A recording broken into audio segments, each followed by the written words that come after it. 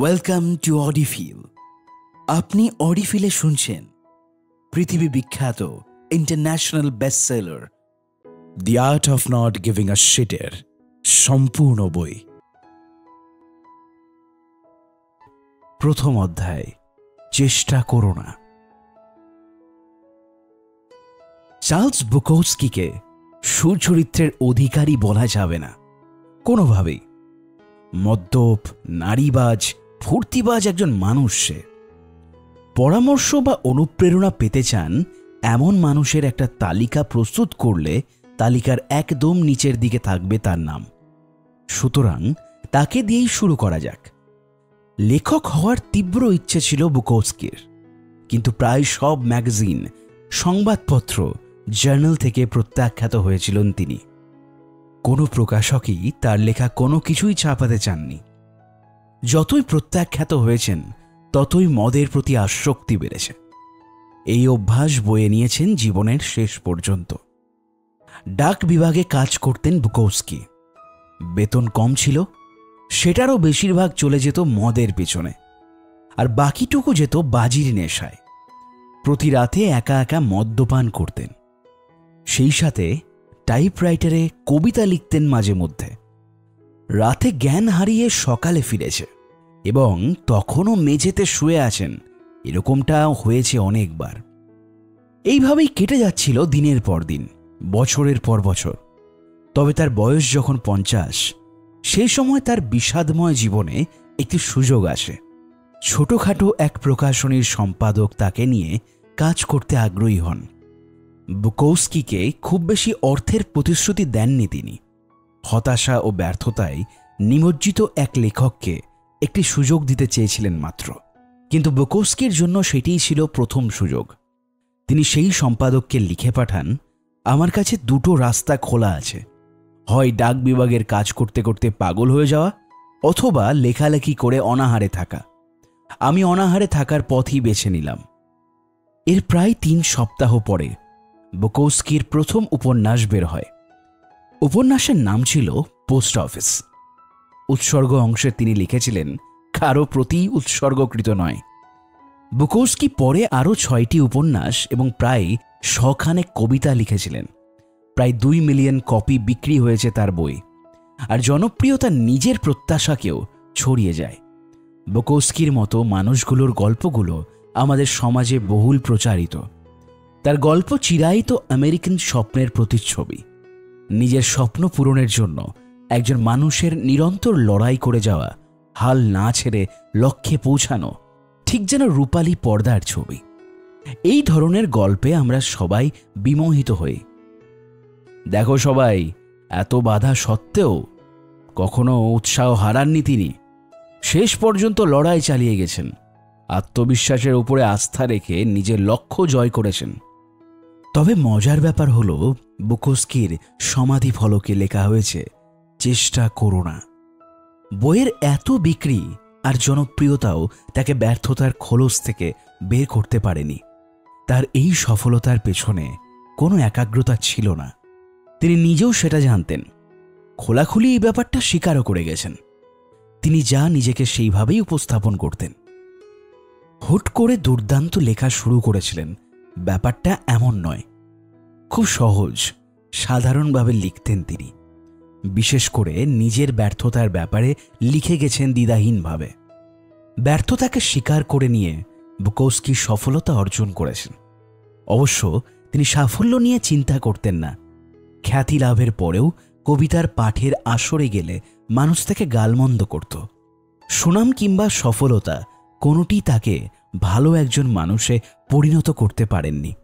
ভিন্নভাবে যদি বলা যায়, এত সুনাম বা সফলতা কোনোটি তার ভালো মানুষের জন্য নয়। এটা ঠিক যে ব্যক্তিত্বের বিকাশ এবং সফলতা অনেক ক্ষেত্রেই একসাথে ঘটে। তবে তার মানে এই নয় যে তা একে অপরের উপর নির্ভরশীল। বর্তমান প্রেক্ষাপটে সবাই ইতিবাচকতার দিকে বেশি গুরুত্ব দিয়ে থাকেন। সবসময় শুধু সুস্থ থাকুন, সুখে থাকুন, অন্য সবার থেকে এগিয়ে থাকুন, অগ্রগামী, বুদ্ধিমান, ধনী, সুন্দর হওয়ার দিকেই যেন সবার সব নজর। সেই সাথে বেশি প্রশংসিত হওয়ার ব্যাপার তো আছেই। আপনি অর্থ উপার্জনের সবচেয়ে ভালো পথটি খুঁজে মরছেন কেন? কারণ আপনি জানেন যে আপনার কাছে যথেষ্ট পরিমাণ অর্থ নেই। আপনি প্রতিদিন আয়নার সামনে দাঁড়িয়ে নিজেকে সুন্দর দাবি কেন করছেন? কারণ আপনি নিজেকে এখনও যথেষ্ট সুন্দর ভাবতে পারছেন না। প্রেমের সম্পর্ক ঠিক রাখার জন্য পরামর্শ খুঁজে বেড়াচ্ছেন কি কারণে? কারণ ভালোবাসার উপযোগী একজন মানুষ হিসেবে ধরে নিতে পারছেন না নিজেকে।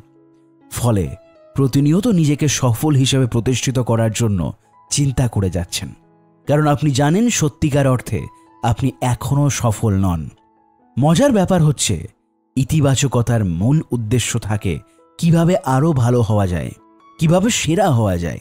এতে করে আমাদের কোথায় শূন্যতা রয়েছে সেটাই আসলে মনে করিয়ে দেওয়া হয়।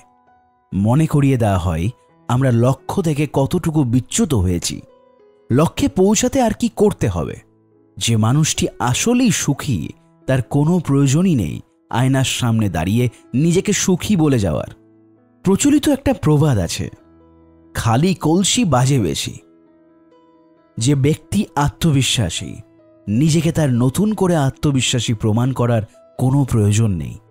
তেমনি এক ধনী মহিলারও নিজেকে বোঝানোর দরকার নেই যে তিনি ধনী। যে যেমন সে তেমনই থাকবে।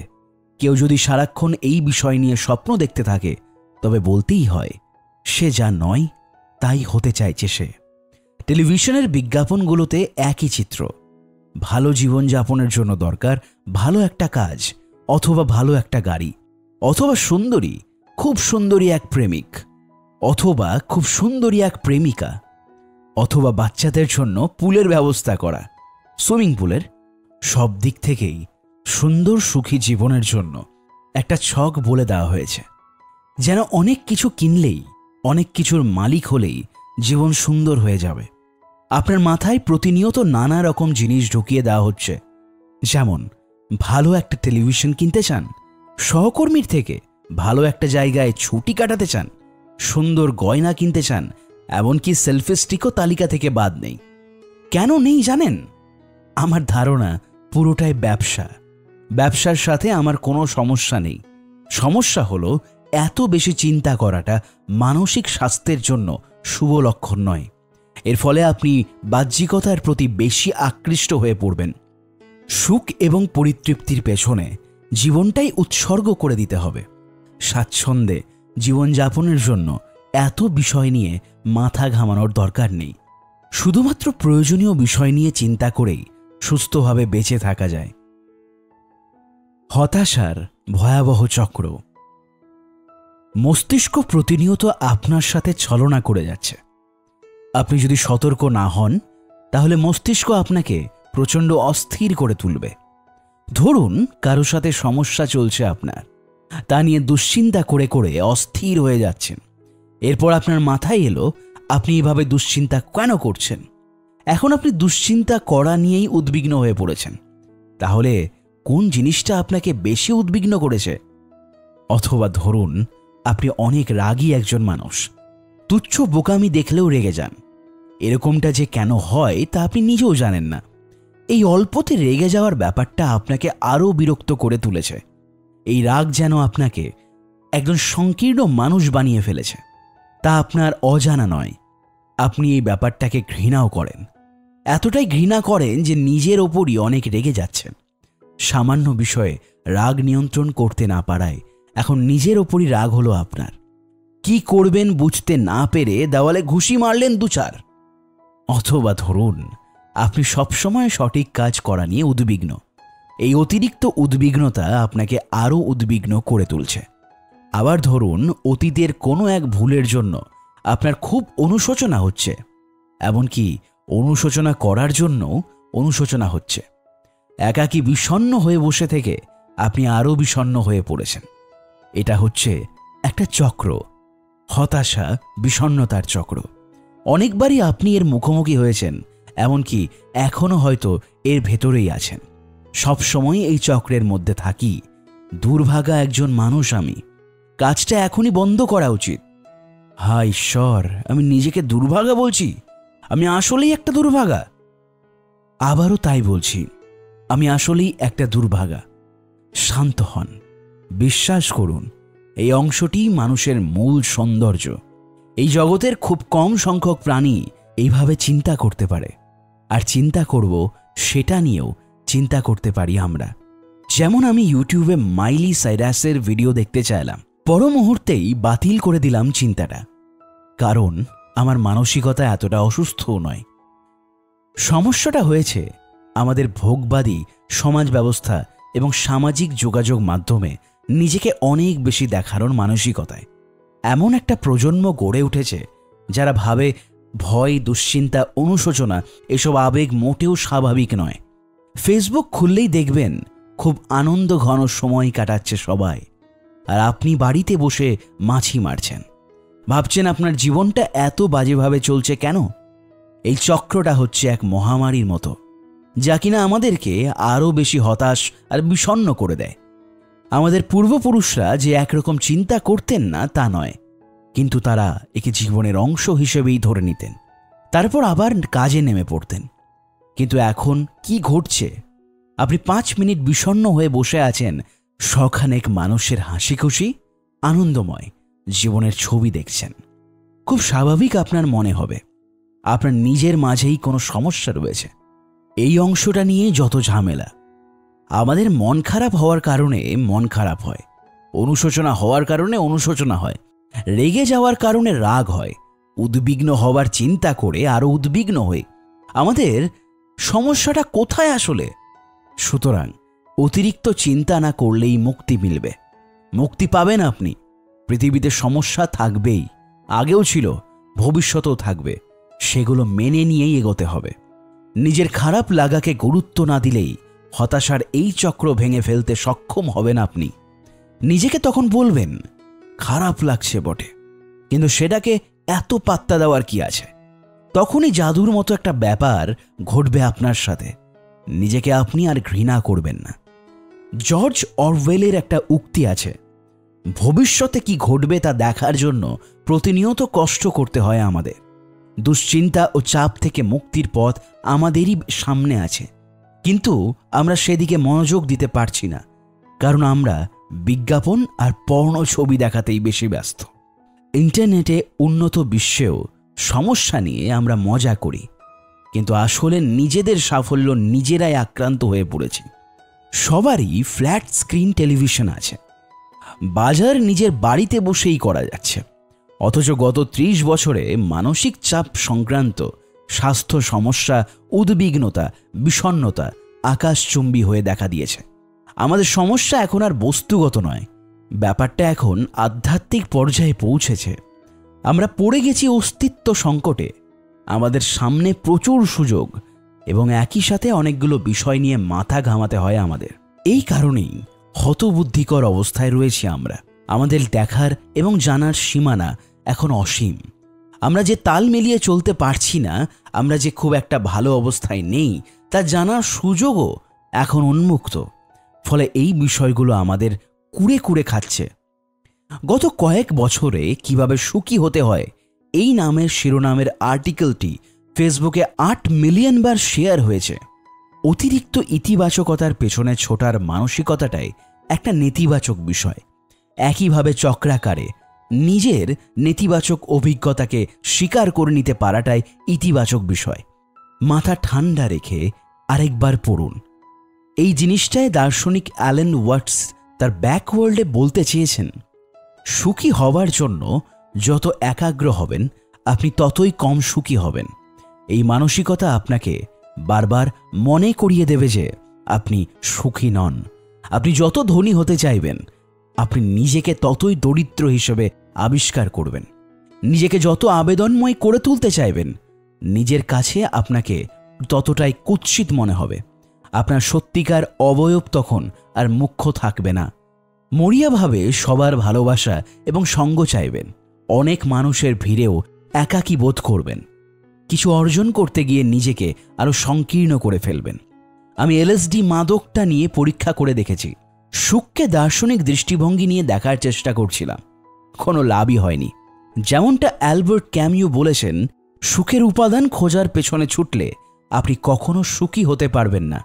জীবনের অর্থ খুঁজতে থাকলে জীবনটাই উপভোগ করতে পারবেন না। তিনি যে সে সময় এলএসডির ওপরে ছিলেন না, সে ব্যাপারে আমি শতভাগ নিশ্চিত। আরও পরিষ্কার করে বললে, চেষ্টাই করো না। আপনি এই মুহূর্তে কি ভাবছেন তা আমি বেশ বুঝতে পারছি। মার্ক আপনার কথা আমার পছন্দ হয়েছে। কিন্তু আমি যে ক্যামেরো গাড়ি কেনার জন্য টাকা জমাচ্ছি, তার কি হবে? মজবুত শরীরের জন্য না খেয়ে থাকছি। অথচ লোকের পাশে যে বিশাল বাড়ির স্বপ্ন দেখছি, আমি যদি এসব নিয়ে এখন চিন্তা করাই বন্ধ করে দিই, তাহলে আমার আর কিছুই পাওয়া যাবে না। আমি তো সেটা হতেই দিতে পারি না। এত প্রশ্নের জন্য আপনাকে ধন্যবাদ। কখনো খেয়াল করেছেন কি?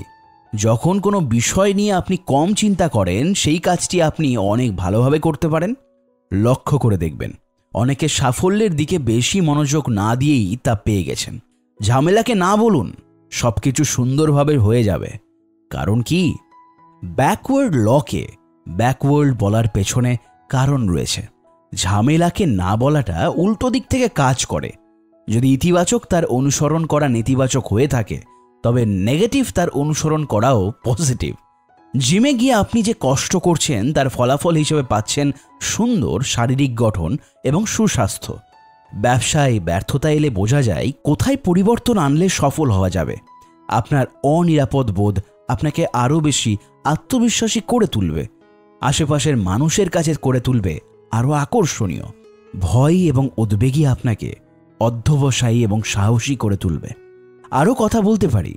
কিন্তু এতক্ষণে বিষয়টি বুঝতে পারা কথা আপনার। জীবনে যা কিছু অর্জন, তাই নেতিবাচকতাকেই, অর্থাৎ নেগেটিভিটিকে কাটিয়েই পেয়েছেন। নেগেটিভিটিকে পাশ কাটিয়ে যেতে চাইলে, তা বরং উল্টো ফল বয়ে আনবে। যন্ত্রণাকে এড়িয়ে চলাটাও এক প্রকার যন্ত্রণা। কষ্ট করতে না চাওয়াটাই কষ্ট বয়ে আনে। ব্যর্থতাকে অস্বীকার করাটাও ব্যর্থতা। লজ্জাকে লুকিয়ে রাখাটাই একটা বড় লজ্জা। দুঃখ মানুষের জীবনে অবিচ্ছেদ্য অংশ। একে মুছে ফেলা শুধু অসম্ভব নয়, সেই সাথে ভয়ানক একটা ব্যাপারও বটে।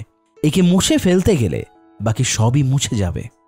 দুঃখকে এড়িয়ে চলার চেষ্টা করা দুঃখকে বেশি গুরুত্ব দিয়ে ফেলেছেন, কিন্তু আপনি যদি দুঃখকে অতিমাত্রায় গুরুত্ব না দেন, ভেবে নেন দুঃখ পাওয়াটাই স্বাভাবিকতার অংশ। তাহলে আপনি হয়ে উঠবেন অপ্রতিরোধ্য। আমার জীবনের আমি অনেক বিষয়েই অযথা ঝামেলা বাড়িয়েছি। আবার অনেক বিষয়ে ঝামেলা সরিয়েও ফেলেছি। ঝামেলাগুলো ছেটে ফেলাটাই আমার জীবনে ভূমিকা রেখেছে। আপনি এমন অনেককে নিশ্চয় চেনেন যারা ঝামেলাকে ছেটে ফেলে সফল হয়েছেন। হয়তো আপনারও জীবনে এমন এক সময় ছিল যখন আপনি ঝামেলাকে না বলতে পারতেন। তখন কিছু একটা অর্জন করেছিলেন। আমার কাঁধ থেকে ঝামেলা নামিয়ে ফেলার তালিকার প্রথম দিকে আছে। চাকরি ছেড়ে ইন্টারনেট ব্যবসা শুরু করা সব কিছু ছেড়ে দিয়ে দক্ষিণ আমেরিকায় চলে আসা, আমি কি খুব মাথা ঘামিয়েছি? উত্তর হবে, না। ভাবা মাত্র চলে এসেছি। এই সিদ্ধান্তগুলোই আসলে আমাদের জীবনে মোড় ঘুরিয়ে দেয়। যেমন কলেজ ছেড়ে রক ব্যান্ডে যোগ দেওয়া, কিংবা আপনার নির্বোধ বয়ফ্রেন্ডকে ছেড়ে দেওয়া।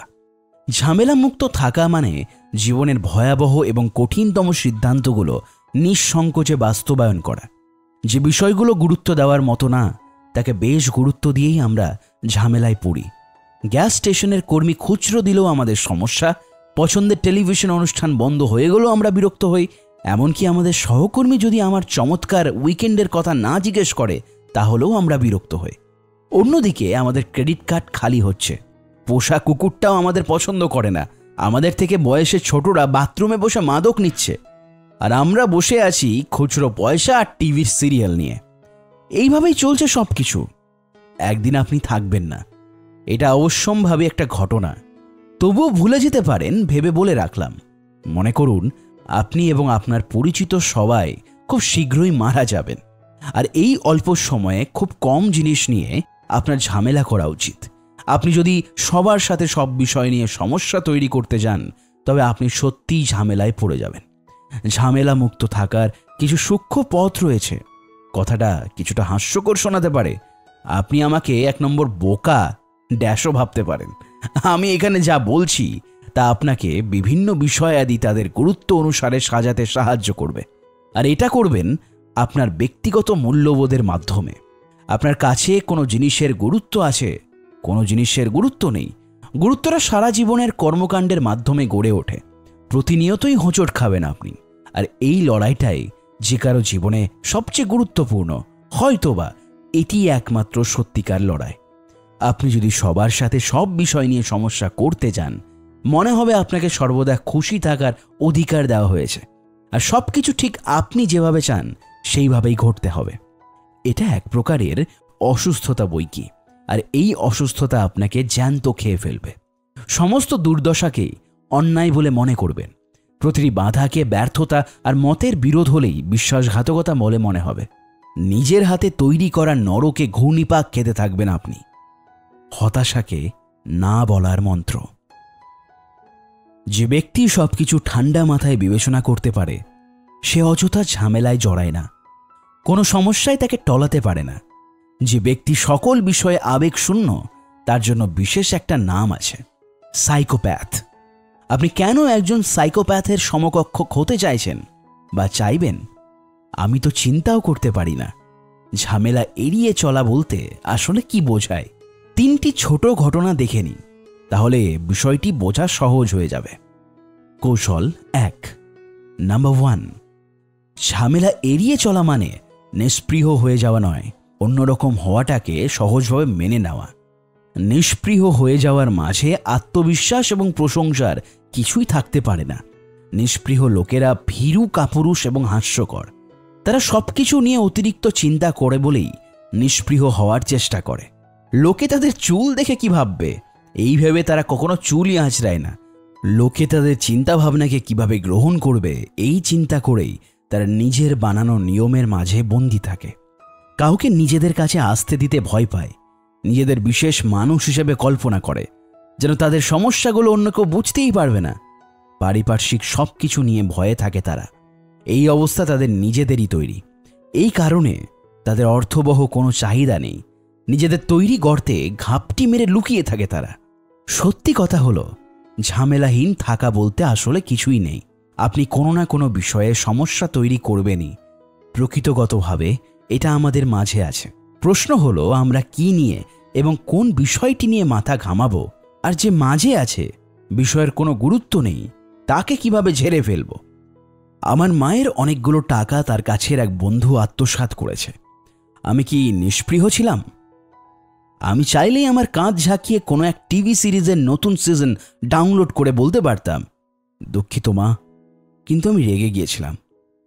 মাকে বলেছিলাম, বাদ দাও তো আইনজীবীর সাহায্যে ওই হারামজাদাকে আমি দেখে নেব। দরকার পড়লে ওর জীবনটাও ছাড়খাড় করে দেব। প্রথম বিষয়টি দেখালাম, যখন আমরা বলি মার্ক ম্যানসনের কোনো কিছুতেই আসে যায় না। তার মানে এই যে মার্ক ম্যানসন সব কিছু নিয়ে উদাসীন। আবার যখন বলি লক্ষ্য পূরণের জন্য কষ্ট করতে কিছুই আসা যায় না মার্ক ম্যানসনের, তার মানে হলো লোকে কি বলবে এইভাবে সে তার কাজ কখনো বন্ধ করে দেয় না। তার কাছে যা সঠিক এবং গুরুত্বপূর্ণ বলে মনে হয় সে তাই করবে। এই জিনিসটা প্রশংসনীয়। না, আমি আমার কথা বলছি না। এই যে দুর্দশা কাটিয়ে ওঠার শক্তি অন্যরকম হওয়ার ইচ্ছা শুধুমাত্র নিজের মূল্যবোধের কারণে সমাচ্যুত, জাতচ্যুত হয়ে যাওয়া, ব্যর্থতার মুখোমুখি হয়ে তাকে মধ্যাঙ্গলি প্রদর্শন করা, এই সব কিছুর কথাই বলছি। যারা এগুলো করতে পারে, তারা জানে এটাই সঠিক কাজ। তারা জানে এটি তাদের আবেগ, অনুভূতির থেকেও গুরুত্বপূর্ণ। এখানে আরেকটি গোপন বিষয় রয়েছে। আপনি কখনোই অনেক মানুষের কাছে শুধু গুরুত্বপূর্ণ ব্যক্তি হিসেবে উপস্থিত হবেন না। অনেক মানুষের কাছে হাসির পাত্রেও পরিণত হবেন, কারণ দুর্ভাগ্যহীনতা বলে কিছু নেই। একই কথা ব্যর্থতার ক্ষেত্রেও প্রযোজ্য। আপনি যেখানেই যান না কেন, আপনার জন্য এক গাদা ঝামেলা অপেক্ষা করবে। এটা কোনো বিষয় না। আপনি একে কীভাবে মোকাবিলা করে নিজের খুশি মতো চলবেন সেটাই হলো মূল বিষয়। কৌশল দুই। প্রতিকূল পরিস্থিতি ঝেড়ে ফেলতে হলে এমন কিছু বের করতে হবে যা ওই অবস্থার থেকেও গুরুত্বপূর্ণ। মনে করুন আপনি একটা দোকানে আছেন। সেখানে একজন বৃদ্ধা ক্যাশিয়ারের সাথে চিৎকার করে যাচ্ছে, কারণ সে বৃদ্ধা মহিলার ত্রিশ সেন্টের কুপন গ্রহণ করতে চাইছে না। আর ওই বৃদ্ধা তার সাথে ঝগড়া করে চলেছেন। মহিলা এত ঝামেলা পাকাচ্ছেন কেন? মাত্র ত্রিশ সেন্টের তো ব্যাপার। আমি বলছি, কেন? সম্ভবত ওই মহিলার বাড়িতে তেমন কোনো কাজ নেই। বাড়িতে একা একা বসে সারাদিন কুপন কেটে যান। তার সন্তানেরা তাকে দেখতেও আসে না। ত্রিশ বছর ধরে শারীরিক মিলন কি সে জানেই না। সারা শরীরে শুধু অসুখ আর অসুখ, পেনশন এবং আয় দুটোই ফুরিয়ে এসেছে। তাই তিনি বসে বসে কুপন সংগ্রহ করেন। এই একটা কাজই করার আছে তার। এর চেয়ে গুরুত্বপূর্ণ কোনো কাজ নেই। ফলে ক্যাশিয়ার যখন কুপন নিতে অস্বীকৃতি জানায়, বৃদ্ধা তেলে বেগুনে জ্বলে ওঠেন আমাদের সময়ে মানুষের আচরণ অনেক ভালো ছিল। এই ধরনের কথা ক্যাশিয়ারের উদ্দেশ্যে ধেয়ে যাওয়া খুবই স্বাভাবিক। আপনি যদি খুব তুচ্ছ বিষয় নিয়ে মাথা ঘামান, যেমন আপনার আগের প্রেমিকের ফেসবুকে দেওয়া নতুন ছবি, টিভি রিমোটের ব্যাটারি দ্রুত শেষ হয়ে যাওয়া, তাহলে বুঝতে হবে আপনার আসলে যুক্তিসঙ্গত কোনো ঝামেলা নেই। তখন তা আপনার জন্যই সত্যি এক সমস্যা। একজন শিল্পীকে একবার বলতে শুনেছিলাম, কোনো মানুষের যদি কোনো সমস্যা না থাকে, তবে সে এমনিতেই সৃজনশীল কাজ করতে পারে। আমার মনে হয়, মধ্যবিত্ত শিক্ষিত সমাজের লোকেরা জীবনের সমস্যাকে আরও গুরুত্বপূর্ণ কিছু নিয়ে দুশ্চিন্তা না করার পার্শ্ব প্রতিক্রিয়া হিসেবে ধরে নেয়। অর্থবহ কিছু খুঁজে বের করে সময় ও শক্তির যথাযথ ব্যবহার করুন। আর যদি আপনি অর্থবহ কিছু খুঁজে না পান, তাহলে অর্থহীন এবং নগণ্য ঝামেলাতেই আপনার সকল সময় নষ্ট হবে। কৌশল তিন, জেনে হোক আর না জেনেই হোক, কোন বিষয়কে গুরুত্ব দেবেন তা আপনি নিজেই ঠিক করছেন। টুপির নীল রং মনমতো না হওয়ায় কোনো বাচ্চাকে কখনো কেঁদে চোখ দিয়ে জল বের করতে দেখেছেন? দেখেননি? আচ্ছা বাদ দিন ওই বাচ্চার কথা। যৌবনে আমাদের সব কিছু নতুন এবং চাকচিক্যময় লাগে। তাই সব কিছুই আমাদের মাথা ব্যথার কারণ হয়ে দাঁড়ায়। লোকে আমাকে নিয়ে কি ভাবছে? ওই ছেলে বা ওই মেয়েটা আমাকে ফোন করল কিনা? মোজার রং বাকি সব কিছুর সাথে মানাচ্ছে কিনা? এমনকি জন্মদিনের বেলুনের রংটাও এর থেকে বাদ যায় কিনা? বয়সের সাথে আমাদের অভিজ্ঞতা বাড়ে, সেই সাথে বয়ে যায় সময়ও। আর আমরা বুঝতে শিখি, আমাদের জীবনে এসব জিনিসের আসলে কোনো গুরুত্বই নেই। আগে যাদের মতামত অনেক বেশি গুরুত্ব পেত, সেগুলো আস্তে আস্তে আর কোনো ভূমিকাই রাখে না। প্রত্যাখ্যাত হলে তাৎক্ষণিকভাবে একটু কষ্ট পেলেও আমাদের জন্য তা ভালো ফল বয়ে আনে। মানুষ আমাদের বাহ্যিকতার দিকে কতটা গুরুত্ব দেয় তা বুঝতে শিখি। আমরাও নিজেদের শুধরে ফেলি। আস্তে আস্তে আমরা ঝামেলার বিষয়গুলো কমিয়ে আনি। এটি পরিপূর্ণভাবে বেড়ে ওঠার উদাহরণ। কোন বিষয়টিকে গুরুত্ব দেওয়া উচিত তা বুঝতে পারাটাই পরিপক্কতার শিক্ষা। মধ্য বয়সে এসে আমাদের মাঝে পরিবর্তন আসে। আমরা প্রাণোচ্ছলতা হারিয়ে ফেলি। নিজেদের বুঝতে শিখি, তারপর এইভাবেই মেনে নিই। যেসব বিষয় নিয়ে আমরা রোমাঞ্চিত নই, মেনে নিই সেগুলো। এটা এক হিসাবে মুক্তির দোয়ার খুলে দেয়। আমাদের আর সব বিষয় নিয়ে ঝামেলায় জোড়াতে হয় না। জীবনটা এইভাবেই চলতে থাকে। বুঝে যাই আমরা ক্যান্সার নিরাময় করতে পারব না, চাঁদেও যেতে পারব না। পরিবার বন্ধু হয়ে যায় তখন। জীবনের এই সরলীকরণ করাটাই আমাদের কাছে অবারিত সুখ হয়ে ধরা দেয়। সেই সাথে ভাবতে থাকি, বুকৌস্কি যথাযথই বলেছিলেন, চেষ্টা করো না। মার্ক, এই বইয়ের মূল উদ্দেশ্যটা কি?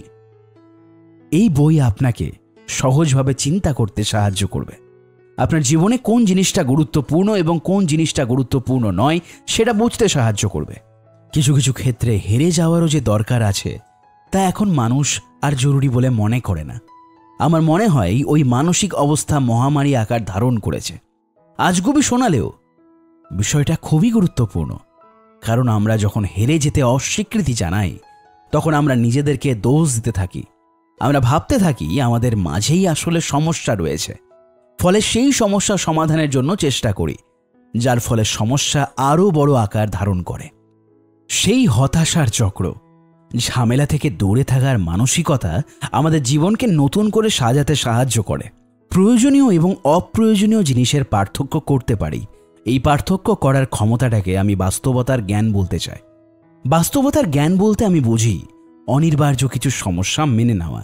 আপনি যা কিছুই করেন না কেন, জীবনে ব্যর্থতা, দুঃখ, কান্না এমনকি মৃত্যু থাকবেই। প্রকৃতি আপনার দিকে নানা রকম প্রতিবন্ধকতা ছুড়ে দেবেই। আপনি যখন এসব মেনে নিতে শিখবেন, আপনার কাঁধ থেকে ঝামেলার বোঝা নেমে যাবে।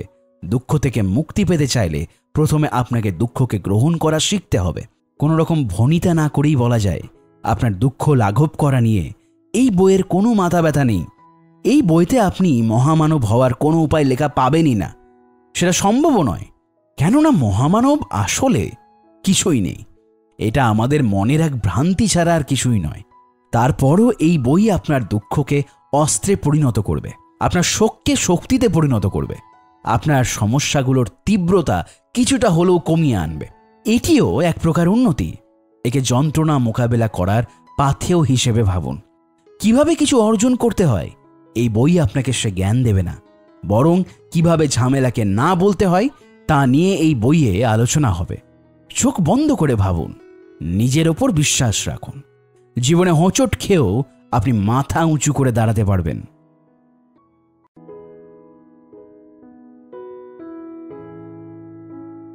দ্বিতীয় অধ্যায়। সুখ যখন অসুখ। আজ থেকে প্রায় আড়াই হাজার বছর আগে হিমালয়ের পাদদেশে, অর্থাৎ আজকের দিনে যেটি নেপাল, সেখানে প্রবল ক্ষমতাধর এক রাজা বাস করতেন।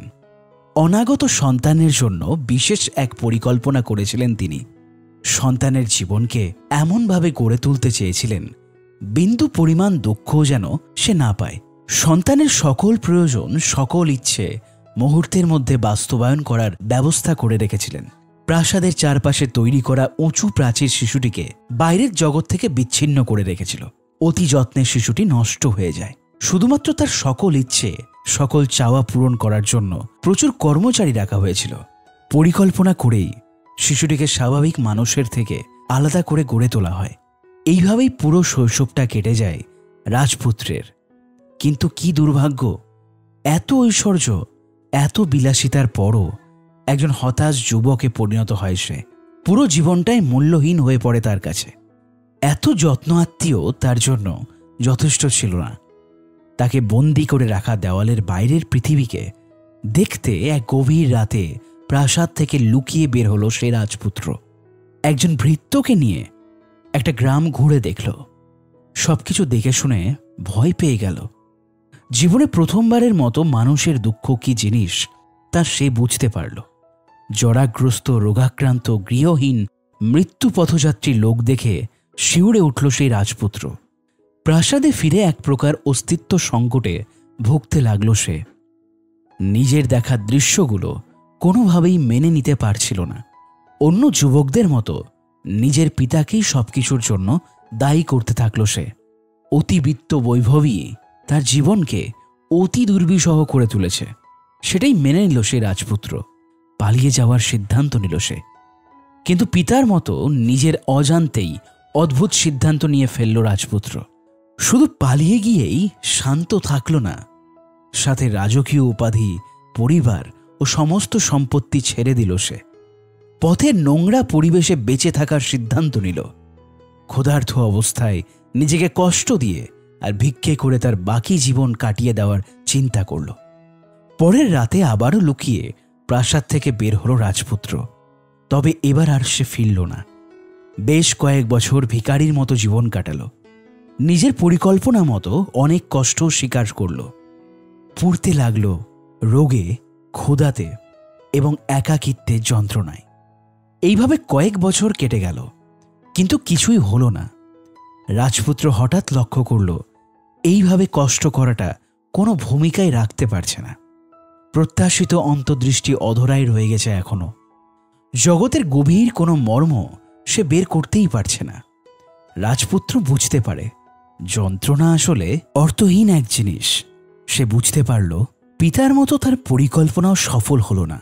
এর চেয়ে তার অন্য কিছু করা উচিত। দিশেহারা হয়ে পড়ল সে। নিজেকে পরিষ্কার পরিচ্ছন্ন করে একটা গাছের নিচে আশ্রয় নিল। নতুন কোনো পরিকল্পনা বের করতে না পারা পর্যন্ত ওখানেই বসে থাকার সিদ্ধান্ত নিল সে।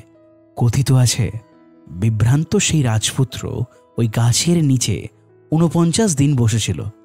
এক জায়গায় টানা ঊনপঞ্চাশ দিন বসে থাকা বৈজ্ঞানিকভাবে সম্ভব কিনা আমি সেদিক খতিয়ে দেখতে চাইছি না। বিষয়টা হচ্ছে, সেই সময় রাজপুত্রের মাঝে কিছু গভীর উপলব্ধি আসে এর মাঝে একটি হল, জীবন মানেই যন্ত্রণা। ধনীরা তাদের প্রাচুর্যের কারণে ভোগে। গরিবরা ভোগে অর্থাভাবে পরিবারহীন মানুষ হয়, পরিবার না থাকার বেদনায় কাতর। আর যাদের পরিবার আছে, তারা পরিবার থেকে মুক্তি চায়। পার্থিব সুখের খোঁজে থাকা মানুষ সুখের নেশায় দুঃখ স্বীকার করে। আর যারা সব কিছু থেকে নিজেদের গুটিয়ে নেয়, তারা সেই কষ্টে থাকে। সব ঝামেলায় যে সমান তা বলছি না। ঝামেলাগুলোর মধ্যে গুরুত্বের পার্থক্য থাকে অবশ্যই। কিন্তু সেটাকে আমাদের মোকাবিলা করতেই হবে। কয়েক বছর পর রাজপুত্র নিজের দর্শন খুঁজে পায় এবং পুরো বিশ্বে তা ছড়িয়ে দেয়। মূল মতবাদটা ছিল, জীবনে দুঃখ এবং ঝামেলা অবশ্যম্ভাবী। আমাদের তা ঝেড়ে ফেলতে হবে। রাজপুত্র পরবর্তীতে বুদ্ধ হিসেবে পরিচিত, গৌতম বুদ্ধ। কোনো কারণে যদি আপনি তার কথা না শুনে থাকেন, তবে বলছি, তিনি একজন মহামানব। সুখ ব্যাপারটাকে ছকে ফেলার চেষ্টা করি আমরা। ব্যাপারটা অনেকটা লোগো সেট দিয়ে কিছু বানানোর মতো। এটার পরে ওটা রাখলে দারুণ কিছু একটা তৈরি হয়ে যাবে। ভাবি, এটা করতে পারলেই সুখী হব আমি, অথবা ওটা করলেই সুখ ধরা দেবে আমার কাছে। অমুকের মতো হতে পারলে সুখের আর সীমা থাকবে না আমার। এই যে ছকে ফেলার চেষ্টা, এটাই হচ্ছে প্রধান সমস্যা। সুখের কোনো ধরা বাঁধার সংজ্ঞা নেই। অসন্তোষ মানুষের প্রকৃতিগত একটা ব্যাপার। মানুষের সুখের উৎসই হচ্ছে এই অসন্তোষ। বুদ্ধ এটাকে আধ্যাত্মিক ও দার্শনিকতার সাথে ব্যাখ্যা করেছেন। এই অধ্যায়ে আমিও সেটাই করব। তবে করব জীবতত্ত্ব দিয়ে। ব্যাখ্যা করব পাণ্ডাদের মাধ্যমে। নিরাশকারী পাণ্ডার কাজকর্ম। আমি যদি কোনো সুপার হিরো তৈরি করতাম, তবে তার নাম দিতাম নিরাশাকারী পাণ্ডা। চোখ গোল মুখোশ হয়ে পড়ত, আর জামায় বড় অক্ষরে লেখা থাকতো ইংরেজিটি। কিন্তু তার বিশাল ফোলা পেটের তুলনায় তা হাস্যকর রকমের ছোট দেখাত। তার কাজ হতো নির্মম সত্য কথা বলা। মানুষ যা শুনতে চায় না, কিন্তু শোনা উচিত। এটাই হতো তার সুপার পাওয়ার বাইবেল বিক্রেতাদের মতো সেও বাড়িতে বাড়িতে গিয়ে দরজায় করা নাড়ত। আর নিজের কাজ করত। যেমন অবশ্যই আপনি প্রচুর অর্থ উপার্জন করে সুখী হতে পারতেন। কিন্তু আপনার সন্তানেরা যে আপনাকে ভালোবাসবে, তার কোনো নিশ্চয়তা নেই। অথবা স্ত্রীর বিশ্বস্ততা নিয়ে মনে প্রশ্ন উদয় হওয়ার অর্থ হলো, আপনি হয়তো তার উপর আস্থা রাখতে পারছেন না। আবার আপনি যাকে বন্ধুত্ব বলে দাবি করছেন, তা শুধু মানুষকে প্রভাবিত করার একটা চেষ্টা মাত্র। তারপর সেই বাড়ির মালিককে শুভকামনা জানিয়ে হেলে দুলে পাশের বাড়ির দিকে এগোবে সে। অস্বাভাবিক এবং দুঃখদায়ক হলেও দারুণ হতো ব্যাপারটা, কারণ ব্যাপারটা একই সাথে অনুপ্রেরণাদায়কও। জীবনের বড় সত্যগুলো তো তিক্তই হয়, তাই না? পান্ডা এমন একজন সুপার হিরো হতো, যার সাহায্য আমরা কেউই চাইতাম না। কিন্তু আমাদের সবারই তাকে দরকার হতো, আমাদের দৈন্য তাকে চোখে আঙ্গুল দিয়ে দেখিয়ে দিত সে, যেন আমরা আরও ভালো থাকতে পারি। অন্ধকারকে চিনিয়ে দিত যেন আলোর দিকে আমাদের পথছলা থেমে না যায়। সিনেমার শেষের নায়কের মৃত্যু আপনাকে বিচলিত করে, কিন্তু আপনি তা অনেক পছন্দও করেন, কারণ তা অনেক বেশি বাস্তবসম্মত। পাণ্ডার কথা শোনাটাও একই রকম ব্যাপার হতো। আর একটি অপ্রিয় সত্য বলতে চাচ্ছি, আমাদের ভোগান্তির কারণ খুব সাধারণ একটা বিষয়, আবার বিষয়টা আমাদের জন্য উপকারীও। পরিবর্তনের জন্য ভোগান্তি প্রকৃত প্রদত্ত অপরিহার্য এক উপাদান। কষ্ট ভোগ না করলে দিন বদলানোর ইচ্ছে জেগে ওঠে না। মানবজাতি বিকশিত হয়েছে অতৃপ্তি এবং অনিরাপদ বোধ থেকেই। বেঁচে থাকার তাগিদেই তাকে নতুন আবিষ্কার করতে হয়েছে। আমাদের যা আছে, তা নিয়ে আমরা সন্তুষ্ট নই। শুধুমাত্র অধরা জিনিসই আমাদের সন্তুষ্ট করতে পারে। এই চাহিদার জন্যই মানবজাতি সংগ্রাম করে টিকে আছে। নতুন জায়গা জয় করছে, নতুন করে তৈরি করছে নতুন জিনিস। দুঃখ, দুর্দশা মানবজাতির বিকাশে কোনো ক্ষত নয়, বরং এটাই আমাদের বিশেষ বৈশিষ্ট্য। যে কোনো ধরনের যন্ত্রণাই আমাদের শরীরকে নাড়া দেয়। ধরুন, চলার পথে আপনার পায়ের আঙ্গুলগুলো গুঁতো খাচ্ছেন। আমার মতো হলে সাথে সাথেই লাফিয়ে উঠবেন আর চিৎকার করে চার অক্ষরের বিশেষ একটি শব্দ বলে উঠবেন। পোপ ফ্রান্সিস অবশ্য তা শুনে হতাশ হতে পারেন। আপনি আপনার ব্যথার জন্য প্রাণীহীন কোনো কিছুকেই দায়ী করতে পারেন, অথবা আরও এক ধাপ এগিয়ে আপনার পুরো ঘরের নকশাকেও দায়ী করতে পারেন। এই আঘাত পাওয়াটাকে আপনি, আমি এবং পোপ ফ্রান্সিস সবাই ঘৃণা করি, কিন্তু তারও প্রয়োজনীয়তা আছে। শারীরিক ব্যথা আমাদের স্নায়ুতন্ত্রেরই অংশ। নিজেদেরকে বুঝতে সাহায্য করে। আমরা কোথায় যেতে পারব বা কোনো জিনিস ধরতে পারব কি পারব না, সেই বিষয়ে সতর্ক করে দেয়। তারপরেও অনেক সময় আমরা অসতর্ক হয়ে পড়ি, আর আমাদের স্নায়ুতন্ত্র তখন আমাদের শাস্তি দেয়। যেন আমরা আরও সতর্ক হয়ে এবং পুনরায় একই ভুল না করি। আমরা আঘাতকে যতই ঘৃণা করি না কেন, তা আমাদের জন্য খুবই দরকারি। তা ভালো ও মন্দের পার্থক্য তুলে ধরে। এর কারণেই আমরা যৌবনে শিখতে পারি কোন বিষয়ে মনোযোগী হওয়া উচিত। আঘাত আমাদের সীমাবদ্ধতাকে উপলব্ধি করায়। এই আঘাত পাওয়ার ভয়েই আমরা গরম চুল্লি থেকে দূরে থাকি। বৈদ্যুতিক সংযোগে ধাতব জিনিস দিয়ে গুতোগুতি করি না। কিন্তু তাই বলে সবসময় যন্ত্রণা থেকে দূরে সরে থাকাটা ঠিক নয়। আঘাত কেবলমাত্র শারীরিক হয় তা নয়। স্টার ওয়ার্সের প্রথম প্রিকুয়েল যারা দেখেছেন, তারা বুঝবেন, আঘাত মানসিকও হতে পারে। এমনকি গবেষণায় এসেছে, আমাদের মস্তিষ্ক শারীরিক এবং মানসিক আঘাতের মাঝে তেমন পার্থক্য করে না। আমার প্রথম প্রেমিকা যখন আমাকে ধোকা দেয়, আমি খুব কষ্ট পেয়েছিলাম। মনে হচ্ছিল আমার হৃদয়কে কোনো বরফ শীতল ছুরি ক্ষতবিক্ষত করে ফেলেছে। তো আমার এই অনুভূতি তাই খুব একটা অযৌক্তিক নয়। শারীরিক আঘাতের মতো মানসিক আঘাতও সবসময় অপ্রয়োজনীয় নয়। হাঁটতে গিয়ে পায়ে গুঁতো খেলে আমরা যেমন সতর্ক হয়ে হাঁটতে শিখি, তেমনি মনে দুঃখ পেলেও আমরা ভুল থেকে শিক্ষা পাই। একই ভুল এড়িয়ে যাওয়ার চেষ্টা করি। আপনি ঝামেলাহীন একটা জীবনের প্রত্যাশা করতেই পারেন। ঝামেলাবিহীন সুখী জীবন। কিন্তু বাস্তবতা হলো, পৃথিবীতে আপনি তা কখনোই পাবেন না। ঝামেলা তো থাকবেই। নিরাশকারী পাণ্ডা এসে উপস্থিত হয়েছে। দুজনে বসে বসে মার্গারিটা গিলছি। আমাকে বলছে, ঝামেলা এমনি এমনি হারিয়ে যায় না, বরং বেড়ে চলে। ওয়ারেন বাফেটের টাকা নিয়ে ঝামেলা হচ্ছে। আবার মদ্যপ গৃহহীন লোকটারও টাকা নিয়ে ঝামেলা হচ্ছে। পার্থক্য হলো বাফেটের ঝামেলাটা একটু সুবিধাজনক। জীবনের একের পর এক ঝামেলা আসবেই, মার্ক। এই বলে পান্ডা তার গ্লাসে চমক দিল। একটি সমস্যার সমাধান আর একটি ঝামেলার পথ তৈরি করে। এক মুহূর্ত পর আমি ভাবলাম, এই পান্ডা এলো কোথা থেকে? জোসটাই বা পরিবেশন করল কে? ঝামেলাহীন জীবনের প্রত্যাশা করবেন না। কখনোই তা পাবেন না। ঝামেলাগুলো যেন সুবিধাজনক হয়। এই প্রত্যাশাই করুন। এই বলে সে গ্লাস নামিয়ে রেখে সামব্রেরো হ্যাট মাথায় চাপিয়ে হেলে দুলে চলে গেল। সমস্যা সমাধানেই সকল সুখ। ঝামেলা জীবনের অবিচ্ছেদ্য অংশ। আপনি স্বাস্থ্য ঠিক রাখার জন্য জিমে ভর্তি হলেন। এতে করে নতুন করে কিছু ঝামেলা যুক্ত হলো। সকাল সকাল উঠে জিমে গিয়ে ঘাম ঝরান।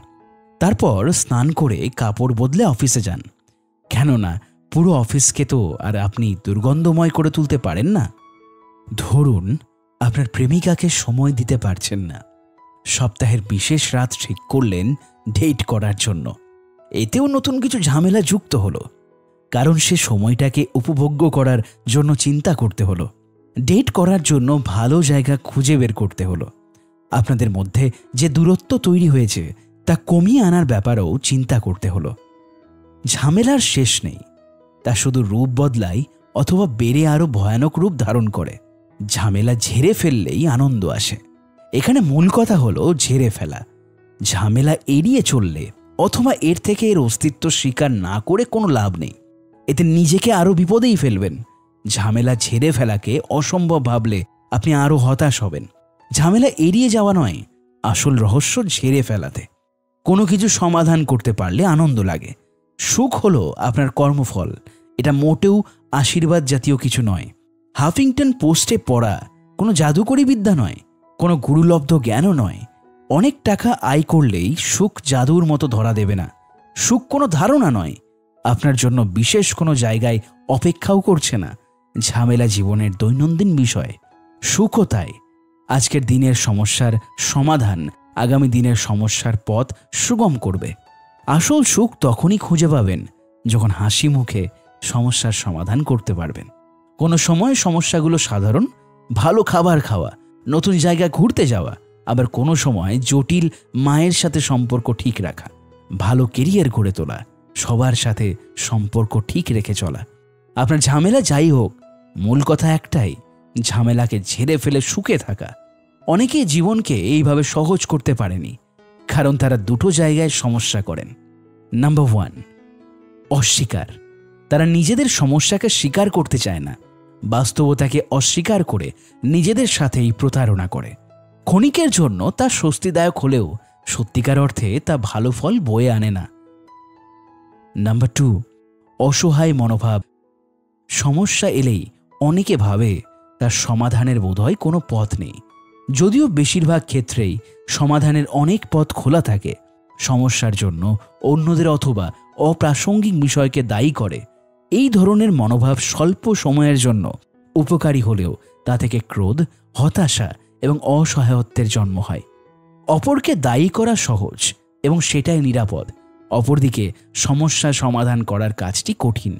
অন্যকে দায়ী অথবা নিজের ভুলের জন্য সমস্যা অস্বীকার করে আমরা সাময়িকভাবে শান্তি পাই। মানুষের কাছে শান্তি অনেকভাবেই আসে। মাদকের আশ্রয়ে, অন্যের ঘাড়ে দোষ চাপিয়ে, নতুন ঝুঁকিপূর্ণ অভিযানে সমস্যার সমাধানের থেকে উটকো মনোভাবটাই বেশি দেখা যায়। অনেক গুরুই আপনাকে শেখাবে কীভাবে সমস্যাকে স্বীকার করতে হয়, কীভাবে নিজেকে ফুরফুরে সতেজ রাখার চেষ্টা করতে হয়। মনে রাখবেন, একজন সুখী লোকেরও আয়নার সামনে দাঁড়িয়ে নিজেকে সুখী দাবি করার কোনো কারণই নেই। প্রশান্তি আসক্তিও তৈরি করতে পারে। এইভাবে চিন্তা করলে সব কিছুতেই আসক্তি সম্ভব। মনের কষ্ট দূর করার জন্য আমাদের নিজেদের স্বতন্ত্র পদ্ধতি রয়েছে। স্বাভাবিক মাত্রায় হলে ব্যাপারটা ঠিক আছে। কিন্তু আমরা যত সমস্যা এড়িয়ে যেতে থাকব বা ভুলে থাকার চেষ্টা করব, সমাধানের সময় তত বেশি অসুবিধা হবে। আবেগকে বেশি মূল্য দেবেন না। আবেগ বিকশিত হওয়ার কারণ একটি। বেঁচে থাকার তাগিদ এবং প্রজাতির বংশগতির সুরক্ষা। শুধু এইটুকুই, আবেগ শুধু আমাদের করণীয় এবং অকরণীয় সম্পর্কে ধারণা দেয়। এর বেশি কিছু নয়। গরম চুল্লিতে হাত লাগাটা যেমন শিক্ষা, তেমনি একাকিত্ব আপনার জন্য শিক্ষা। একাকিত্ব গ্রাস করতে পারে, এমন কাজ এড়িয়ে চলবেন। আবেগ আপনাকে মঙ্গলের দিকে ধাবিত করে। দেখুন, আপনার মধ্য বয়সের সমস্যা সমাধানে আমি আলোর দিশারি হয়ে আসিনি। আট বছর বয়সে আপনার মদ্যপ্য পিতা সাইকেল চুরি করে নিয়ে গেছে, আর তা ফেরত পাননি। কিন্তু বিষয়টি অবচেতন মনে বারবার করা নাড়ছে অন্য কথায়, নেতিবাচক আবেগ কিছু করার জন্য তাগাদা দেয়। অর্থাৎ করা নাড়ে আর সুখ অনুভূতি হলো সঠিক কাজ করার পুরস্কার। এইভাবে দেখলে জীবন খুবই সাধারণ। সুখ অনুভূতি শুধু উপভোগ করার জন্য। তবে নতুন ঝামেলা এসে হাজির হওয়ার কারণে এই সুখ অনুভূতিও চলে যায়। আবেগ আমাদের জীবনের সমীকরণের পুরোটা জুড়ে নয়, তা শুধু একটা অংশ মাত্র। কোনো জিনিস ভালো লাগলেই তা ভালো হয়ে যায় না। আবেগ মন্ত্রণার মতো, বিধান নয়, তাই নিজের আবেগকে অতি বিশ্বাস করা যাবে না। আমি মনে করি আমাদের উচিত সবসময় আবেগকে প্রশ্ন করে চলা। সামাজিক এবং ব্যক্তিগত কারণে অনেকেই নিজেদের আবেগকে দমন করে রাখে।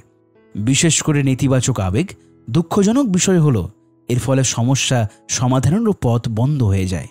এই মানুষগুলোর ঝামেলা ঝেড়ে ফেলতে অনেক বেগ পেতে হয়। আর ঝেড়ে ফেলতে পারলে সুখও ধরা দেয় না। মনে রাখবেন, সমস্যারও উদ্দেশ্য আছে। অনেকে আবার সব কিছুতেই আবেগকে সামনে নিয়ে আসে। যে কোনো কর্মকাণ্ডকে আবেগের নামে চালিয়ে দেয়। সরি, তোমার গাড়ির কাজ ভেঙে ফেলেছি। আমার মাথা ঠিক ছিল না। নিজেকে নিয়ন্ত্রণ করতে পারিনি গো। অথবা স্কুল ছেড়ে দিয়ে আলাস্কা চলে এসেছি। কারণ আমার কাছে এটাই সঠিক মনে হয়েছে। যুক্তি উপেক্ষা করেও আবেগতাড়িত সিদ্ধান্তগুলো খুব একটা সুবিধার হয় না। কে পুরো জীবনে আবেগের উপর নির্ভর করে সিদ্ধান্ত নেয় জানেন? তিন বছরের শিশু আর কুকুর। কার্পেটের ওপরই প্রকৃতির ডাকে সাড়া দেয়। আবেগের ওপর অগাধ আস্থা রাখলে ব্যর্থ হতে হয়। কারণ আবেগ চিরস্থায়ী নয়। আজকে যা আমাকে আনন্দ দিচ্ছে, আগামীকাল তা নাও দিতে পারে। কারণ আমরা চিরকালই আরও কিছু চেয়ে এসেছি। নতুন বাড়ি, নতুন প্রেম আর একটি সন্তান, এসব কিছু সত্ত্বেও আমরা আবারও সেই আগের জায়গায় ফিরে যাই, যার নাম নতুন চাহিদা। সাইকোলজিস্টরা একে মাঝে মধ্যে আনন্দদায়ক ট্রেডমিল নামে অভিহিত করে থাকেন। ব্যাপারটা হচ্ছে, আমরা আমাদের জীবন বদলানোর জন্য এত বেশি ব্যস্ত থাকি যে অন্য কিছুতে মনোযোগ দেওয়ার সময়ই পায় না। এই কারণেই আমাদের সমস্যাগুলো পুনরায় ফিরে আসে। আপনি যাকে বিয়ে করবেন, তার সাথে ঝগড়াই হবে। যে বাড়িটি কিনছেন, তারই তো মেরামত করবেনই। আপনার স্বপ্নের কাজটাই আপনার মস্তিষ্কে চাপ তৈরি করে। কোনো কিছু অর্জন করতে চাইলে ত্যাগ স্বীকার করতেই হয়। খেয়াল খুশি মতো আচরণ করলে অবশ্যই তার মূল্য দিতে হবে। বিষয়টি হজম করা কঠিন। আমরা সর্বোচ্চ সুখ অর্জন করতে চাই। সমস্যাগুলো চিরতরে ছুঁড়ে ফেলে দিতে চায়। সুখের সাগরে জীবনকে পরিপূর্ণ করতে চায়। নিজের লড়াইটা বেছে নিন। জীবন থেকে আপনি কি চান? সুখ, ভালো পরিবার এবং পছন্দের চাকরি? এটা খুবই সাধারণ প্রত্যাশা বটে, তবে অর্থবহ কিছু নয়। প্রত্যেকেই ঝামেলাহীন সুখী জীবন প্রত্যাশা করে। প্রেমে পড়তে চায়, সুদর্শন হতে চায়, প্রচুর টাকা জনপ্রিয়তার সম্মান চায়, প্রত্যেকেই তা চায়। কারণ চাওয়াটা সহজ। খুব ইচ্ছে করে জিজ্ঞেস করতে, আপনি জীবনে কোন সমস্যাটা চান? কতটুকু কষ্ট করতে তৈরি আছেন? কারণ জীবন নদীর গতি প্রবাহের ওপর নির্ভর করে। দেখা যায়, অফিসে সবাই উঁচু পদটা চায়, কিন্তু বেশিরভাগ মানুষই সপ্তাহে ষাট ঘণ্টা কাজ করতে চায় না। প্রত্যেকেই চায় তাদের সম্পর্ক ঝামেলাহীনভাবে চলুক। কিন্তু কড়া কথা, নিরবতা ও মনোমালিন্যকে মেনে নিতে রাজি কয়জন? তাই তারা বছরের পর বছর বসে ভাবে, যদি এমন হতো? এরপর প্রশ্নটা আর কি বাকি আছে? সুখ পরিশ্রম করে অর্জন করতে হয়, সমস্যা সমাধান করে পেতে হয়। মাটি ফুঁড়ে গাছ উঠে আসার মতো আপনার জীবনে আনন্দ আসবে না। আপনি দুশ্চিন্তায় থাকতে পারেন অথবা একাকিত্বে ভুগতে পারেন। অথবা বাজে একজন বস আপনার সময়গুলো যন্ত্রণাময় করে তুলতেই পারে। আপনি এই সমস্যাগুলো এড়িয়ে গেলে মুক্তি পাবেন না। সমস্যাগুলো গ্রহণ করতে হবে এবং তিক্ত অভিজ্ঞতাকে কাজে লাগাতে হবে। প্রত্যেকে সুন্দর দেহ চায়, কিন্তু তার জন্য আপনাকে জিমে ঘণ্টার পর ঘণ্টা ঘাম ঝরাতে হবে। হিসেব করে খেতে হবে। নতুন ব্যবসা চালু করতে গেলে কিছু বিষয় মাথায় রাখতে হয়। সফল উদ্যোক্তা হতে হলে ঝুঁকি, অনিশ্চয়তা ব্যর্থতাকে স্বীকার করে নিতেই হয়। আর সাথে অমানসিক পরিশ্রম তো আছেই। আপনি কি করতে পছন্দ করেন? এর ওপরে আপনার সাফল্য নির্ভর করে না? প্রাসঙ্গিক প্রশ্ন হল, আপনি কতটুকু কষ্ট করতে প্রস্তুত? সুখের পথে সব সময় কাঁটা বিছানো থাকে, তাই কতটুকু কষ্ট করতে রাজি আছেন, তা নিজেকেই ঠিক করে নিতে হবে। আপনি ঝামেলাহীন জীবন পাবেন না। আপনার চলার পথ সবসময় মসৃণ হবে না। সুখ প্রশ্নটি সহজ, কিন্তু উত্তরটি আমাদের প্রায় সবার কাছেই প্রায় একই রকম কঠিন। মূল প্রশ্ন হল, আপনি কতটুকু কষ্ট করতে প্রস্তুত? এই কঠিন প্রশ্নটাই গুরুত্বপূর্ণ। এই প্রশ্নের মাধ্যমেই আপনি কিছু অর্জন করতে পারেন। এই প্রশ্নটাই আপনার জীবনের লক্ষ্যকে বদলে দিতে পারে, অন্যের সাথে পার্থক্য গড়ে তুলতে পারে। কৌশলে আমি মিউজিশিয়ান, আরও ভালোভাবে বললে রকস্টার হতে চাইতাম। গিটারের কাজ বেশি আছে। এমন কোনো গান শুনলেই হলো। নিজেকে স্টেজে ওই গান বাজানোর কল্পনা করতাম। আমার বাজনায় দার্শনিকরা উন্মুক্ত হয়ে যাচ্ছে। এই দিবাস স্বপ্নে বিবর হয়ে থাকতাম। আমার কাছে উন্মুক্ত দর্শকের সামনে গিটার বাজানো নিয়ে নিজেকে প্রস্তুত করছিলাম। প্রথমে আমাকে স্কুল শেষ করতে হবে। তারপর টাকা জমিয়ে আনুষঙ্গিক জিনিস কিনতে হবে। তারপর প্র্যাকটিসের জন্য সময় বের করতে হবে। তারপর চেনা জানা মানুষকে ধরে প্রথম প্রজেক্ট হাতে নিতে হবে। এরপরে কিছুই হলো না। জীবনের অর্ধেক সময় আমি এই দিবার স্বপ্নে বিভোর হয়েছিলাম। কিন্তু সে স্বপ্ন আলোর মুখই দেখেনি। কেন তা বুঝতে আমার অনেক সময় লেগেছে।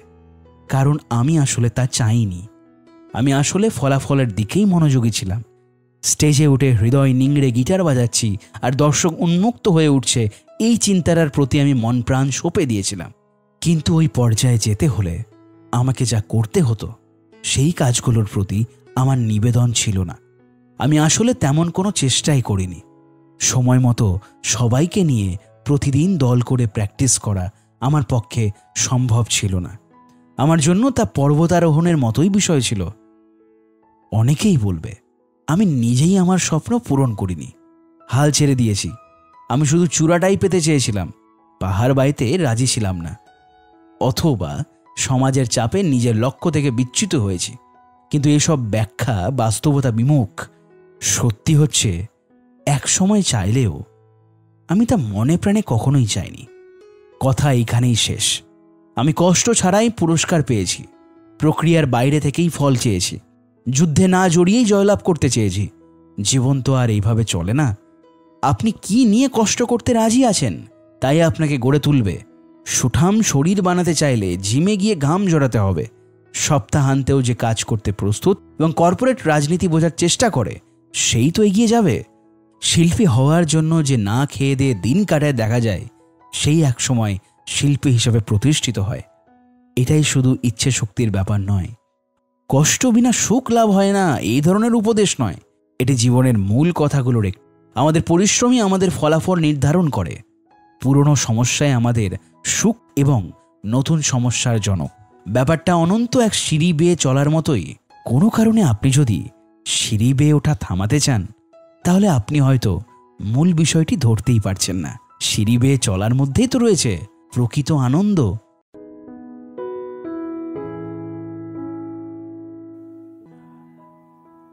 অধ্যায় তিন। আপনি বিশেষ কেউ নন।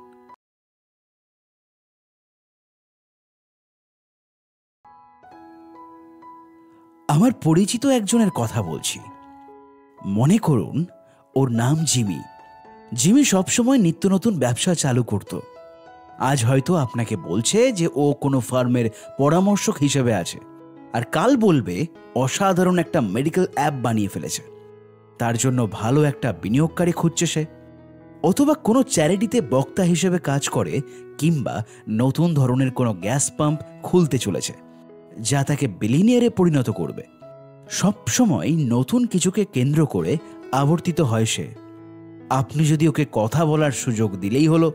আপনাকেও বলতে শুরু করবে, কীভাবে তার নতুন কাজ পৃথিবীতে যুগান্তকারী ফল বয়ে আনবে। তার আগের পরিকল্পনাগুলো কত ভালো ছিল, বলবে সেটাও। জিমি সবসময় ইতিবাচক ছিল, অর্থাৎ পজিটিভ মেন্টালিটির নিজেকে কিছু করার তাগাদে দিত, উৎসাহ জাগাত। বিশেষ দৃষ্টিকোণ থেকে কাজ করত। সমস্যা হলো, জিমি ছিল খুব অলস প্রকৃতির। মুখে কথার ফুলঝুরি থাকলেও কাজে কিন্তু কাঁচা কলা নেশাপাতি করে আর বারে টাকা উড়িয়েই দিনের বেশিরভাগ সময় ব্যয় করে ফেলত সে। জোকের মতো পরিবারের কষ্টার্জিত টাকা শুষে নিয়েছে সে। শহরের অন্য সবার মতো ভবিষ্যতের আশায় ভুল পরিকল্পনায় টাকা খাটিয়েছে। কিছু কাজের চেষ্টা করেছে বটে। কিন্তু তা যথেষ্ট ছিল না, যার ফলে কোনো ব্যবসাতেই সুবিধে করে উঠতে পারেনি। তবুও কয়েক বছর এইভাবেই কাটিয়েছে। প্রেমিকার থেকে, এমনকি দুঃসম্পর্কের আত্মীয়রাও ওর ধারের হাত থেকে বাদ যায়নি। সবচেয়ে বিরক্তিকর ব্যাপার হলো, এইভাবে চলতেই স্বাচ্ছন্দ্য বোধ করত জিমি। তার আত্মবিশ্বাস ছিল অতিমাত্রায় চড়া। যারা তাকে নিয়ে হাসাহাসি করত, তাদের সম্পর্কে দুঃখমূলও এক করত। ওর ভাষায় তারা মস্ত বড় সুযোগ হাতছাড়া করছে।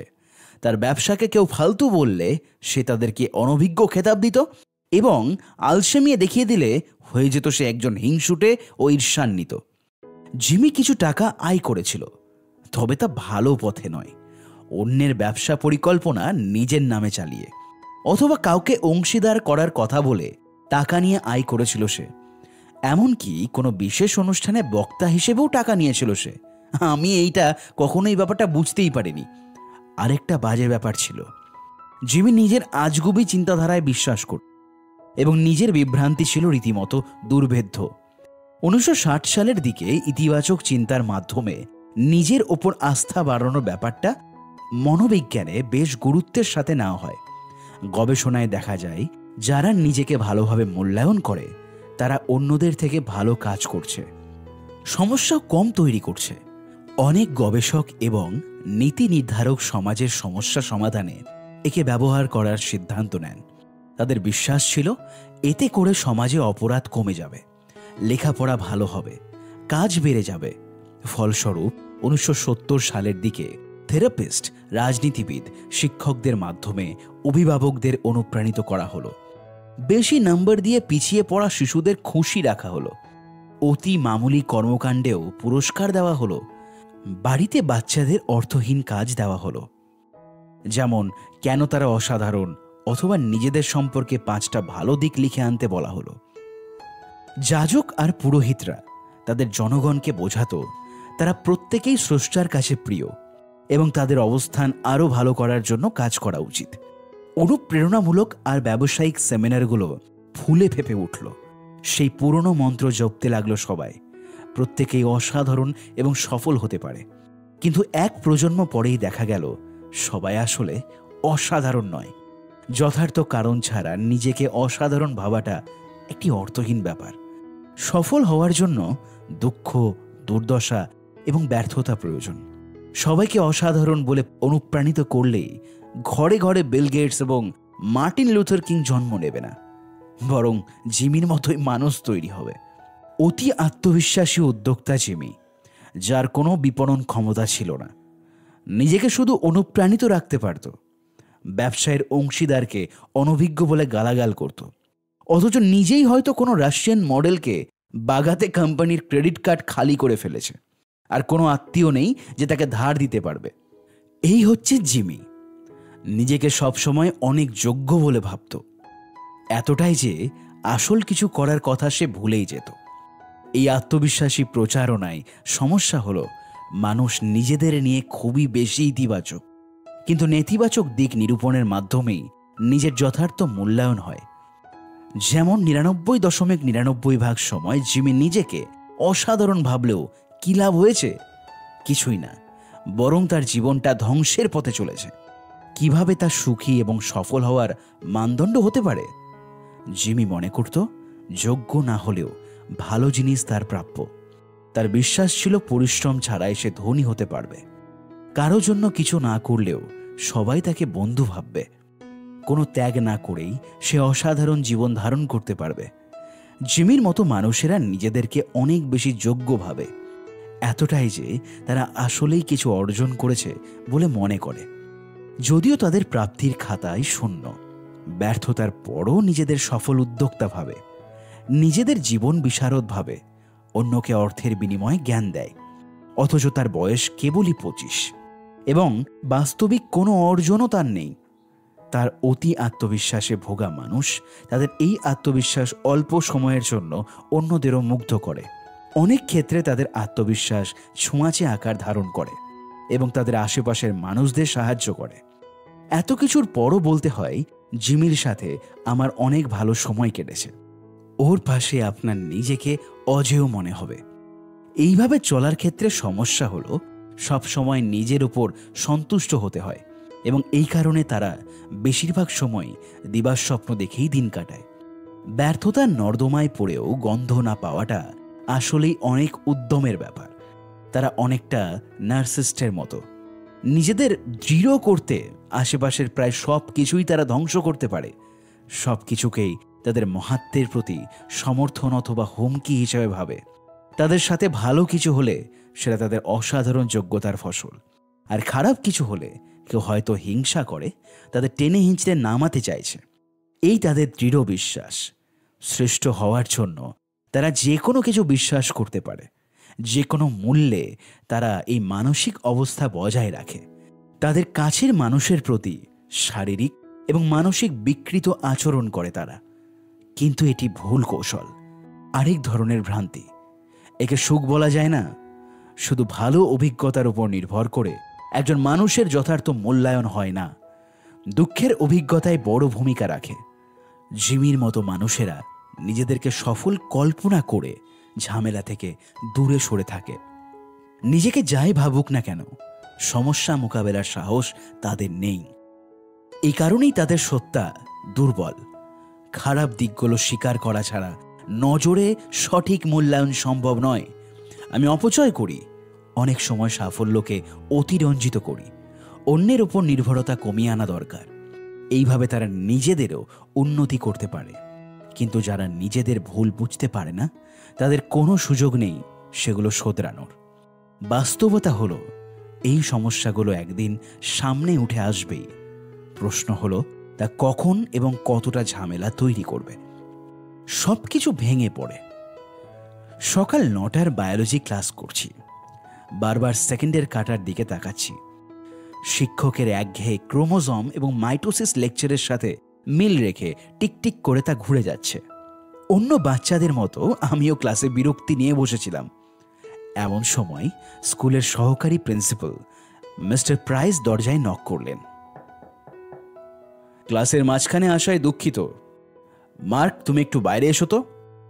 সাথে করে তোমার জিনিসগুলো নিয়ে এসো। আমি একটু অবাক হলাম। বাচ্চাদেরকে প্রিন্সিপালের কাছে পাঠানো হতো ঠিকই, কিন্তু প্রিন্সিপালকে কখনো বাচ্চাদের কাছে আসতে হয়নি। আমি সব কিছু গুছিয়ে বেরিয়ে এলাম। হলওয়ে খালিই ছিল। দুপাশে সারি সারি লকার। মার্ক, তোমার লকারটা দেখাবে? অবশ্যই! আমি আস্তে আস্তে হলওয়েতে এগোতে লাগলাম। লকারের সামনে গিয়ে মিস্টার প্রিন্সের কথা মতো আমি লকার খুলে দিই। তিনি আমার কোট জিম ব্যাগ ব্যাকপ্যাক এবং লকারের ভিতর থেকে সবকিছু নিয়ে হাঁটতে শুরু করলেন। আমার দিকে না তাকিয়ে বললেন, আমার সাথে চলো। এবার আমার একটু বিবৃত লাগল। আমি তার পিছু পিছু তার অফিসে গেলাম। আমাকে বসতে বলে দরজা বন্ধ করে দিলেন তিনি। জানালার পর্দা নামিয়ে দিলেন ঘামে আমার হাত ভিজতে শুরু করল। অস্বস্তি বোধ হচ্ছে আমার। আমার দিকে না তাকিয়ে তিনি জিজ্ঞাসা করলেন, তুমি কি জানো আমি কি খুঁজছি?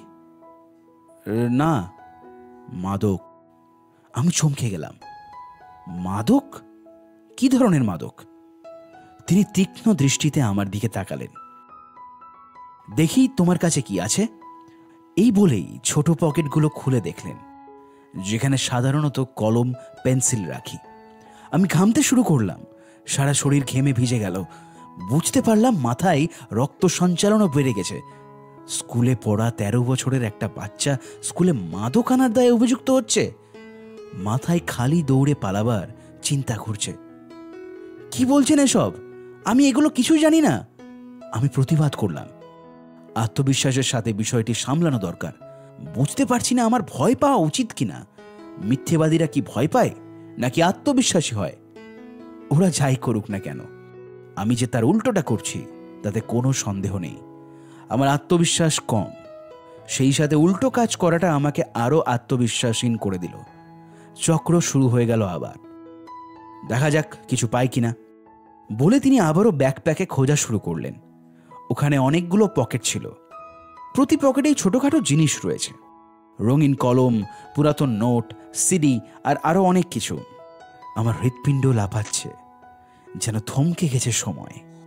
ঠিক সকাল নয়টার বায়োলজি ক্লাসের মতো। অথচ প্রতি মুহূর্তে আমার আয়ু ফুরিয়ে আসছে। মিস্টার প্রাইস, আমি আর আমার ব্যাকপ্যাক এই বদ্ধ ঘরেই আটকে আছি। অনেক সময় নিয়ে তার খোঁজাখুঁজি শেষ হলো, কিন্তু কিছুই পেলেন না। এতে তাকে বেশ আশাহত মনে হলো। ব্যাকপ্যাক উল্টো করে সব কিছু মেঝেতে ফেলে দিলেন।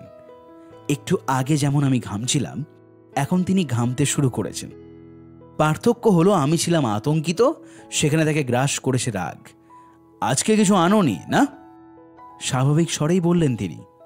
না, আমিও সেভাবে উত্তর দিলাম। তিনি আমার সব কিছু বের করে আলাদা করে দেখলেন। আমার জিমের যন্ত্রপাতির পাশে স্তূপ আকারে রাখতে থাকলেন। আমার কোট এবং ব্যাকপ্যাক তার কোলে পড়ে থাকল। দীর্ঘশ্বাস ফেলে। দেওয়ালের দিকে তাকিয়ে রইলেন। এমন পরিস্থিতিতে অন্য বাচ্চাদের মতো আমারও চিৎকার করতে কাঁদতে ইচ্ছে করছিল। মিস্টার প্রাইস ফ্লোরে পড়ে থাকা জিনিসগুলো তাকিয়ে দেখছেন। নিষিদ্ধ বা অবৈধ কিছু পেলেন না। মাদক তো দূরের কথা। স্কুল পলিসির বাইরেও কিছু পেলেন না। বিরক্তি হয়ে তিনি আমার কোট এবং ব্যাকপ্যাকও ছুঁড়ে ফেলে দিলেন। সামনে ঝুঁকে বসে তিনি আমার দিকে তাকালেন। মার্ক, আমি তোমাকে শেষবারের মতো সুযোগ দিচ্ছি। তুমি যদি সত্যি কথা বলো তাহলে তো তোমার জন্যই ভালো হবে। আর যদি কোনো চালাকি চেষ্টা করো, তার ফল ভালো হবে না। ভাবটা এমন যে আমি তার কথা মতো স্বীকার করে নেব। আমাকে সত্যিটা বলে ফেলো। তুমি কি আজকে স্কুলে কোনো মাদক এনেছো? চিৎকার করে কাঁদতে ইচ্ছে করছে। অনেক কষ্টে নিজেকে সামলালাম। আমার কাছে মাদক নেই। হাল ছেড়ে দিয়ে তিনি আত্মসমর্পণের ভঙ্গিতে বললেন, ঠিক আছে, তুমি তোমার জিনিসপত্র গুছিয়ে যেতে পারো। হতাশ চোখে আমার চুপসে যাওয়া ব্যাগের দিকে তাকালেন। এক পা দিয়ে আস্তে করে চাপ দিলেন, এটাই তার শেষ চেষ্টা। তিনি কখন আমাকে ছাড়বেন আমি উদ্বিগ্ন হয়ে ভাবছি। এই দুঃস্বপ্ন আমি ভুলে যেতে চাই। কিছু একটাই তার পা ঠেকল। টোকা দিতে দিতে আমাকে জিজ্ঞেস করলেন, এটা কি? কিসের কথা বলছেন? এখানে কিছু একটা রয়েছে। বলে তিনি ব্যাগটি আবার হাতে তুলে চাপ দিলেন। ঘরের সব কিছু আমার কাছে ঝাপসা হয়ে এলো। টলতে শুরু করলাম আমি। ছোটবেলায় আমি অনেক চালাক ছিলাম। মিশুকি ছিলাম। সেই সাথে একটু উজবুকও ছিলাম। চুপিসারে যেন বাড়ি থেকে বের হতে পারি, বারো বছর বয়সে ফ্রিজের চুম্বক দিয়ে আমার বাড়ির সিকিউরিটি সিস্টেম অকেজো করেছিলাম। বন্ধুর মায়ের ঘুম নষ্ট না করেই তার গাড়ি নিউট্রাল গিয়ারে দিয়ে রাস্তায় তুলতাম। জানতাম, আমার ইংরেজি শিক্ষক কট্টর খ্রিস্টান ছিলেন, তাই আমি গর্ভপাত নিয়ে লিখতাম। আরেক বন্ধুর মায়ের থেকে সিগারেট চুরি করেছিলাম। পরে সেগুলো স্কুলের সামনে বিক্রি করি। আমি ব্যাগে গোপন একটি পকেট বানিয়ে রেখেছিলাম। ওখানে আমি মারিজুয়ানা লুকিয়ে রাখতাম। মিস্টার প্রাইস ওই পকেটটায় খুঁজে পেয়েছিলেন। এতক্ষণ ধরে আমি মিথ্যে বলে গেছি। মিস্টার প্রাইস তার কথা রেখেছিলেন। তিনি আমাকে সহজে ছেড়ে দেননি। কয়েক ঘণ্টা পর হ্যান্ডকাফ পরিয়ে আমাকে পুলিশের গাড়িতে তোলা হয়। আমি ভাবছিলাম আমার জীবনটা বোধহয় শেষ হয়ে গেল। একদিক থেকে আমি ঠিকই ভাবছিলাম। আমার বাবা মা আমাকে গৃহবন্দী করে রাখেন। বন্ধুদের থেকে আমাকে আলাদা করে রাখা হয়। স্কুল থেকেও বহিষ্কার করে দেওয়া হয়েছে। বছরের বাকি সময়টা বাড়িতেই পড়ালেখা করতে হয় আমাকে। মা আমার চুল ছোট করে কেটে দেন। ম্যারিলিন ম্যানসন এবং মেটালিকের সব টি শার্ট ছুঁড়ে ফেলে দেন। উনিশশো আটানব্বই সালের এক কিশোরের কাছে ঘটনাটা মৃত্যুদণ্ডে ঘোষিত হওয়ার মতো ছিল। বাবা আমাকে জোর করে তার অফিসে নিয়ে যেতেন। সেখানে ঘণ্টার পর ঘণ্টা ফাইল গোছাতে হতো। হোম স্কুল শেষ হলে আমাকে একটা ছোট সরকারি খ্রিশ্চান স্কুলে ভর্তি করা হয়। সেখানে যে আমি একদম খাপ খাওয়াতে পারিনি, তা খুব একটা বিস্ময়কর ব্যাপার ছিল না। আমি আমার চলাফেরা সংযত করছিলাম। পরিণত আচরণকে নিজেকে গুছিয়ে নিচ্ছিলাম। আর তখনই আমার বাবা মা আলাদা হয়ে যাওয়ার সিদ্ধান্ত নিলেন। আমি এই কথাগুলো বলে দেখাতে চেয়েছি, আমার কিশোর বয়সটা কীভাবে তছনছ হয়ে গেছিল। আমি আমার বন্ধু বান্ধব সমাজ এবং পরিবার হারালাম। এসব কিছুই হলো নয় মাসের মধ্যেই। কয়েক বছর পর এসব শুনে আমার থেরাপিস্টও দুঃখ প্রকাশ করেন। আমার পরিবারের সমস্যা ছিল সমস্যাগুলোকে আড়াল করে রাখা। যেখানে তাদের উচিত ছিল সমস্যাগুলোকে সামনে নিয়ে এসে আলোচনা করা। কিন্তু তা না করে অদৃশ্য একটা দেওয়াল তৈরি করে নিতেন তারা। যেন কিছুই ঘটেনি, সবকিছু স্বাভাবিক আছে। ঘরে আগুন লেগে গেলেও হয়তো তখন বলতেন, কই, কিছু তো হয়নি, একটু গরম লাগছে এই যা। বাবা মা আর বিচ্ছেদ হয়ে গেল। বাড়ির থালা বসন এখন আর কেউ ভাঙে না। দরজায় কেউ জোরে ধাক্কা মারে না। কুৎসিত ভাষায় চিৎকারও করে না কেউ। আমার এবং আমার ভাইয়ের কোনো দোষ নেই। এই বলে তারা সন্তুষ্ট করল আমাদের। আমরা কীভাবে থাকব সেই বিষয় আলোচনা করল তারা। দুজনের কেউই এক ফোঁটা চোখের জল ফেলল না। বাবা মা শুধু জানালো, তাদের কেউ অন্যের সাথে প্রতারণা করেনি। বিচ্ছেদের বেদনার মধ্যেও কথাটা কোথায় যেন উষ্ণতা ছড়ায়। তবুও সব কিছুই স্বাভাবিক ছিল। বাবা মা দুজনই ভালো মানুষ। আমি তাদের এসবের জন্য দায়ী করি না। অন্তত এখন আর না। তাদের দুজনকেই খুব ভালোবাসি। তাদের নিজস্ব লাইফ আছে। অন্য সব বাবা মার মতোই নিজস্ব সমস্যাও আছে।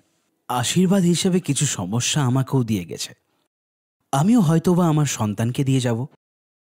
আমাদের জীবনে এসব দুঃখজনক ঘটনা ঘটে। অবচেতন মনে আমরা ভাবি, এসব সমস্যার সমাধান করতে পারব না।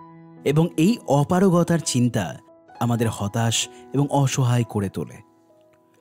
কিন্তু এর পাশাপাশি আরও কিছু ঘটনা ঘটে। আমাদের সমস্যা অনেক জটিল মনে হয়, নিজেকে অন্যদের থেকে আলাদা ভাবতে শুরু করি এবং কারণে নিজেদের জন্য স্বতন্ত্র নিয়ম প্রত্যাশা করি।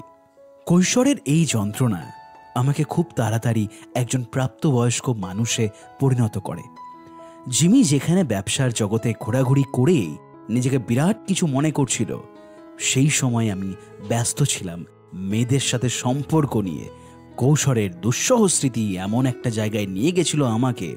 সব সময় কাউকে না কাউকে আঁকড়ে ধরার প্রয়োজন হতো আমার।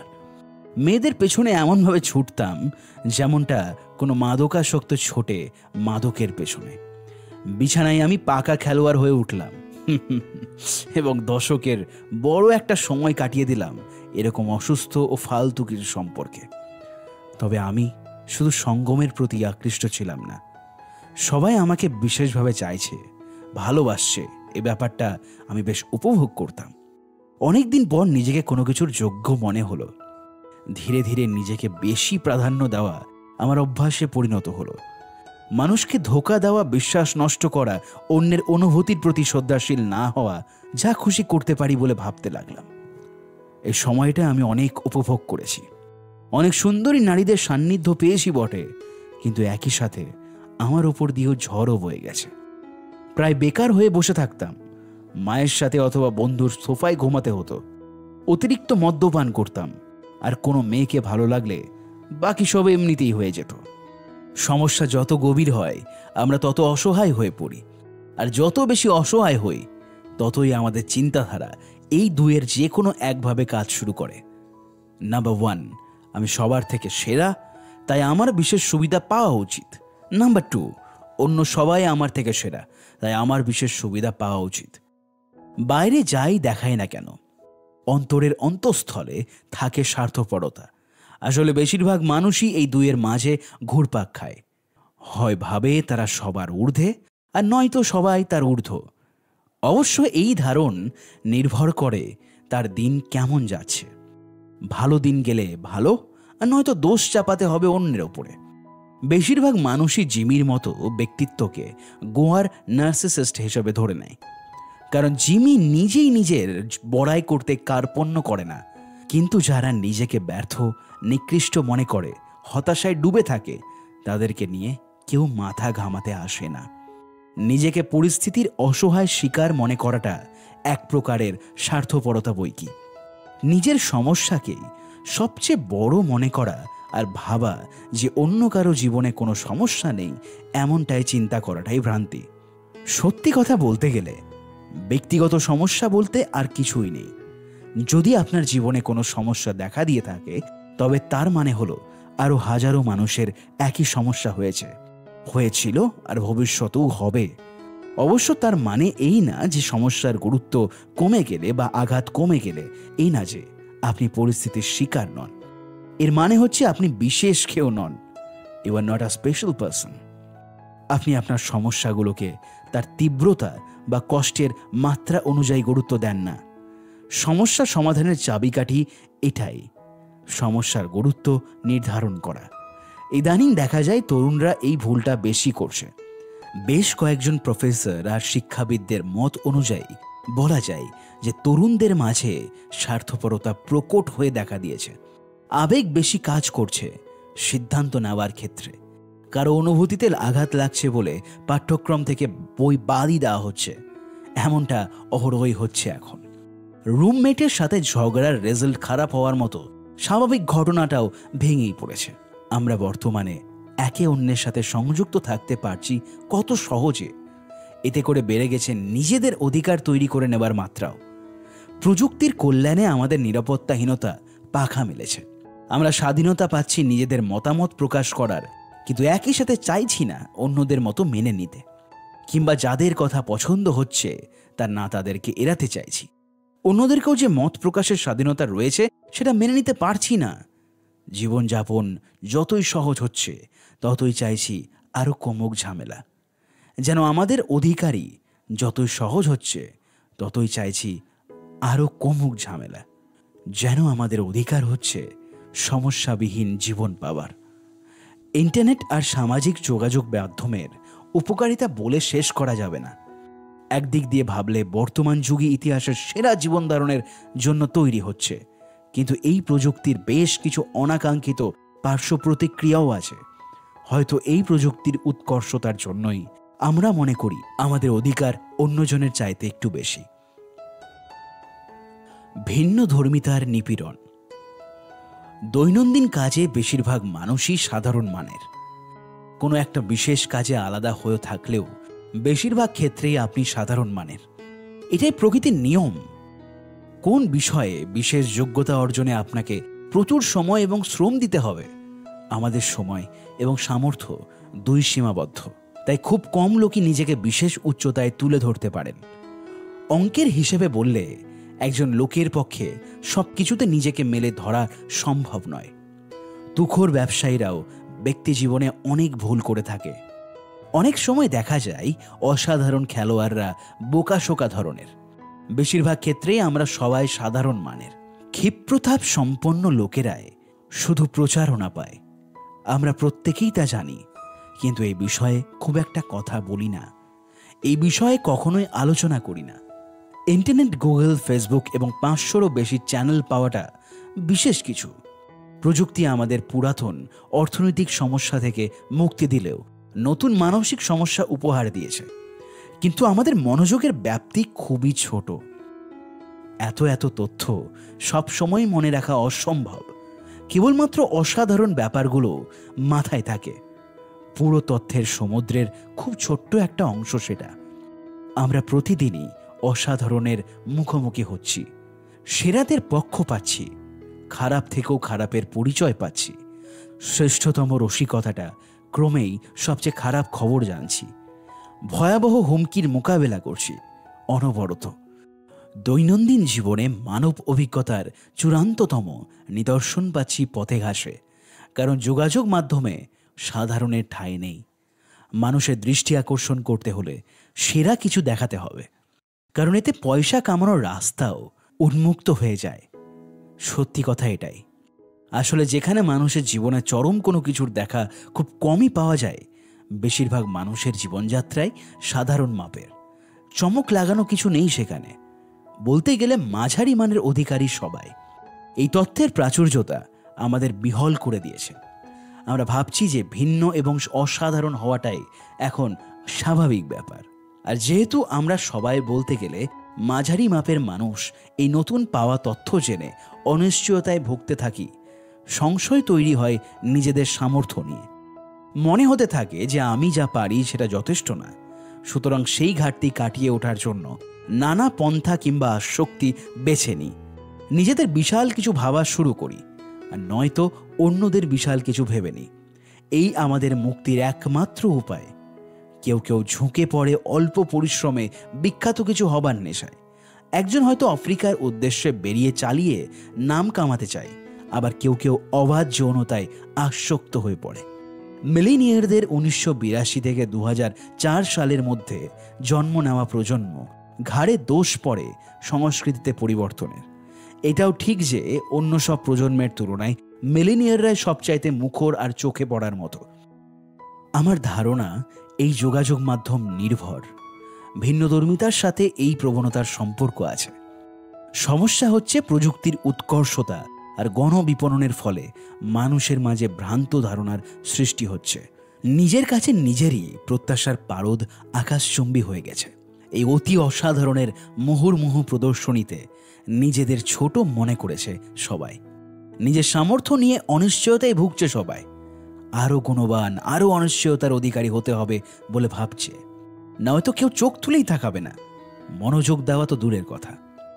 আমার যখন বয়স কম ছিল, তখন চারপাশের পপ সংস্কৃতি দেখে আমি ভুল ধারণা করতাম। পৌরুষের সংজ্ঞা সেই সংস্কৃতি আমাকে ভুল শিখিয়েছিল, এমনকি এখনও এই ধারা অব্যাহত আছে।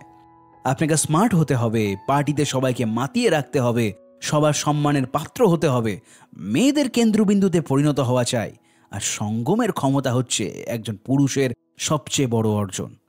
এর জন্য যে কোনো কিছু ত্যাগ করা যায়, এমনকি আত্মসম্মানও। যোগাযোগ মাধ্যমের তৈরি করা এই অহেতুক তথ্য প্রচার আমাদের অনিশ্চয়তাকে বাড়িয়ে দিচ্ছে। আঘাত করছে আবেগে। কারণ টিভি পত্রিকায় প্রচার করা অবাস্তব মানদণ্ডকে সঠিক মনে করি আমরা। কিন্তু সেসব মানদণ্ড অনুসরণ করতে ব্যর্থ হই। এর ফলে তৈরি হয় অসংখ্য সমস্যার, যার নেই কোনো সমাধান। এতে করে নিজেদের মনে হতে থাকে, হেরে যাওয়া এক মানুষ। কারণ গুগল খুঁজলেই হাজার হাজার মানুষের দেখা পাওয়া যাবে যাদের আপনার আমার মতো সমস্যা নেই। প্রযুক্তি আমাদের পুরাতন অর্থনৈতিক সমস্যার হাত থেকে মুক্তি দিলেও নিয়ে এসেছে মানসিক সমস্যা। ইন্টারনেট কেবল তথ্যকে উন্মুক্ত করেই দেয়নি, তৈরি করে দিয়েছে অনিশ্চয়তা, সন্দেহ আর হীনমন্যতার ভোগার রাস্তাও। কিন্তু আমি যদি বিশেষ কেউ নাই হলাম, তাহলে লাভ কি? আমাদের প্রত্যেকেরই সুযোগ আছে অসাধারণ হওয়ার। সেলিব্রিটি, বড় ব্যবসায়ী, রাজনীতিবিদ, সবাই তাই হতে চায়। এমনকি অপেরাও তাই বলে। তাহলে নিশ্চয়ই সত্যি ব্যাপারটা। প্রত্যেকেই নিজেকে অসাধারণ হিসেবে মেলে ধরতে পারে। সবারই খ্যাতি অর্জনের সুযোগ রয়েছে। এই বক্তব্যটাই আসলে স্ববিরোধী। সবাই যদি অসাধারণ হয়ে যায়, তাহলে কেউই তো সাধারণ হলো না। বেশিরভাগ লোকই এই ব্যাপারটা বুঝতে পারে না। কোনোটা প্রাপ্য, কোনটা নয়। সেই প্রশ্ন না করে আমরা জীবনের কাছ থেকে খালি চেয়েই যাই। গড়পড়তা হয়ে থাকা এখন ব্যর্থতা বলে বিবেচিত হচ্ছে। সমাজে সফলতার মাপকাঠি এখন অসাধারণ হওয়া। এমন সমাজে মধ্যবর্তী হওয়ার থেকে নিচু স্তরে থাকাই ভালো। তাহলে অনন্ত অন্যের দৃষ্টি আকর্ষণ করা যাবে। অনেকেই এই কৌশলের আশ্রয় নিচ্ছে। অন্যদের কাছে নিজেকে সবচেয়ে হতাশাগ্রস্ত, সবচেয়ে শোষিত হিসেবে তুলে ধরছে। মাঝামাঝি অবস্থায় থাকতে অনেকেই ভয় পায়। তারা ভাবে এতে করে তারা কোনো উন্নতি করতে পারবে না। তাদের জীবন অর্থহীন হয়ে পড়বে। এই ধরনের চিন্তাভাবনা বিপজ্জনক। বিশেষ কোনো অর্জন থাকাকেই গুরুত্বপূর্ণ ভাবলে বেশিরভাগ মানুষকে এমনকি নিজেকেও মূল্য দিতে পারবেন না। এই ধরনের মনোভাব আপনার এবং অন্যদের জন্য খুব খারাপ। সত্যিকার অসাধারণ ব্যক্তিরা শুধু বিশ্বাসের জোরে ভালো অবস্থায় আসে না তাদের ভাগ্য বদলের ক্রমাগত চেষ্টার ফসল হিসেবে আসে। উল্টো নিজেকে বিশেষ কেউ না ভাবা তাদের এই একাগ্রতাকে বাড়িয়ে তোলে। আমাদের প্রত্যেকেরই সুযোগ আছে অসাধারণ হওয়ার কথাগুলো আসলে মনকে ভালো লাগানোর জন্য বলা। আসলে এগুলো ফাঁকা বলি ছাড়া আর কিছুই না। এসব কথা শুনতে ভালো লাগলেও কাজের কাজ কিছুই হয় না। শরীর ঠিক রাখার জন্য যেরকম শাকসবজি খেতে হয়, তেমনি মনকে সুস্থ রাখতে চাইলে জীবনের তিক্ত সত্যিগুলোকে মেনে নেওয়া ছাড়া উপায় নেই। যেমন, আপনার কাজকর্ম আসলে খুব বেশি প্রভাব ফেলে নাকি? কিংবা আপনার জীবনের বেশিরভাগ সময় একঘেয়ে কাটবে, মনে রাখার মতো কিছু নাও ঘটতে পারে, কিন্তু এতে দুঃখ পাবার কিছু নেই। শাকসবজি প্রথম প্রথম খেতে ইচ্ছে করে না, বিষাদ লাগে মুখে, সেসব খাওয়াও এড়িয়ে যান আপনি। ঠিক এক্ষেত্রেও আপনি সত্যি কথাগুলোকে এড়িয়ে যাবেন প্রথম দিকে। কিন্তু একবার সয়ে গেলে আপনার শরীরকে আরও তাজা মনে হবে। আরও কর্মঠ হয়ে উঠবেন। বড় কিছু হয়ে দেখানোর যে চাপ, সেটা ধীরে ধীরে সরে যাবে ঘাড়ের ওপর থেকে। সবসময় নিজেকে ছোট মনে করার প্রবণতা, নিজেকে প্রমাণের অহেতুক চেষ্টা থেকেও মুক্তি পেয়ে যাবেন। আর একবার নিজের সীমাবদ্ধতা আর নিরসতা গ্রহণ করা শিখে নিলে যা ইচ্ছে তাই করতে পারবেন। আকাশ ছোঁয়া প্রত্যাশা বা পরিমাণের ভয় ছাড়াই তা পারবেন। জীবনের ছোট ছোট ব্যাপারগুলোকে আরও উপভোগ করতে পারবেন। যেমন, বন্ধুত্বের আনন্দ, কিছু একটা সৃষ্টির সুখ, কারও প্রয়োজনে পাশে দাঁড়ানোর গর্ব, কিংবা নিছক বই পড়ার আনন্দ। প্রিয়জনের সাথে হাসি আনন্দে মেতে ওঠা। শুনতে একঘেয়ে লাগছে, তাই না? লাগতেই পারে। ব্যাপারগুলো খুব সাধারণ যেহেতু, হয়তো সেজন্যই।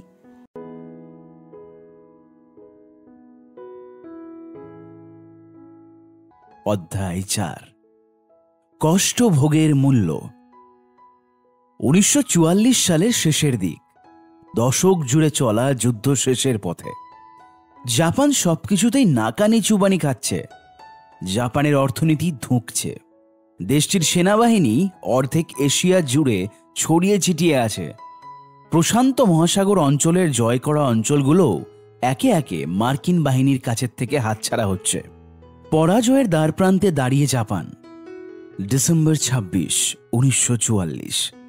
সেকেন্ড লেফটেন্যান্ট হিরু আনোদাকে ফিলিপিন্সের লুবাং দ্বীপে প্রেরণ করা হয় ইম্পেরিয়াল আর্মির দ্বারা। মার্কিন বাহিনীকে থামাতে আদেশ দেওয়া হয় তাকে।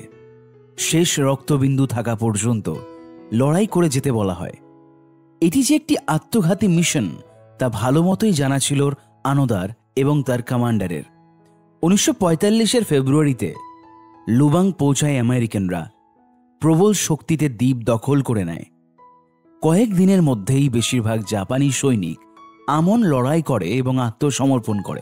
কিন্তু আনোদা তার তিনজন সঙ্গী নিয়ে জঙ্গলে পালিয়ে যান। সেখান থেকে তারা স্থানীয় জনগণ এবং মার্কিন বাহিনীর বিরুদ্ধে গেরিলা যুদ্ধ পরিচালনা করেন। চোরা গুপ্ত হামলা, রসদ পরিবহনে আক্রমণ করে মার্কিন বাহিনীকে ব্যস্ত রাখেন। ছয় মাস পরে, আগস্ট মাসে হিরোসীমা ও নাগাসাকিতে পারমাণবিক বোমা হামলা চালায় মার্কিন যুক্তরাষ্ট্র। জাপান আত্মসমর্পণ করে। মানব ইতিহাসের সবচেয়ে ভয়াবহ যুদ্ধের নাটকীয় নাটকীয় সমাপ্তি হয় এইখানে। কিন্তু হাজার হাজার জাপানি সৈন্য প্রশান্ত মহাসাগরীয় দ্বীপগুলোতে ছড়িয়ে ছিটিয়েছিল আনোদার মতো তারাও বিভিন্ন জঙ্গলে আশ্রয় নেয়। তারা জানতেও পারেনি যে যুদ্ধ শেষ হয়ে গিয়েছে। তারা আগের মতোই যুদ্ধ চালিয়ে যেতে থাকে। যুদ্ধের পরপূর্ব এশিয়া নতুন করে গড়ে তোলার ক্ষেত্রে তাই অনেক সমস্যার সম্মুখীন হতে হয় তাদের। সরকারও কিছু করার চিন্তা করে। জাপান সরকারের সাথে হাত মিলিয়ে যুদ্ধ শেষ হওয়ায় সবাইকে বাড়ি ফিরে যাওয়ার অনুমতি দেয় ইউএস আর্মি। অন্যদের মতো আনোদা এবং তার সঙ্গীরাও এসব লিফলেট পান। কিন্তু তারা এইসব লিফলেটকেও জাল ভাবেন। আমেরিকানরা হয়তো গেরিলাদের ফাঁদে ফেলে বের করে আনতে চাইছে বলে মনে করেন। তাই তারা যুদ্ধ চালিয়ে যাবার সিদ্ধান্ত নেন। পাঁচ বছর চলে যায়। বেশিরভাগ আমেরিকান সৈন্য তাদের দেশে ফিরে যায়। লুবাংয়ের জনগণ আগের মতোই কৃষিকাজ এবং মাছ ধরে জীবিকা নির্বাহ করতে শুরু করে দেয়। কিন্তু হিরু আনোদা এবং তার দল কৃষক এবং জেলেদের ওপর হামলা চালিয়ে যায়। তাদের শস্য পুড়িয়ে দেয়। গবাদি পশু নিয়ে যায়। কেউ জঙ্গলের গভীরে গেলে তাকে মেরে ফেলে। ফিলিপিন্স সরকার নতুন করে তাদের কাছে বার্তা পাঠায়। যুদ্ধ শেষ, তোমরা হেরে গেছো, বেরিয়ে আসো। কিন্তু আবারও উপেক্ষা করা হয়। উনিশশো সালে জাপান সরকার তাদের সৈন্য ফিরিয়ে আনার জন্য চূড়ান্ত চেষ্টা করে। হারিয়ে যাওয়া সৈন্যদের পরিজনদের ছবি ফেলা হয়। সাথে সম্রাটের লিখিত নোট। আনৌদা আবারও এই তথ্যকে জাল বলে উড়িয়ে দেন। তিনি আবারও একে আমেরিকানদের চক্রান্ত ভাবেন। কয়েক বছর পর স্থানীয় ফিলিপিন্সের জনগণ অতিষ্ঠ হয়ে পড়ে। তারা অস্ত্র হাতে পাল্টা আক্রমণ শুরু করেন। উনিশশো উনষাট সালে আনোদার এক সহযোদ্ধা আত্মসমর্পণ করে। আরেকজন নিহত হয়। এর প্রায় দশ বছর পরে আনোদার আরেক সহযোদ্ধা কজুকা স্থানীয় পুলিশের সাথে বন্দুকযুদ্ধে মারা যায়। তিনি তখন ধান ক্ষেত পুড়িয়ে দিচ্ছিলেন। দ্বিতীয় বিশ্বযুদ্ধ শেষ হওয়ার পঁচিশ বছর পরও যুদ্ধ চালিয়ে যাচ্ছিলেন। জীবনের অর্ধেকের বেশি সময় লুবাংয়ের জঙ্গলে কাটিয়ে নিঃসঙ্গ হয়ে পড়েন আনোদা। উনিশশো সালে জাপানে কজুকার মৃত্যু সংবাদ পৌঁছালে তা সবাইকে তা আলোড়িত করে তোলে। জাপানি জনগণ ভেবেছিল বছর কয়েক আগেই শেষ জীবিত জাপানি সৈন্য ঘরে ফিরে এসেছে। মিরিয়া ভাবল, কোজুকা যদি উনিশশো বাহাত্তর পর্যন্ত লুবাংয়ে থাকতে পারে, তাহলে হয়তো আনোদাকেও পাওয়া যাবে। সে বছরই জাপান এবং ফিলিপিন্স সরকার মিলে নতুন করে বিভ্রান্ত এই যোদ্ধাকে অনুসন্ধান শুরু করে। কিন্তু তারা কিছু পায় না। এইভাবে মাসের পর মাস চলে যায়। লেফটেন্যান্ট আনোদা জাপানি উপকথায় পরিণত। কেউ তার প্রশংসা করে, আবার কেউ তার সমালোচনাও করে। আবার অনেকে তাকে রূপকথা বলে উড়িয়েও দেয়। নরিও সুজুকি নামের এক তরুণ এই সময় প্রথম আনোদার কথা জানতে পারেন। সুজুকি দুঃসাহসী অভিযাত্রী ছিলেন। যুদ্ধের পর জন্মগ্রহণ করেন। স্কুল শেষ করতে পারেননি। চার বছর ধরে এশিয়া, মধ্যপ্রাচ্য এবং আফ্রিকার বিভিন্ন জায়গায় ঘুরে বেড়ান। পার্কের বেঞ্চে অন্যের গাড়িতে থানা হাজতে রাত কাটে তার। খাদ্যের বিনিময়ে খেতে কাজ করেছেন, রক্ত বিক্রি করেছেন। তার কোনো পিছুটান ছিল না। অল্প বিস্তর পাগলও ছিলেন হয়তো। উনিশশো বাহাত্তর সালে আরেকটি অভিযানের দরকার পড়ল সুজুকির। এতদিন পর জাপানে এসে তার খাপ খাইয়ে নিতে সমস্যা হচ্ছিল। তার স্কুল ভালো লাগতো না। কোনো চাকরিও করতে পারতেন না। আবারও পথে নেমে নিজেকে খুঁজতে চাইতেন। আনোদার উপকথায় সুজুকির সমস্যা সমাধানের সুযোগ হয়ে আসে। সুজুকি ভাবেন, তিনি পারবেন আনোদাকে খুঁজে বের করতে। জাপান, ফিলিপাইন এবং আমেরিকান সরকারের অনুসন্ধান দল আনোদাকে খুঁজে বের করতে পারেনি। স্থানীয় পুলিশ ত্রিশ বছর ধরে কিছু করতে পারেনি। হাজার হাজার লিফলেটের কোনো জবাব মেলেনি। আর এই কলেজ ত্যাগ করা যুবক আনন্দাকে খুঁজে বের করবে? কোনো অস্ত্র এবং প্রশিক্ষণ ছাড়াই তিনি লুবাং যান। একা একা জঙ্গলে ঘুরতে শুরু করেন। তার কৌশল ছিল চিৎকার করে আনন্দাকে ডেকে যাওয়া। তাকে জানানো সম্রাট তার জন্য দুশ্চিন্তা করছেন। তিনি আনন্দাকে চার দিনের মধ্যেই খুঁজে বের করে নেন। সুজুকি আনোদার সাথে জঙ্গলে কিছু সময় কাটান। এক বছরের বেশি সময় ধরে আনন্দা নিঃসঙ্গ ছিলেন। আনোদা সুজুকির কাছ থেকে বাইরের খোঁজ খবর নিতে থাকেন। জাপানি হওয়ায় তাকে বিশ্বাস করেছিলেন। তাদের মধ্যে এক প্রকার বন্ধুত্ব গড়ে ওঠে। সুজুকি জানতে চান, কেন আনোদা এখনও যুদ্ধ চালিয়ে যাচ্ছেন? আনোদা নির্বিকার গলায় জবাব দেন, তার উপর আত্মসমর্পণ না করার আদেশ ছিল, তাই তিনি যুদ্ধ চালিয়ে যাচ্ছেন। তিরিশ বছর ধরে তিনি শুধু তার আদেশ পালন করে যাচ্ছিলেন। আনোদা জানতে চান, সুজুকির মতো একজন মানুষ কেন তাকে খুঁজতে এসেছেন। সুজুকি জানান, তিনটি জিনিসের খোঁজে জাপান ছেড়ে এসেছেন। লেফটেন্যান্ট আনোদা পান্ডা ভাল্লুক এবং তুষার মানব। একটা অদ্ভুত পরিস্থিতিতে এই দুই মানুষের মধ্যে পরিচয় হয়েছিল। একটা অলি গৌরবের পেছনে ধাওয়া করছিল দুজনেই।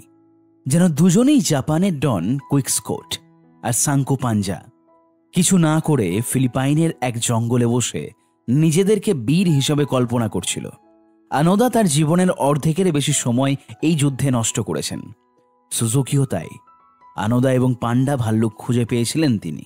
কয়েক বছর পর তুষার মানবের সন্ধানে হিমালয় গিয়ে তার মৃত্যু ঘটে। মানুষ প্রায়ই অর্থহীন বিষয়ে নিজের জীবনের উজ্জ্বল সময় নষ্ট করে। কোনো কারণ ছাড়াই তুচ্ছ বিষয়কে গুরুত্ব দেয়। আনন্দা কীভাবে তিরিশটি বছর ওই দ্বীপে একাকী কাটিয়েছে, তা চিন্তাও করা যায় না। মশা পোকা মাকড়ের মাঝে থেকে দশকের পর দশক নিরপরাধ মানুষ হত্যা করে গেছে। আবার কেনই বা সুজুকি কোনো সঙ্গী বা টাকা পয়সা ছাড়া তথাকথিত তুষার মানবের খোঁজ করতে গিয়ে মৃত্যুবরণ করবেন? জীবনের শেষ সময় আনন্দা জানায়, তার কোনো দুঃখ নেই। লুবাং থেকে লড়াই করার সিদ্ধান্ত নিতে পারায় তিনি গর্বিত। তা যৌবনের মূল্যবান সময়গুলো অস্তিত্বহীন সাম্রাজ্যের পিছনে ব্যয় করতে পেরে তিনি ধন্য হয়েছেন। সুজুকি বেঁচে থাকলেও একই কথা বলতেন। তার যা করার কথা তিনি তাই করেছেন। সুতরাং তারও কোনো দুঃখ নেই। এই মানুষগুলো নিজের ইচ্ছায় কষ্ট করেছেন। হিরু একটা ভগ্ন সাম্রাজ্যের প্রতি আনুগত্য প্রদর্শন করেছেন আর সুজুকি করেছেন তার দুঃসাহসিক অভিযানের জন্য। তবে তা বুদ্ধিমানের মতো কাজ হয়েছে কিনা, সে প্রশ্ন অবান্তর। তাদের কাছে এই যন্ত্রণার বিশেষ মূল্য রয়েছে এবং এই মূল্যের কারণেই তারা এইসব সহ্য করতে পেরেছেন। হয়তোবা উপভোগও করেছেন। আমাদের জীবনে দুঃখ কষ্ট অনিবার্য। এবং আমরা তা কখনোই এড়িয়ে যেতে পারব না। তাই আমরা কীভাবে দুঃখকে রোধ করতে পারি? প্রশ্ন করা বোকামি হবে। প্রশ্ন করা উচিত, আমরা কেন এবং কিসের জন্য দুঃখ করব? হিরু আনোদা উনিশশো চুয়াত্তর সালে জাপানে ফিরে আসেন। নিজের দেশে ব্যাপক জনপ্রিয় হন। টক শো, রেডিও শো, সব জায়গায় তাকে ডাকা হয়। রাজনীতিবিদগণ তার সাথে হাত মেলাতে ছুটে আসেন। তিনি একটা বইও বের করেন। সরকার থেকে তাকে অনেক অর্থও দিতে চাওয়া হয়। কিন্তু নতুন জাপানের ভোগবাদী, পুঁজিবাদী সংস্কৃতি তাকে বিচলিত করে তোলে। তার প্রজন্ম যে আদর্শ ও ত্যাগের মধ্যে দিয়ে বেড়ে উঠেছিল, তার সবই হারিয়ে গেছে। আনন্দা তার হঠাৎ পাওয়া জনপ্রিয়তাকে কাজে লাগিয়ে পুরাতন জাপানের ধ্যান ধারণাকে জাগিয়ে তোলার চেষ্টা করেন। কিন্তু কেউ কোনো কর্ণপাত করেনি আনন্দাকে কেউ সময় বদলে দেওয়া দার্শনিক ভাবেনি। তিনি ছিলেন জাদুঘরে থাকা মূল্যবান বস্তুর মতো। আরও দুঃখজনক ব্যাপার হলো, আনোদা তার জঙ্গলে থাকা দিনগুলো থেকেও বেশি হতাশ হয়ে পড়েন। জঙ্গলে অন্তত তিনি কোনো একটা উদ্দেশ্য নিয়ে লড়াই করেছেন, যার জন্য তিনি কষ্টগুলো মেনে নিতে পেরেছিলেন। তাও একটা মূল্য ছিল। কিন্তু জাপানে ফিরে তার কাছে মনে হয়েছে, তার দেশটা শন হয়ে গিয়েছে। মহিলারা পশ্চিমা পোশাক পরেছে, তার সংগ্রামের কোনো মূল্য নেই। তিনি এই সত্যটা উপেক্ষা করতে পারেননি। এই উপলব্ধি তাকে বুলেট থেকেও বেশি জোরে আঘাত করে। তিনি বুঝতে পারেন, তিরিশটা বছর নষ্ট হয়েছে বিনা কারণে। তাই উনিশশো আশি সালে আনৌদা ব্রাজিলে চলে আসেন। মৃত্যু পর্যন্ত সেখানেই ছিলেন তিনি। পেঁয়াজরূপী আত্মসচেতনতা। আত্ম উপলব্ধি অনেকটা পেঁয়াজের মতো। এর অনেকগুলো স্তর রয়েছে। স্তরগুলো যত সরাতে থাকবেন, আপনার চোখ দিয়ে ততই জল ঝরতে থাকবে। ধরি আত্ম উপলব্ধির প্রথম স্তর হলো আবেগ। এই জিনিসটা করতে আমাদের ভালোই লাগে। এই জিনিসটার কারণে আমার মন খারাপ হয়। এই ব্যাপারটা আমাকে আশাবাদী করে। দুঃখজনক হলেও সত্যি, বেশিরভাগ লোক আত্ম উপলব্ধির গোড়ার জায়গাতে ভুল করে।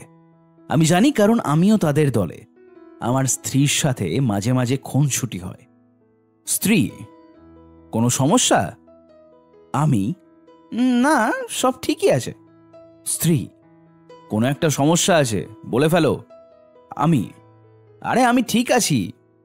স্ত্রী, সত্যি, তোমাকে দেখে মনে হচ্ছে না তো?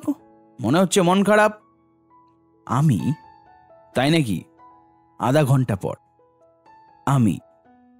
এই কারণে মন খারাপ ছিল। এমন ভাব করছিলাম যেন কিছু হয়নি আমার।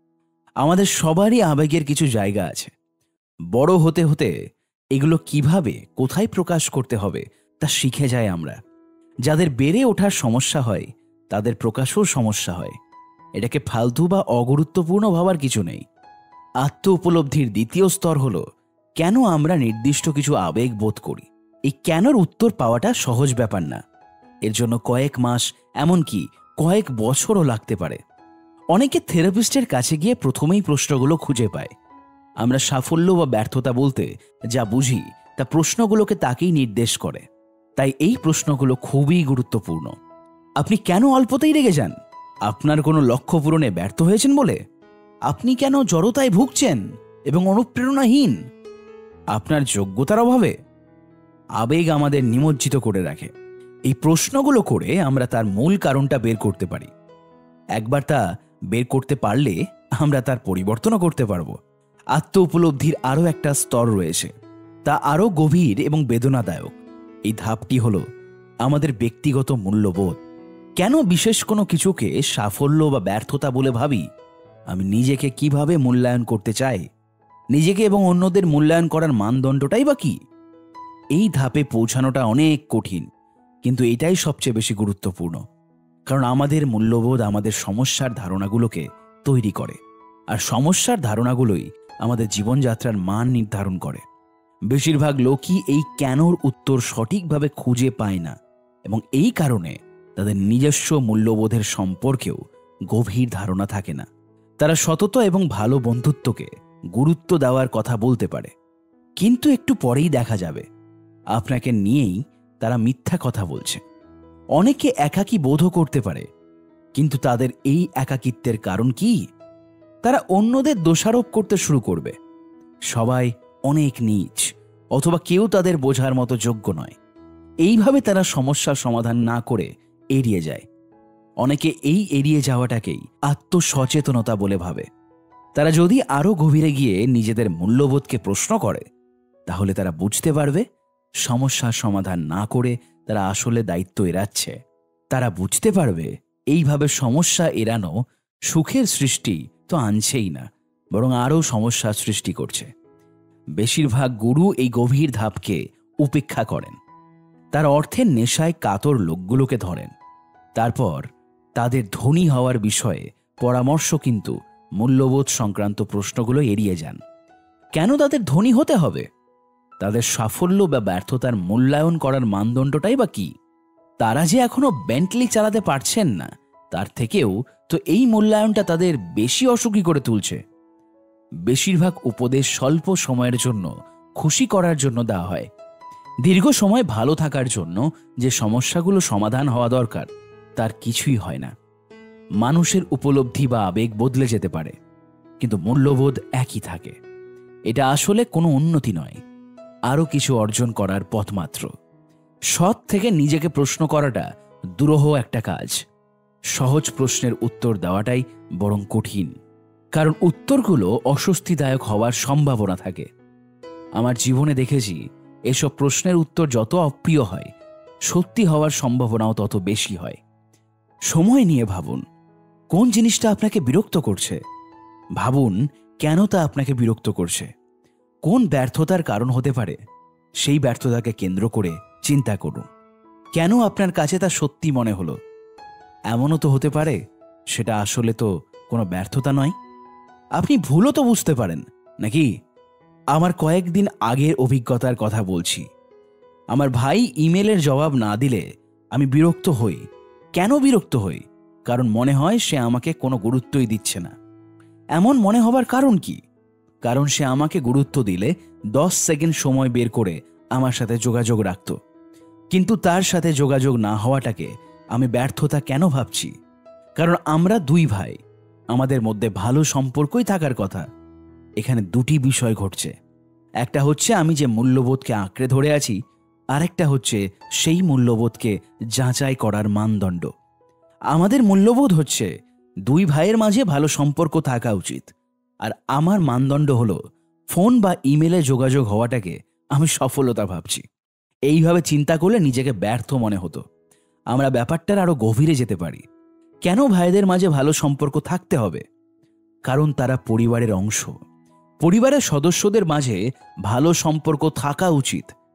কেন এটাই সত্যি মনে হচ্ছে? কারণ পরিবারের সদস্যদের মাঝে ভালো সম্পর্ক থাকাটাই স্বাভাবিক। আমার ক্ষেত্রে তা ঘটছে না। আমার মূল্যবোধ হলো ভাইয়ের সাথে ভালো সম্পর্ক রাখা। কিন্তু আমার সমস্যা হচ্ছে মানদণ্ড নিয়ে। আমি এর আরেকটা নাম দিয়েছি ঘনিষ্ঠতা। কিন্তু এতে কোনো লাভ নেই। সবাই তাদের পরিবারের সাথে ভালো সম্পর্ক রাখতে পারছে। আমি ছাড়া। তো আমার মাঝে নিশ্চয়ই কোনো সমস্যা আছে। কিন্তু এমনও তো হতে পারে। আমি আমার জীবনে মানদণ্ড ভুল নির্বাচন করেছি, কিন্তু সেটাই বা কেন করব? এমন কি কিছু থাকতে পারে যা আমি বিবেচনা করিনি? থাকতেই পারে। হয়তো ভালো সম্পর্ক রাখার জন্য ঘনিষ্ঠ হওয়াটা অত জরুরি না। আমি আর আমার ভাই কতগুলো? মেসেজ রিপ্লাই করেছি। তার থেকে মানদণ্ড হিসেবে পারস্পরিক সম্মান বিশ্বাসী অনেক উঁচু দরের। আমার কাছে এই ব্যাপারটাকেই ঠিক মনে হয়, কিন্তু তারপরও আমার কষ্ট হয়। এটা বদলানো সম্ভব না। এই জ্ঞান দিয়ে আমার মনও ভালো হবে না। অনেক সময় ভাইদের মাঝে ভালো সম্পর্ক থাকেই না। একে অপরকে অনেক ভালোবাসলেও থাকে না। মেনে নিতে কষ্ট হলেও বিষয়টি সত্য। সমস্যায় কীভাবে পড়েছেন? সেটা গুরুত্বপূর্ণ নয়। গুরুত্বপূর্ণ হচ্ছে সমস্যাটাকে কীভাবে মোকাবেলা করছেন। সমস্যা তো থাকবেই, কিন্তু সব সমস্যার মর্মার্থ এক নয়। জীবনে সমস্যা থাকবেই, তবে সেই সমস্যার ব্যাপারে দৃষ্টিভঙ্গি আপনার নিজের। আপনি নিজেই ঠিক করে নিতে পারেন। কোনো মানদণ্ডে সেগুলোকে যাচাই করবেন, তা পুরোপুরি আমাদেরই হাতে। রকস্টার সমস্যা। উনিশশো সালে একটা ব্যান্ড খুব বাজেভাবে তাদের তরুণ গিটারিস্টকে বের করে দেয়। ব্যান্ডটি কেবল একটা রেকর্ডের চুক্তি করেছে। দুই দিনের মধ্যেই তাদের প্রথম অ্যালবামের কাজ শুরু হওয়ার কথা।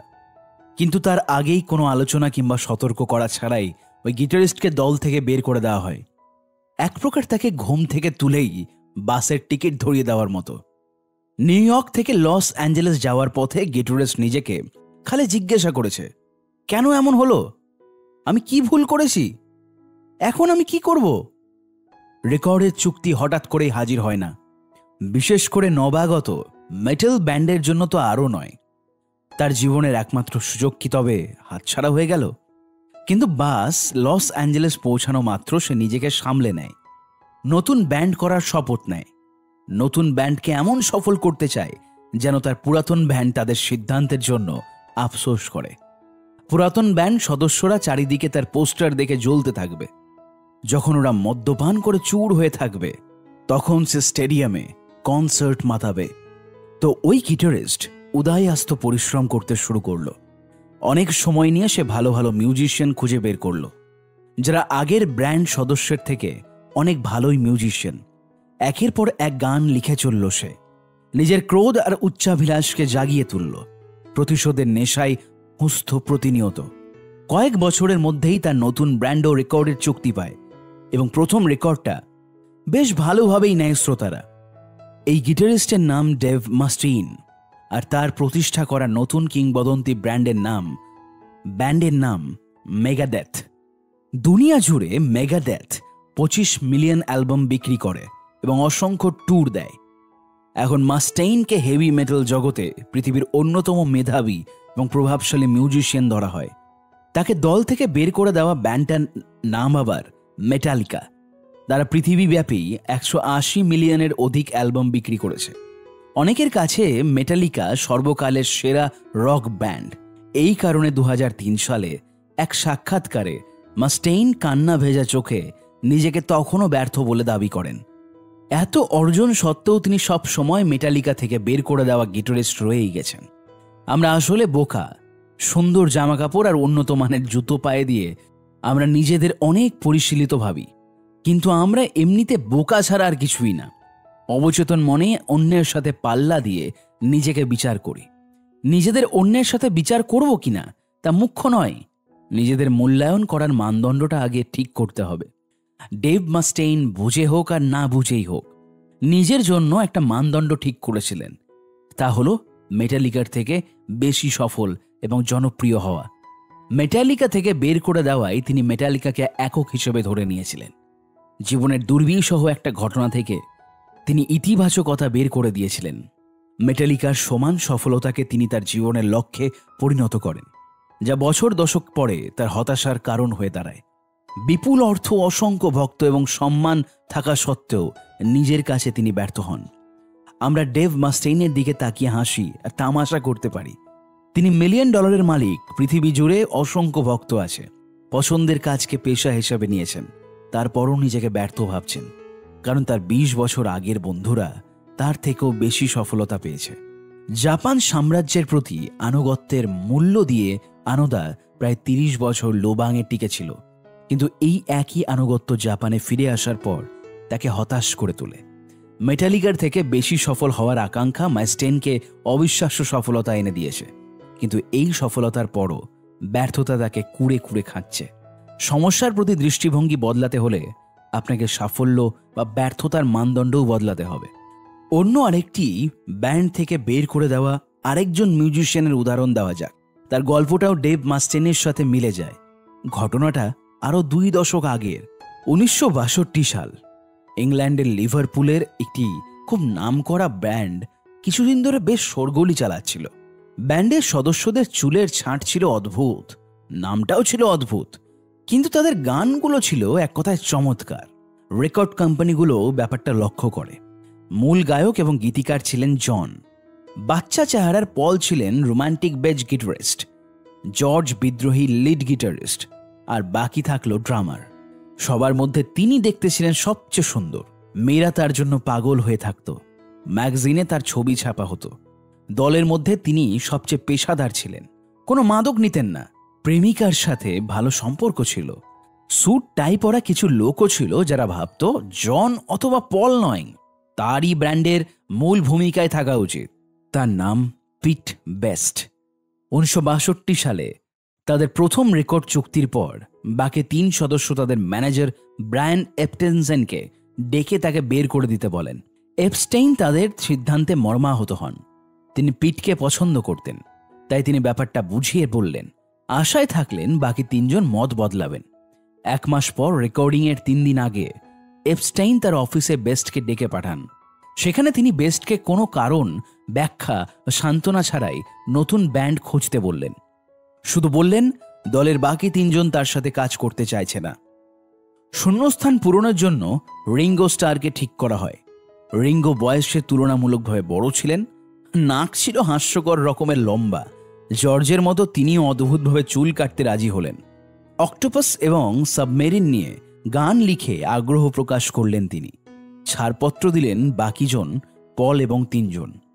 বেস্টকে বের করে দেওয়ার ছ মাসের মধ্যে বিটলস নিয়ে উন্মাদনা শুরু হলো। জন, পল, জর্জ এবং রিঙ্গো পৃথিবীর সবচেয়ে বিখ্যাত মানুষগুলোর একজনে পরিণত হলেন। স্বাভাবিকভাবেই বেস্ট গভীর বিষণ্নতায় আক্রান্ত হলেন। এই অবস্থার অন্য আর দশটা ইংরেজের মতোই মদ্যপান করা শুরু করলেন। ষাটের দশকের বাকি দিনগুলোও পিট বেস্টের জন্য খুব একটা সুবিধার ছিল না। উনিশশো পঁয়ষট্টি সালে বিটেলসের দুইজন সদস্যদের বিরুদ্ধে অপবাদের অভিযোগ আনেন বেস্ট। তার বাকি উদ্যোগগুলোও মুখ থুবড়ে পড়ে। উনিশশো আটষট্টি সালে তিনি আত্মহত্যার চেষ্টা করেন। তার জীবনটা দুর্বিষহ হয়ে ওঠে। বেস্ট ডেভ মাইস্টেনের মতো একইভাবে ঘুরে দাঁড়াতে পারেনি। বিশ্ব তারকা হয়ে মিলিয়ন ডলার আয় করতে পারেইনি। কিন্তু অনেক দিক থেকে বেস্ট মাইস্টেনের চেয়ে এগিয়েছিলেন উনিশশো চুরানব্বই দেওয়া সাক্ষাৎকারে বেস্ট বললেন, বিটেলসের থাকার সময়ের চেয়ে আমি এখন সুখে আছি। মানে কি? বেস্ট তার ব্যাখ্যা দেন।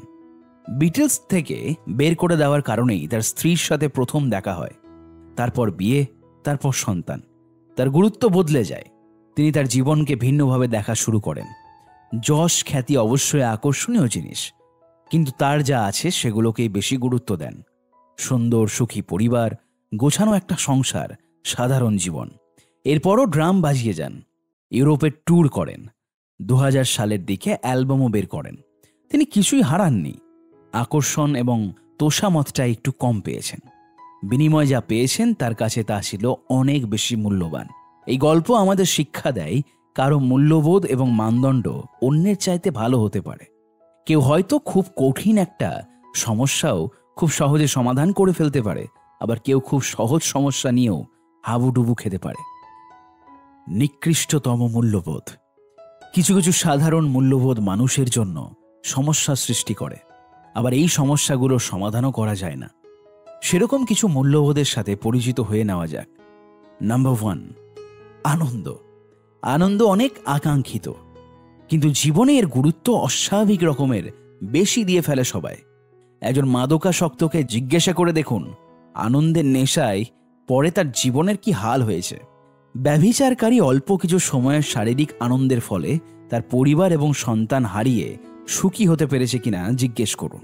গবেষণায় দেখা গেছে যেসব মানুষ বাহ্যিক আনন্দের জন্য বেশি শ্রম দেয়, তারাই বেশি উদ্বিগ্ন থাকে, মানসিকভাবে অস্থির এবং হতাশায় বেশি ভোগে। আনন্দ উপভোগ করা জীবনে সন্তুষ্টির বাহ্যিক রূপ মাত্র, তাই একে অর্জন এবং হারানো দুটিই সহজ। তারপরও আমাদের সপ্তাহ চব্বিশ ঘণ্টা আনন্দের প্রলোভন দেখানো হয়, আমরা এর পিছনেই ছুটে চলি, এর কারণেই নিজেদের বিষণ্ন করে লক্ষ্যচ্যুত হই। আনন্দের প্রয়োজন আছে, জীবনে অবশ্যই। কিন্তু আনন্দই সবকিছুর শেষ না। আনন্দ সুখের কারণ না। এর ফলাফল মাত্র। যদি নিজের জীবনের মূল্যবোধ আর তার মানদণ্ড ঠিক রেখে চলতে পারেন, আনন্দ এমনিতেই আসবে। নাম্বার টু, বস্তুগত সাফল্য। অনেকেই টাকা পয়সা কিংবা কি ধরনের গাড়ি ব্যবহার করছেন, তার উপর নিজের জীবনকে বিচার করে থাকেন, কিংবা তার লনের ঘাসগুলো তার প্রতিবেশী লনের থেকে বেশি সুন্দর লাগছে কিনা এক গবেষণায় দেখা যায় প্রাথমিক শারীরিক চাহিদাগুলো, খাদ্য, বাসস্থান পূরণ হবার পরপরই সুখ আর সফলতার মাঝের সম্পর্ক ধীরে ধীরে শূন্যের কোঠায় নামে। ধরা যাক আপনি কপর্দকহীন অবস্থায় ভারতের কোনো এক রাস্তায় দিন কাটাচ্ছেন। পেটে খাবার নেই। আচমকা যদি আপনার আয় বছরে দশ হাজার ডলারে উন্নীত হয়, আপনার সুখের মাত্রা চরমে পৌঁছাবে। কিন্তু আবার আপনি যদি উন্নয়নশীল কোনো দেশের মধ্যবিত্ত, পরিবারের সদস্য হন তবে ওই বাড়তি দশ হাজার ডলার আয়ে আপনার জীবনে তেমন কোনো পরিবর্তনই আসবে না। আগে যতটা সুখে ছিলেন, ততটাই সুখী থাকবেন। বাড়তি আয়ে বাড়তি সুখ পাবেন না। যার মানে হলো, আপনি অফিসে অতিরিক্ত সময় দিচ্ছেন, নেহাত খামো খায় ছুটির দিনগুলো তো কাজও করছেন বিনা কারণে। বস্তুগত সাফল্যের আরেকটা ব্যাপার হলো, অন্য সব মূল্যবোধের তুলনায় একে অধিক গুরুত্ব দেওয়া, যেটাকে রীতিমতো আশঙ্কাজনক বলা যায়। সততা, অহিংস মনোভাব। সহমর্মিতার মতো সদ্গুণগুলোকে পেছনে ঠেলেছেন আপনি সাফল্যের নেশায়। যখন মানুষ নিজেকে বিচার করে সমাজে তার পদমর্যাদার কথা চিন্তা করে, ভুলে যায়, তার সেই সদ্গুণ আর মূল্যবোধের প্রয়োজনীয়তার কথা তখন তাকে নেহাত নির্বোধ ছাড়া অন্য কিছু বলাই যায় না। নাম্বার থ্রি, সবসময় সঠিক হওয়া। আমাদের মস্তিষ্ককে অকাজ যন্ত্র বলা যায়। আমরা প্রতিনিয়ত ভুল ধারণা করে যাচ্ছি, কোনো না কোনো ব্যাপারে সঠিক অনুমান করতে ব্যর্থ হচ্ছি, তথ্য মনে রাখতে গিয়ে ভুলে যাচ্ছি, যুক্তিকে পাশ কাটিয়ে আবেগের বসে সিদ্ধান্ত নিয়ে ফেলছি। আমরা ভুল করে যাচ্ছি অহরহ, কারণ মানুষ মাত্রই ভুল করে। সুতরাং যদি আপনার জীবনের মানদণ্ড হয় সব সময় সঠিক হওয়া, তাহলে আপনার জন্য দুঃসময় অপেক্ষা করছে। কথা হচ্ছে, যারা নিজেদের মূল্য নির্ধারণ করে, সঠিক হওয়ার মাধ্যমে তারা কখনোই ভুল থেকে শেখে না। নিজেদের চরিত্রের নতুন দিক উন্মোচন করতে ব্যর্থ হয় তারা, গুটিয়ে রাখে নিজেকে সবসময়। নতুন কিছু শেখা হয়ে ওঠে না, জানতেও পারে না অজানাকে। এর থেকে বরং ধরে নেওয়া ভালো, আপনি বোবা, কিছুই জানেন না। এতে কুসংস্কার কিংবা তথ্য বিভ্রাটের হাত থেকে বেঁচে যাবেন। এতে লাভ হবে আপনি শিখতে পারবেন, নিজেকে সমৃদ্ধ করতে পারবেন। নাম্বার ফোর, ইতিবাচক মনোভাব। আরেক ধরনের মানুষ আছে যারা ইতিবাচকতার মাধ্যমে নিজেদের মূল্যায়ন করে। যে কোনো ব্যাপারেই ইতিবাচক মনোভাব পোষণ করে। চাকরি চলে গেছে? খুবই ভালো। এখনই সুযোগ নিজের ভালো লাগাকে গুরুত্ব দেওয়ার। স্বামী প্রতারণা করেছে? যাক, মানুষ চেনা গেল তবে। বাচ্চা ক্যান্সারে মারা গেছে? বাচ্চা গেলে কলেজের ফিস দিতে হবে না। জীবনে সবসময় ইতিবাচক হয়ে চলা যায় না। সত্যি বলতে, জীবনে ব্যর্থতা থাকবেই। সবার উচিত সেটাকে মেনে নেওয়া। নেতিবাচক আবেগ এড়িয়ে যাওয়া ক্ষতিকর।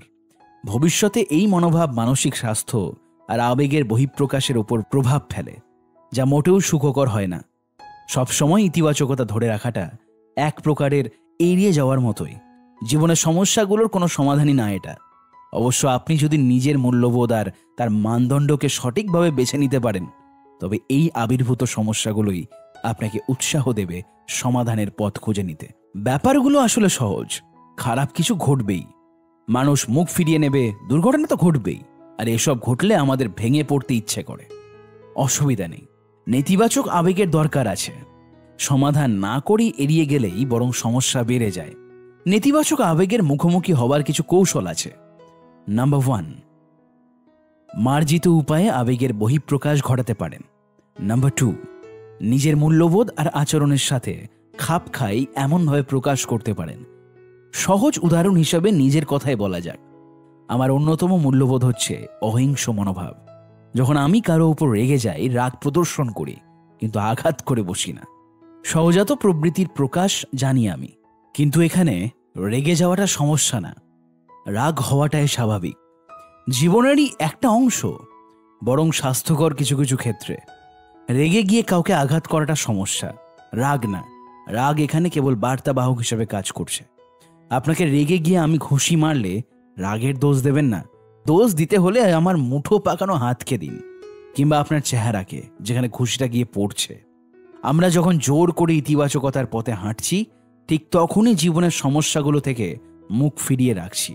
আর যখন সমস্যা থেকে মুখ ফিরিয়ে রাখি, সুখের সম্ভাবনাও হেলায় হারিয়ে ফেলি।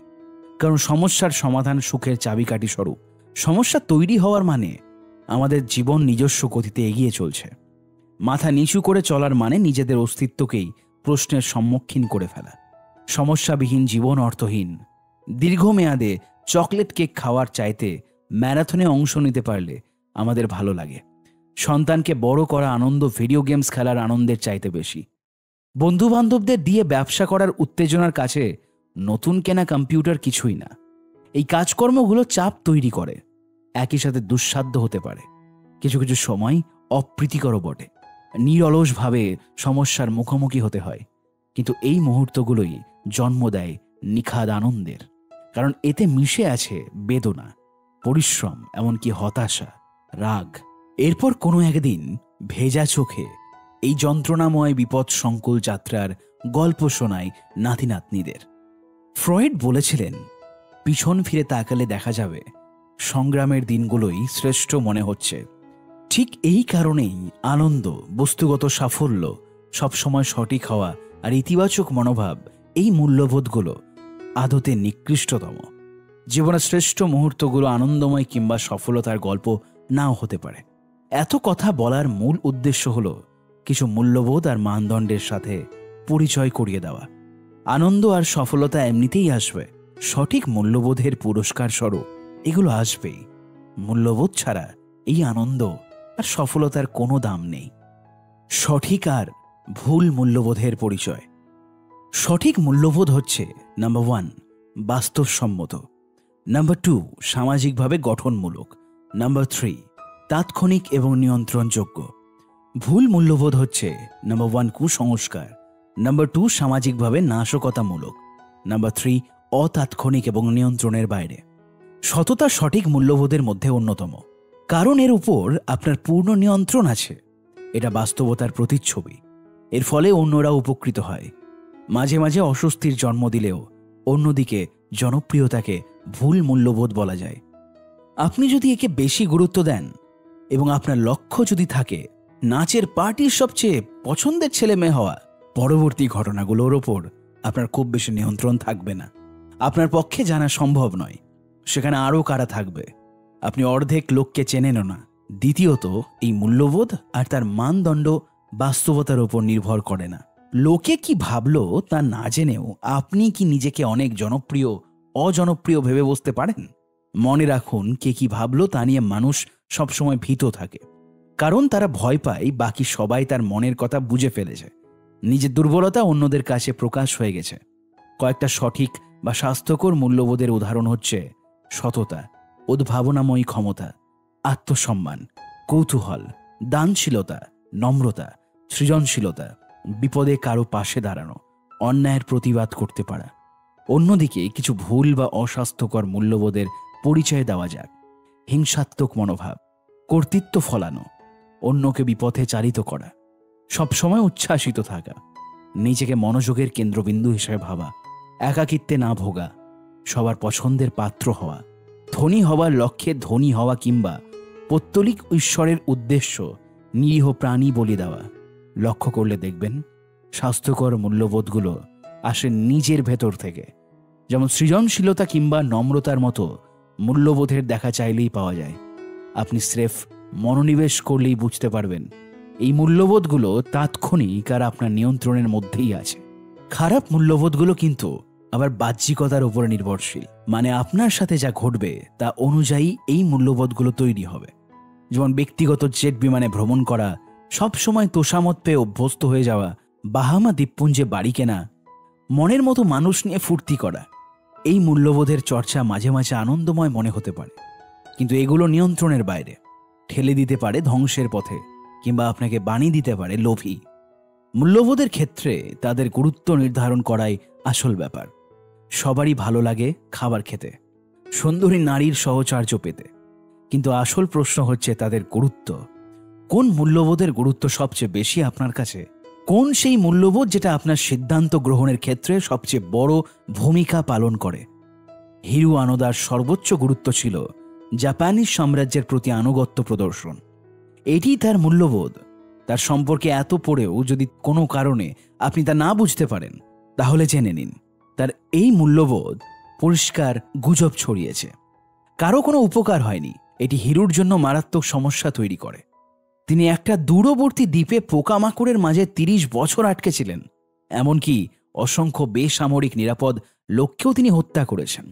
হিরু নিজেকে যতই সফল ভাবুক, তার মানদণ্ড অনুযায়ী চলুক।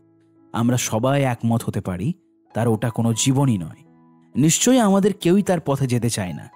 তার কর্মকাণ্ড সমর্থন করি না। ডেভ মাস্টেইন যথেষ্ট যশ খ্যাতি অর্জন করেছেন। কিন্তু নিজেকে ব্যর্থ ভাবেন, কারণ তিনি অন্যের সাফল্যের সাথে নিজের ফালতু তুলনার ধারণায় আটকে ছিলেন। এই মানসিকতা তাকে একটা অদ্ভুত সমস্যায় ফেলে দেয়। যেমন, একশো পঞ্চাশ মিলিয়নের বেশি অ্যালবাম বিক্রি করতে পারলে তবেই সব কিছু ঠিকঠাক হবে, আর আমি স্টেডিয়াম ছাড়া অন্য কোথাও কনসার্ট করবই না।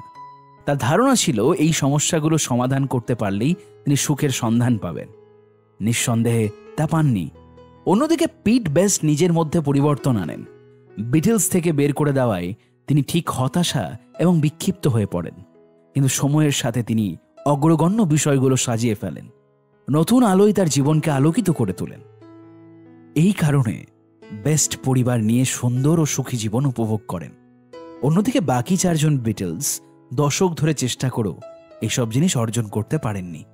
যখন আমরা ভুল মূল্যবোধকে বেছে নিই আচ্ছা অন্যভাবে বলা যাক, যখন নিজেদের মাপকাঠি নিম্ন স্তরে নামিয়ে আনি, তখন আসলে অপ্রয়োজনীয় ব্যাপারে অহেতুক মাথা ঘামিয়ে ফেলেছি আমরা। যেগুলো বরং আমাদের জীবনে ব্যাঘাত ঘটাতে পারে, সেসব নিয়েই চিন্তা শক্তি খরচ করে ফেলেছি। কিন্তু যখন সঠিক মূল্যবোধকে বেছে নিচ্ছি, তখন স্রেফ গুরুত্বপূর্ণ ব্যাপারেই পূর্ণ মনোযোগ দেওয়া হচ্ছে। জীবনে যেগুলোর প্রভাব আছে যা বয়ে আনতে পারে, সুখ, আনন্দ আর সাফল্য। আত্ম উন্নয়নের মূল কথা এটাই। মূল্যবোধের গুরুত্ব নির্ধারণ করা, প্রয়োজনীয় ব্যাপারে মাথা ঘামানো। কারণ আপনি যখন সেফ, জরুরি ব্যাপার নিয়েই ঘাম ঝরাচ্ছেন, তখনই নতুন নতুন সমস্যার মুখোমুখি হচ্ছেন। আর তুলনামূলকভাবে উন্নত আর নতুন সমস্যার আবির্ভাব মানে আপনার জীবনযাত্রার মান বেড়ে গেছে। বইয়ের বাকি অংশে পাঁচটি ভিন্নধর্মী মূল্যবোধ নিয়ে কথা বলা হবে। আগে বলা ব্যাকওয়ার্ড লয়ের মূল বিষয়টা মাথায় রাখুন। ব্যাকওয়ার্ড লয়ের সূত্রানুযায়ী, এই মূল্যবোধগুলো নেতিবাচক ধরনের। কিন্তু দিন শেষে এই নেতিবাচক মূল্যবোধই আপনার জন্য উপকারী হবে। গভীর সমস্যাকে এড়িয়ে না গিয়ে মুখোমুখি হওয়ার শিক্ষা দেবে।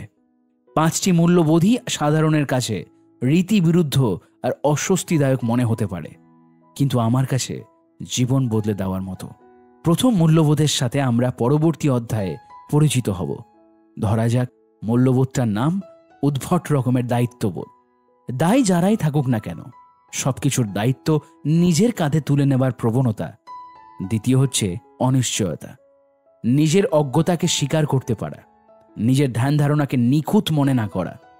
এরপরের মূল্যবোধটি হলো ব্যর্থতা। নিজের ভুল ত্রুটি উপলব্ধি করতে পারার সৎ সাহস থাকা, যাতে তা শুধরে নেওয়ার সুযোগ পাওয়া যায়। চতুর্থ প্রত্যাখ্যান, না বলতে আর শুনতে পারার ক্ষমতা অর্জন করা।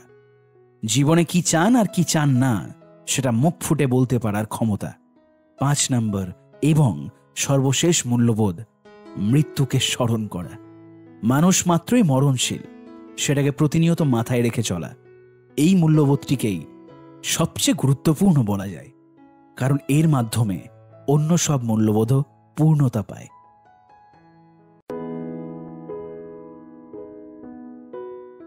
অধ্যায় পাঁচ।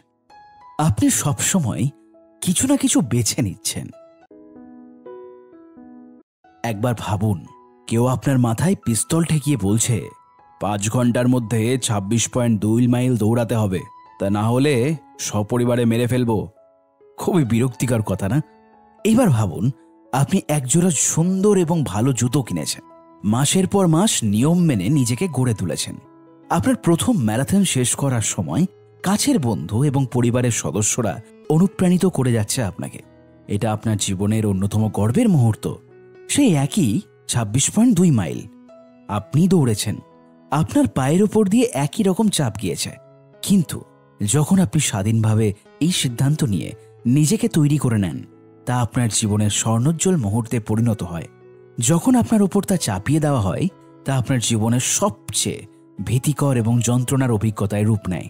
আসলে স্বেচ্ছায় নেওয়া সিদ্ধান্তগুলো খুব একটা ঝামেলার মনে হয় না। অপরদিকে, অনিচ্ছা সত্ত্বেও কোনো কাজ করতে গেলে তা খুবই ঝামেলার কারণ হয়ে দাঁড়ায়। কোনো বাজে পরিস্থিতিতে দুর্বিষহ হয়ে পড়ার কারণ হতে পারে বিষয়টি আপনার নিয়ন্ত্রণের বাইরে চলে গেছে এটি মনে করা। সমস্যাটি মোকাবেলা করার ক্ষমতা নেই অথবা আপনার অনিচ্ছা সত্ত্বেও তা আপনার কাঁধে চেপে বসেছে মনে করা। যখন আমরা নিজের ইচ্ছেতে কোনো কাজ করি তখন তা স্বাচ্ছন্দ্য বোধে পরিণত হয়। অপরদিকে, যখন আমাদের ইচ্ছার বিরুদ্ধে যখন চাপিয়ে দেওয়া হচ্ছে বলে ভাবি, তখন হতাশায় মুশড়ে পড়ি। সিদ্ধান্ত নেওয়া। উইলিয়াম জেমস নানা সমস্যায় জর্জরিত ছিলেন। বিত্তশালী, সম্ভ্রান্ত পরিবারে জন্মালেও জন্ম থেকেই জেমস স্বাস্থ্য ঝুঁকিতে ছিলেন। চোখের সমস্যার কারণে ছোটবেলাতেই তিনি দৃষ্টিশক্তি হারান। পাকস্থলীর সমস্যার কারণে তার প্রচুর বমি হতো। বাধ্য হয়ে তাকে বিশেষ খাবার গ্রহণ করতে হতো। শ্রবণজনিত সমস্যাও ছিল। তার পিঠের ব্যথা এত তীব্র ছিল যে টানা কয়েকদিন তিনি উঠে বসতেও পারতেন না। এইসব স্বাস্থ্যজনিত সমস্যার কারণে জেমস বেশিরভাগ সময় বাড়িতেই কাটাতেন। তার খুব বেশি বন্ধুও ছিল না এবং স্কুলও খুব বেশি একটা সুবিধের ছিল না। তিনি আঁকা আঁকি করেই সময় কাটাতেন। এই একটা কাজ করেই তিনি খুব আনন্দ পেতেন। দুর্ভাগ্যবশত কেউ ভাবেনি যে তিনি এত ভালো ছবি আঁকতে পারেন। যখন তিনি বড় হলেন, কেউ তার ছবি কিনতই না। কয়েক বছর পরে তার পিতা, প্রসিদ্ধ এক ব্যবসায়ী, তার অলসতা এবং মেধার অভাবকে টিপ্পনি কাটাতে শুরু করে। একই সময়, তার ছোট ভাই হেনরি জেমস, ঔপন্যাসিক হিসেবে বিশ্বজুড়ে খ্যাতি কুরন তার বোন অ্যালিস জেমস, লেখিকা হিসেবে ভালোই অবস্থান অর্জন করেন। উইলিয়াম পরিবারের বোঝা এবং কলঙ্কে পরিণত হন। তার ভবিষ্যৎ রক্ষার জন্য তার পিতামাতা মরিয়া হয়ে ওঠেন। তিনি ব্যবসায়িক প্রভাব কাজে লাগিয়ে জেমসকে হার্ভার্ড মেডিকেল স্কুলে ভর্তি করে দেন। তিনি ছেলেকে জানিয়ে দেন, এটাই তার শেষ সুযোগ। সে যদি কোনো ঝামেলা করে, তার আর কোনো আশাই নেই। কিন্তু জেমস হার্ভার্ডে মানিয়ে নিতে পারেননি। মেডিসিন তাকে কখনোই আকর্ষণ করেনি। তার কাছে সব কিছু প্রবঞ্চনা মনে হতো। সব কিছু বাদ দিলেও সে যদি নিজের সমস্যায় সমাধান করতে না পারেন তাহলে কীভাবে অন্যের সমস্যার সমাধান করবেন? মানসিক বিভাগ ঘুরে এসে জেমস তার ডায়েরিতে লেখেন, ডাক্তারের থেকে রোগীদের সাথেই তার মিল বেশি। কয়েক বছর বাদে আবারও পিতার মতের বিরুদ্ধে গিয়ে জেমস মেডিকেল স্কুল ছেড়ে দেন। কিন্তু পিতার রক্তচক্ষুর সামনে পড়ার থেকে তিনি অন্য সিদ্ধান্ত নেন। অ্যামাজনের রেন ফরেস্টে নিতত্ত্ব অভিযানে নাম লেখান তিনি। এটা আঠেরোশো ষাট সালের কথা। আন্তর্মহাদেশীয় ভ্রমণ কঠিন এবং বিপজ্জনক ছিল। ছোট বয়সে যদি আপনি কম্পিউটারে অর্গান ট্রেল গেম খেলে থাকেন, তাহলে বুঝবেন। যাই হোক, জেমস অ্যামাজনে ঠিকমতোই পৌঁছে যান। মূল অভিযানের পরেই শুরু হয়। আশ্চর্যজনক হলেও, সত্যি তার ভগ্ন স্বাস্থ্য নিয়ে তিনি কোনো ঝামেলা ছাড়াই অ্যামাজনে পৌঁছান। কিন্তু এর পরেই ঘটে বিপত্তি। অভিযানের প্রথম দিনেই তার গুটি বসন্ত হয়। জঙ্গলে তিনি প্রায় মরতে বসেছিলেন। তার পিঠের ব্যথাও ফিরে আসে। এতটাই তীব্র যে জেমস হাঁটতেও পারছিলেন না। গুটি বসন্তের কারণে তিনি প্রচণ্ড কাহিল হয়ে পড়েন। পিঠের ব্যথার কারণে চলতেও সমস্যা হচ্ছিল। দক্ষিণ আমেরিকার মাঝখানে কোনো এক জায়গায় তাকে একা ফেলে রাখা হয়। বাকি অভিযান তাকে ছাড়াই হয়। বাড়ি ফেরার কোনো সঠিক রাস্তা তার জানাই ছিল না। আর সেটাও কমপক্ষে এক মাসের যাত্রার ধাক্কা। তার বেঁচে থাকার সম্ভাবনা ক্ষীণ হয়ে আসে। কিন্তু যেভাবেই হোক, তিনি নিউ ইংল্যান্ডে ফিরে আসেন, যেখানে তিনি অত্যন্ত মর্মাহত পিতার মুখোমুখি হন। এতদিনে তিনি আর কম বয়স্ক নেই, প্রায় ত্রিশ ছুঁই ছুঁই বয়স তার। এখনও বেকার, যেখানেই হাত দিয়েছেন সেখানেই ব্যর্থ হয়েছেন। শরীরও তার সাথে প্রতারণা করছে। ভালো হওয়ার কোনো লক্ষ্য নেই। জীবনে এত সুযোগ সুবিধা পাওয়ার পরেও সবকিছু তছনছ হয়ে গেছে। হতাশা এবং দুর্দশায় তার জীবনের একমাত্র সত্যে পরিণত হয়েছে। হতাশা জেমসকে চেপে ধরে। তিনি জীবন নিয়ে চিন্তা করতে শুরু করেন। এক রাতে তিনি দার্শনিক চার্লস পিয়ার্সের লেকচার পড়ছিলেন। জেমস ছোট্ট একটা পরীক্ষা করার সিদ্ধান্ত নেন। তিনি তার ডায়েরিতে লেখেন, আগামী এক বছর তিনি বিশ্বাস করবেন।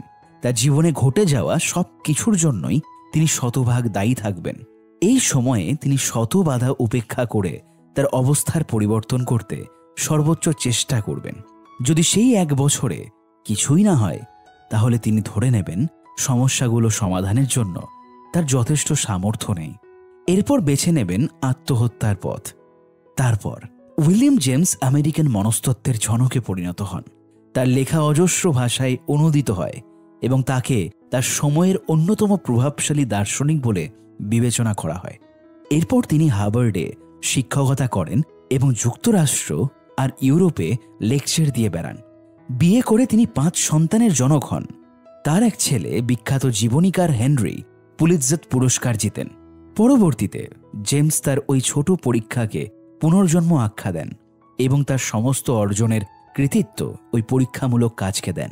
ব্যক্তিগত সকল উন্নতি, প্রগতি ছোট একটা উপলব্ধি থেকেই আসে।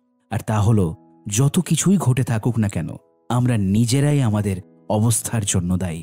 আমাদের সাথে ঘটা সবকিছু আমরা নিয়ন্ত্রণ করতে পারি না, কিন্তু আমরা সব সময় তার ব্যাখ্যা করতে পারি। পরবর্তী পদক্ষেপ কি নেব, তাও ঠিক করতে পারি। সচেতনভাবে স্বীকার করি বা নাই বা করি, আমাদের অবস্থার মূলে রয়েছে আমাদের কর্মকাণ্ড। এর বাইরে কিছু না, প্রতিটি মুহূর্তে আমাদের বেছে নেওয়া সদ্ধত উপরই সব নির্ভর করছে। পছন্দ হোক বা না হোক, আমাদের কর্মকাণ্ডের ওপরই নির্ভর করে। আমাদের জন্য কি অপেক্ষা করছে? আমরা প্রতিনিয়ত প্রতিটি সময় এবং ঘটনার অনুধাবন করছি। চলার মূল্যবোধ এবং মানদণ্ড তৈরি করে সেগুলো মেনে চলেছি। কোনো ঘটনা ভালো কিংবা খারাপ, তা অনেক সময় আমাদের নির্ধারিত মানদণ্ডের উপর নির্ভর করে।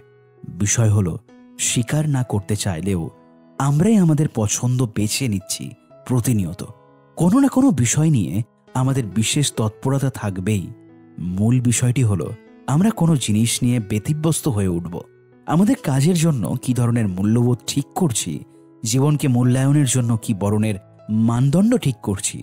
এবং এই সব মূল্যবোধ এবং মানদণ্ড বাছাই সঠিক হয়েছে কিনা সেটি একমাত্র দেখার বিষয়। দায়িত্ব আর দোষের ভুল ধারণা। কয়েক বছর আগে আমার বয়স এবং বিচার বুদ্ধি দুটোই কম ছিল। আমি একটা ব্লগ পোস্ট পড়ি। একজন বিখ্যাত দার্শনিক বলেছিলেন, বিশেষ ক্ষমতার সাথে বিশেষ দায়িত্বও চলে আসে। কথাটা শুনতে গুরুগম্ভীর এবং পাণ্ডিত্যপূর্ণ লাগে। আমি জানতাম না কে বলেছিল। আমি গুগলে কিছু খুঁজে পেলাম না, কিন্তু আমি লাইনটি লিখে রেখে দিই। পোস্টের সাথে মিলে গিয়েছিল কথাটা।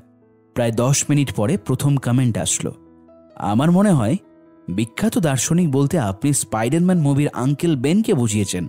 বিশেষ ক্ষমতার সাথে বিশেষ দায়িত্বও চলে আসে। পিটার পার্কারের ছেড়ে দেওয়া চোরের হাতে ফুটপাতে মানুষের সামনে আঙ্কেল বেন নিহত হন। এটাই ছিল তার শেষ কথা, সেই বিখ্যাত দর্শন। তাও আমরা সবাই এই দার্শনিক উক্তিটি শুনেছি। উক্তির মূল ভাবের সাথে আপনি বহু আগে থেকেই পরিচিত ছিলেন। শুধু কখনো মাথা ঘামাননি সেটা নিয়ে। তবুও আপনার জানা এই একই জিনিস আপনাকে বারবার শোনানো হচ্ছে। বিশেষ ক্ষমতার সাথে বিশেষ দায়িত্বও চলে আসে। এটা সত্যি। কিন্তু এই উক্তির আরও ভালো একটা সংস্করণ রয়েছে, যা আরও গভীর। আপনাকে শুধু পথটা বদলে দিতে হবে। বিশেষ দায়িত্বের সাথে বিশেষ ক্ষমতাও চলে আসে। জীবনে যত দায়িত্ব নেওয়া হবে, তত বেশি ক্ষমতার ব্যবহার করা হবে। সমস্যা সমাধানের প্রথম ধাপ হলো দায়িত্ব নিয়ে তার মোকাবেলা করতে চাওয়া। আমার পরিচিত এক লোক ছিলেন তিনি সব সময় ভাবতেন, খাটো হওয়ায় কোনো মেয়েই তার সাথে ডেটে যাবে না। তিনি শিক্ষিত, দেখতে শুনতে ভালো, অনেক মজার ছিলেন। কিন্তু তিনি ধরেই নিয়েছিলেন কোনো মেয়েই তার সাথে ডেটে যাবে না। তার এই মনোভাবের কারণে তিনি মেয়েদের সাথে ওভাবে মেশার চেষ্টা করতেন না। যে কয়েকবার চেষ্টা করেছেন, নিজেকে অনাকর্ষণীয়, ভেবে বেশি দূরে আগানোর সাহস করতেনই না। বুঝতেই পারছেন, তার ডেটিংগুলো বাজে যেত। তাকে যে বিষয়টি পীড়া দিত, সেটা তার উচ্চতা। তিনি এই বিষয়টাকেই বেশি গুরুত্ব দিতেন। এই ব্যাপারটি তিনি বুঝতেন না। তার ধারণা, মেয়েরা শুধুমাত্র উচ্চতার প্রতি আকর্ষিত হয়। এই বোধটি তাকে আত্মবিশ্বাসহীন করে তোলে। সেই সাথে তাকে একটা উদ্ভট সমস্যায় তার ধারণা ফেলে দেয় লম্বা মানুষের পৃথিবীতে, উপযুক্ত লম্বা না হতে পারা। ডেট করার জন্য তিনি এর থেকে হাজার গুণ ভালো মূল্যবোধ ঠিক করতে পারতেন। আমার যা আছে, তাতে সন্তুষ্ট মেয়েদের সাথেই ডেট করব। এইভাবে শুরু করলে হয়তো ভালোই হতো। এই মানদণ্ডে তার মূল্যবোধ সততা এবং গ্রহণযোগ্যতার মূল্যায়ন হতো। কিন্তু তিনি এই মূল্যবোধ গ্রহণ করেননি। তিনি না বুঝতে পারলেও এই বিষয়টি তার সমস্যার প্রধান কারণ। দায়িত্ব এড়িয়ে গিয়ে তিনি বারডোরের কাছে অভিযোগ করা শুরু করেন। আমার কোনো সুযোগ নেই। আমি কিছুই করতে পারব না। মেয়েরা অনেক দাম্ভিক। তারা আমাকে কখনোই পছন্দ করবে না। ছিঁচকাদুনে একটা পুরুষকে পছন্দ না করাটা সকল মহিলারই দোষ বলে গণ্য। অনেকেই তাদের সমস্যার সামনে দাঁড়িয়ে দায়িত্ব নিতে দ্বিধাবোধ করেন। তারা সমস্যার দায়িত্ব নেওয়াটাকে ঝামেলা মনে করেন। আমাদের সমাজে দায়িত্ব এবং দোষ প্রায় দুটো জিনিস একসাথে বিবেচিত হয়। কিন্তু তারা এক জিনিস নয়। আপনাকে যদি আমি গাড়ি দিয়ে ধাক্কা দিই, তাহলে আমি একই সাথে দোষী এবং আপনাকে ক্ষতিপূরণ দেওয়াটাও আমার দায়িত্ব। এমনকি যদি এটা দুর্ঘটনাও হয় তাহলেও আঘাত করলে আমিই দায়ী। কিন্তু আরও অনেক সমস্যা রয়েছে। যেগুলোর জন্য আমরা দোষী না হলেও সেগুলোর জন্য দায়ী। যেমন, আপনি ঘুম থেকে উঠে দেখলেন আপনার দরজার সামনে একটা নবজাত শিশু। এটা আপনার দোষ নয়। কিন্তু এখন শিশুটি আপনার দায়িত্বের মধ্যে পড়ল। আপনাকে সিদ্ধান্ত নিতে হবে এখন কি করবেন। এবং আপনি যে সিদ্ধান্তই নেবেন, শিশুটিকে রেখে দেওয়া, পাশ কাটিয়ে এর থেকে মুক্তি, তার উপর নির্ভর করবে পরবর্তী সমস্যাগুলো। এবং সেগুলোর জন্য আপনি কিন্তু দায়ী। বিচারকগণ তাদের মামলা নির্বাচিত করেন না। আদালতে যখন একটি মামলা যায়, বিচারক তো আর সেই অপরাধ করেনি, সেই অপরাধের সাক্ষীও নন, সেই অপরাধে ক্ষতিগ্রস্তও নন। কিন্তু তিনি সেই অপরাধের দায়িত্ব নিয়েছেন। বিচারককে পরবর্তী পরিণামগুলো চিন্তা করতে হয়। তাকে অবশ্যই একটা মানদণ্ড নির্ধারণ করে অপরাধটির গুরুত্ব বিবেচনা করতে হয় এবং সেইভাবেই তিনি রায় দেন। আমরা সকল ক্ষেত্রে শুধুমাত্র আমাদের ভুলের জন্য দায়ী থাকব এমনটা কিন্তু নয়। জীবন এমনই। ধারণা দুটির আরেকটা পার্থক্য দেখায় আপনাকে। দোষ হলো অতীতকাল আর দায়িত্ব হলো বর্তমান। দোষ আমাদের পূর্ব নির্ধারিত পছন্দের উপর নির্ভর করে। আর আমরা প্রতিটি মুহূর্তে যা বেছে নিচ্ছি, সেটি হলো দায়িত্ব। আপনি এই বইটিকে বেছে নিয়েছেন, ধারণাগুলো নিয়ে চিন্তা করছেন, গ্রহণ অথবা বর্জন করছেন। আমার ধারণাগুলো অবান্তর ভাবাটা আপনার দোষ হতে পারে। কিন্তু আপনি যে সিদ্ধান্তটা নিচ্ছেন, তার পুরো দায়িত্ব আপনার। আমি যা লিখেছি, তার জন্য আপনার কান দোষ হতে পারে না। কিন্তু আপনি নিজ দায়িত্বেই এই বইটি পড়ছেন, অথবা পড়ছেন না। আপনার অবস্থার জন্য আপনি অন্যকে দায়ী করতে পারেন। কিন্তু তাতেই সেই ব্যক্তি সত্যিকারের দায়ী হবেন, এমনটা নয়। আপনার অবস্থার জন্য একমাত্র আপনিই দায়ী। কারণ আপনার দৃষ্টিভঙ্গি, প্রতিক্রিয়া আপনি নির্ধারণ করেন। আপনার জীবনের অভিজ্ঞতা পরিমাপের মানদণ্ড আপনিই বেছে নেন। আমার প্রথম প্রেমিকা আমাকে অসাধারণভাবে ছেড়ে যায়। সে তার শিক্ষকের সাথে সম্পর্ক করে আমার সাথে প্রতারণা করেছিল। অসাধারণ বলছি এই জন্যই যে কেউ যেন আমার পেটে গুনে গুনে দুশো তেপ্পান্নটা ঘুষি বসিয়ে দিয়েছে। আমি তাকে জিজ্ঞেস করলে সে তখনই আমাকে ছেড়ে চলে যায়। তিন বছর একসাথে থাকার পর এইভাবে এক তুড়িতে সব কিছু হারিয়ে গেল। আমি তাকে নিয়ন্ত্রণ করতে পারিনি। অনেকবার তাকে ফোন করেছি। চিৎকার করেছি। তাকে ফিরে পাওয়ার জন্য কেঁদেছি।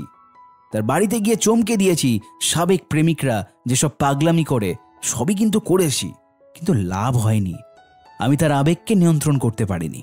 আমার অসহায় অনুভূতির জন্য তাকে দায়ী করি, কিন্তু আমার অসহায় অনুভূতির জন্য সে নয়, আমি দায়ী। চোখের জল ঝরিয়ে আর মদ গিলে আমার মনোভাবে পরিবর্তন আসে। সে আমার সাথে যা করেছে, তা অবশ্যই খারাপ। তার জন্য নিন্দা করাই যায়। কিন্তু এখন আমাকে খুশি রাখার দায়িত্ব কিন্তু আমারই। সে এসে আবার আমার জীবনকে গুছিয়ে দেবে না। যা করার আমাকেই করতে হবে। এই পথ ধরার পর কয়েকটা ঘটনা ঘটে। প্রথমত, আমার অবস্থার উন্নতি ঘটে। বন্ধুদের সাথে সময় দিতে থাকলাম, যাদের আমি এড়িয়ে যেতে শুরু করেছিলাম। নতুন নতুন মানুষের সাথে মেশা শুরু করলাম। ধীরে ধীরে আমার ভালো লাগা শুরু হলো। আমি এখনও আমার সাবেক প্রেমিকার উপর ক্ষুব্ধ হই। কিন্তু এখন অন্তত আমি আমার আবেগের দায়িত্বটা নিই। মানে মূল্যবোধটা সংস্কার করেছি। পুরনো কাসন্দি না ঘেটে নিজের প্রতি যত্নশীল হয়েছি। প্রায় এক বছর পর মজার একটা ঘটনা ঘটল। আমি আমাদের সম্পর্কের কথা চিন্তা করলাম। কিছু সমস্যা আমি আগে বুঝিনি। কিন্তু তখন ধরতে পারলাম। যেই সব সমস্যার জন্য আমাকে দায়ী করা যায়, আমি চাইলে সেগুলো সমাধানের কাজও করতে পারতাম। আমি বুঝতে পারি। বয়ফ্রেন্ড হিসেবে আমি খুব একটা আহামরি ছিলাম না এবং একজন মানুষ হঠাৎ করেই আরেকজনের সাথে প্রতারণা করে না। কোনো কারণে অসুখী হলে তবেই তারা এমনটা করে। আমি বলছি, না, এই কারণেও দায় মুক্তি পেয়ে গেল। কিন্তু আমার ভুলগুলো ধরতে পারায় আমি বুঝতে পারি, আমি নিজেকে নিরীহ বলি, ভাবলেও বিষয়টি সঠিক নয়। একটা ফালতু সম্পর্ক টেনে আনতে আমি অনেক কিছুই করেছি। আসলে একই ধরনের মূল্যবোধ সম্পন্ন কারোর সাথেই মানুষ ডেট করে। এবং আমি যদি ফালতু মূল্যবোধ সম্পন্ন কারোর সাথে এতদিন ডেট করে থাকি, তাহলে আমার এবং আমার মূল্যবোধের কি হলো? আপনি যদি স্বার্থপর এবং ক্ষতিকারক কারও সাথে সম্পর্ক করেন, তবে আপনি নিজেও ক্ষতিকারক। এই জিনিসটা আমি একটু ঘুরিয়ে পেঁচিয়ে শিখেছি।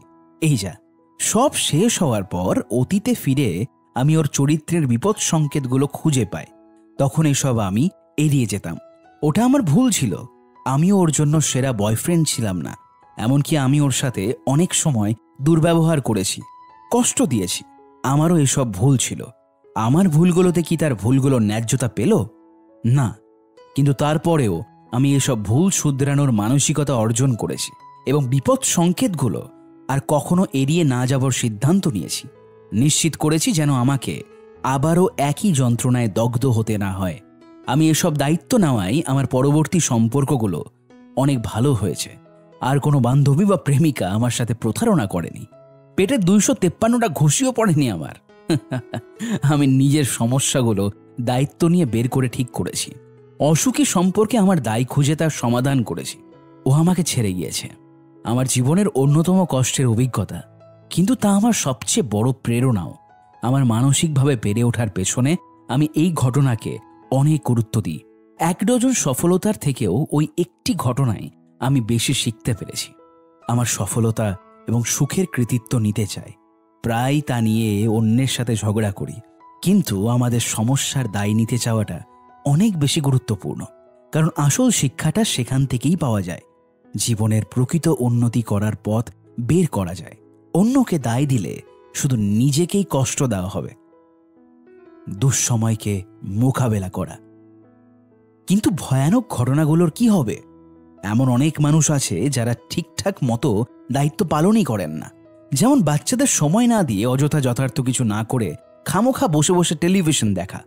কিন্তু যখন কোনো বিপদ সামনে চলে আসে, তারা সুযোগ বুঝে সেখান থেকে কেটে পড়ে, তাকে মোকাবেলা না করেই।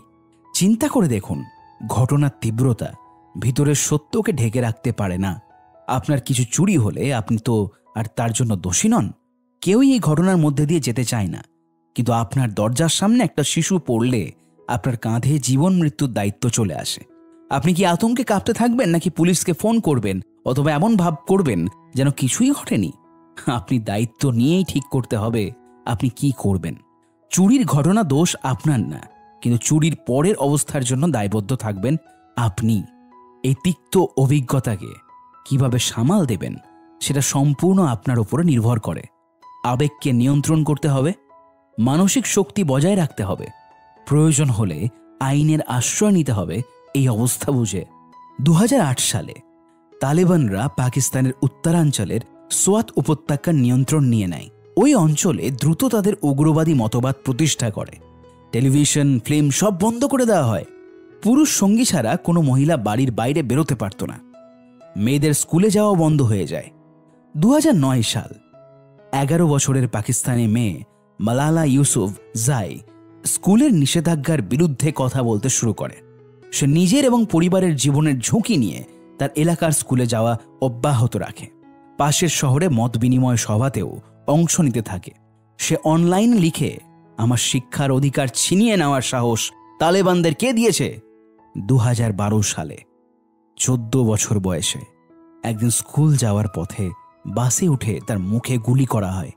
মুখোশ পরা তালেবান যোদ্ধা অস্ত্র হাতে বাসে উঠে জিজ্ঞাসা করে মালালাকে না হলে এখানে সবাইকে গুলি করব। মালালা নিজের পরিচয় দেয় এবং তালেবানটি সব যাত্রীর সামনে তার মাথায় গুলি করে। মালালা কোমায় চলে গিয়ে মৃত্যুর সাথে লড়াই করতে থাকে। তালেবানরা প্রকাশ্যে ঘোষণা করে, সে যদি কোনোভাবে বেঁচে যায়, তাহলে তারা তাকে এবং তার পিতা দুজনকেই হত্যা করবে। মালালা আজও বেঁচে আছে। সে এখনও মুসলিম দেশগুলোতে নারীর প্রতি সংঘাত এবং বঞ্চনার বিরুদ্ধে বলে যাচ্ছে। দু হাজার চোদ্দ সালে সে তার কর্মের জন্য নোবেল শান্তি পুরস্কার পেয়েছে। মুখে গুলি লাগায় তার শ্রোতার সংখ্যা বেড়েছে এবং তাকে আরও শক্তিশালী করেছে। সে চাইলেই বলতে পারত, আমি পারছি না, কিংবা আমার আর কোনো উপায় নেই। সেটা হলেও তার ইচ্ছা মতোই হতো, কিন্তু সে সম্পূর্ণ বিপরীত পথ বেছে নিয়েছে। কয়েক বছর আগে এই অধ্যায়ের কিছু ধারণা আমি ব্লগে লিখেছিলাম। সেখানে একজন কমেন্ট করেন, আমি অগভীর এবং ভাষা ভাষা লেখা লিখি। মানুষের জীবনের সমস্যা নিয়ে আমার প্রকৃত কোনো জ্ঞানই নেই। তিনি লেখেন, কদিন আগে তার ছেলে গাড়ি দুর্ঘটনায় মারা গেছে। সত্যিকারের দুঃখ না ভোগ করায় তিনি আমাকেই দায়ী করেন। তার সন্তানের মৃত্যুতে তার কষ্টের জন্য তাকে দায়ী করায় আমাকে গালমন্দ করেন। নিঃসন্দেহে অনেকের তুলনায় ওই ব্যক্তি অনেক বেশি কষ্ট পেয়েছেন। তার সন্তানের মৃত্যু তার ইচ্ছেতে হয়নি, সেখানে তার কোনো দোষ নেই। কিন্তু সন্তান হারানোর কষ্ট বয়ে নেবার দায়িত্ব নিতে হচ্ছে। সম্পূর্ণ অনিচ্ছাকৃতভাবে তাকে তার আবেগ, বিশ্বাস এবং কর্মের জন্য দায় নিতে হয়েছে। সন্তানের মৃত্যুর প্রতিক্রিয়া কেমন হবে সম্পূর্ণ তার ইচ্ছার উপর নির্ভর করে। জীবনে কোনো না কোনো উপায়ে দুঃখ কষ্ট এসে হাজির হবেই। কিন্তু তাকে কীভাবে গ্রহণ করব সেটা সম্পূর্ণ আমাদের ওপর নির্ভর করে। ওই ব্যক্তিও জানে তার করার কিছুই ছিল না এবং সে শুধু তার সন্তানকে ফিরে পেতে চাইছে। সে তার দুঃখটাকে এমনভাবেই মোকাবিলা করেছে, অবশ্যই এগুলোর কিছুই আমি তাকে বলিনি। তখন আমার মনে হচ্ছিল, হয়তো আমি আসলে না বুঝে কথা বলছি। আমি যে ধরনের কাজ করি তাতে এই ধরনের সমস্যা উদ্বুদ্ধ হতেই পারে। সমস্যাটা আমারই তৈরি করা এবং তা আমাকেই সমাধান করতে হবে। প্রথমে আমার খারাপ লেগেছিল, কিন্তু কয়েক মিনিট পর আমার রাগ হতে লাগল। নিজেকে বললাম, আমি আসলে যা বলতে চেয়েছি, তার সাথে তার অভিযোগের সামান্যতম সম্পর্ক নেই। আমার সন্তান মারা যায়নি, দেখে আমি কষ্ট বুঝি না। এই কথার তো মানেই হয় না। তারপর আমি নিজের দেওয়া উপদেশই মেনে চললাম। আমি নিজের সমস্যা বেছে নিই। আমি এই মানুষটার উপর রাগ করে তর্ক করতে পারতাম, কিংবা দেখাতে চাইতে পারতাম যে তার সন্তান হারানোর কষ্টের চাইতে আমার নিজের কণ্ঠ বড়। কিন্তু এতে করে আমাদের দুজনকেই বেকুব ছাড়া আর কিছুই মনে হতো না। অথবা আমি আরও বড় সমস্যা খুঁজে নিলাম। ধৈর্য ধারণ করে আমার পাঠকদের বোঝার চেষ্টা করলাম। এরপর থেকে দুঃখ কষ্ট নিয়ে লেখার সময় সব সময় তার কথা মনে রাখি। তার শোকের জন্য সমবেদনা জানিয়ে বিষয়টা ওখানেই ছেড়ে দিই। আর কি বা করতে পারতাম? জিনতত্ত্ব ও আমাদের অবস্থান। দু হাজার তেরো সালে বিবিসি ওসিডি অর্থাৎ অবসেসিভ কম্পালসিভ ডিসঅর্ডারে ভোগা ছজন কিশোর কিশোরীদের নিয়ে কাজ করে। তাদের অযাচিত চিন্তাভাবনা এবং বারবার একই কাজ করার প্রবণতা কাটিয়ে ওঠার জন্য গভীর থেরাপি দেওয়া হয়। সতেরো বছরের কিশোরী ইমোজেন সে যেখানেই হাঁটাচলা করত, সেই জায়গাটাতে পা দিয়ে টোকা দিত। তার মনে ভয় ছিল, এই পা দিয়ে টোকা না দিলে তার পরিবারের সবাই মারা যাবে। জস নামে আরেক ছেলে ছিল। তার সবকিছুই শরীরের দুপাশ দিয়ে করতে হতো। ডান এবং বাম দু হাত দিয়েই লোকের সাথে হাত মেলাতো। দুই হাত দিয়ে খাবার খেত। দরজা দিয়ে দুপায়ে প্রবেশ করত। তা করতে না পারলেই তার মাঝে অস্থিরতা তৈরি হতো। এবার আসি জ্যাকের কথায়। একজন সূচিভাইগ্রস্ত কিশোর ছিল সে। হ্যান্ড গ্লাভস না পরে সে ঘর থেকে বের হতেই চাইত না। জল খাবার আগে সে জলটি ফুটিয়ে খেত। এবং তার নিজের হাতের রান্না ছাড়া খাবার মুখেই তুলত না। ওসিডি ভয়ানক স্নায়বিক এবং বংশগত রোগ। তা নিরাময়ের অযোগ্য। খুব বেশি হলে নিয়ন্ত্রণ করা যায়। এটি আসলে মূল্যবোধ পরিবর্তনের মাধ্যমেই নিয়ন্ত্রণ করা হয়। এই প্রজেক্টের মনোবিদ প্রথমেই বাচ্চাদেরকে বলেন, তাদের এই মানসিক পীড়নের সমস্যাকে মেনে নিতে হবে। এর মানে হলো, যখন ইমোজেনের মাথায় তার পরিবারের সদস্যের মৃত্যুর ভয়াবহ চিন্তা আসে তখন তাকে মেনে নিতে হবে। তার পরিবারের সদস্যরা মারা যেতে পারে এবং এ তো তার করার কিছু নেই। সোজা কথায় তার এই অবস্থার জন্য তার দোষ নেই। জসকে বুঝতে হবে অস্থিরতা থেকেও সবকিছুতে এই সমতা করার প্রবণতা তার জীবনকে বেশি ঝামেলায় ফেলেছে এবং জ্যাককে মনে করিয়ে দেওয়া হয়, সে যা কিছুই করুক না কেন, জীবাণু সবসময় তাকে ঘিরে রেখেছে এবং তাকে যে কোনো সময় আক্রান্ত করতে পারে। তাদের মূল্যবোধগুলো যে যুক্তিসঙ্গত নয় তা এই ছেলে মেয়েকে বোঝানোই ছিল মূল লক্ষ্য।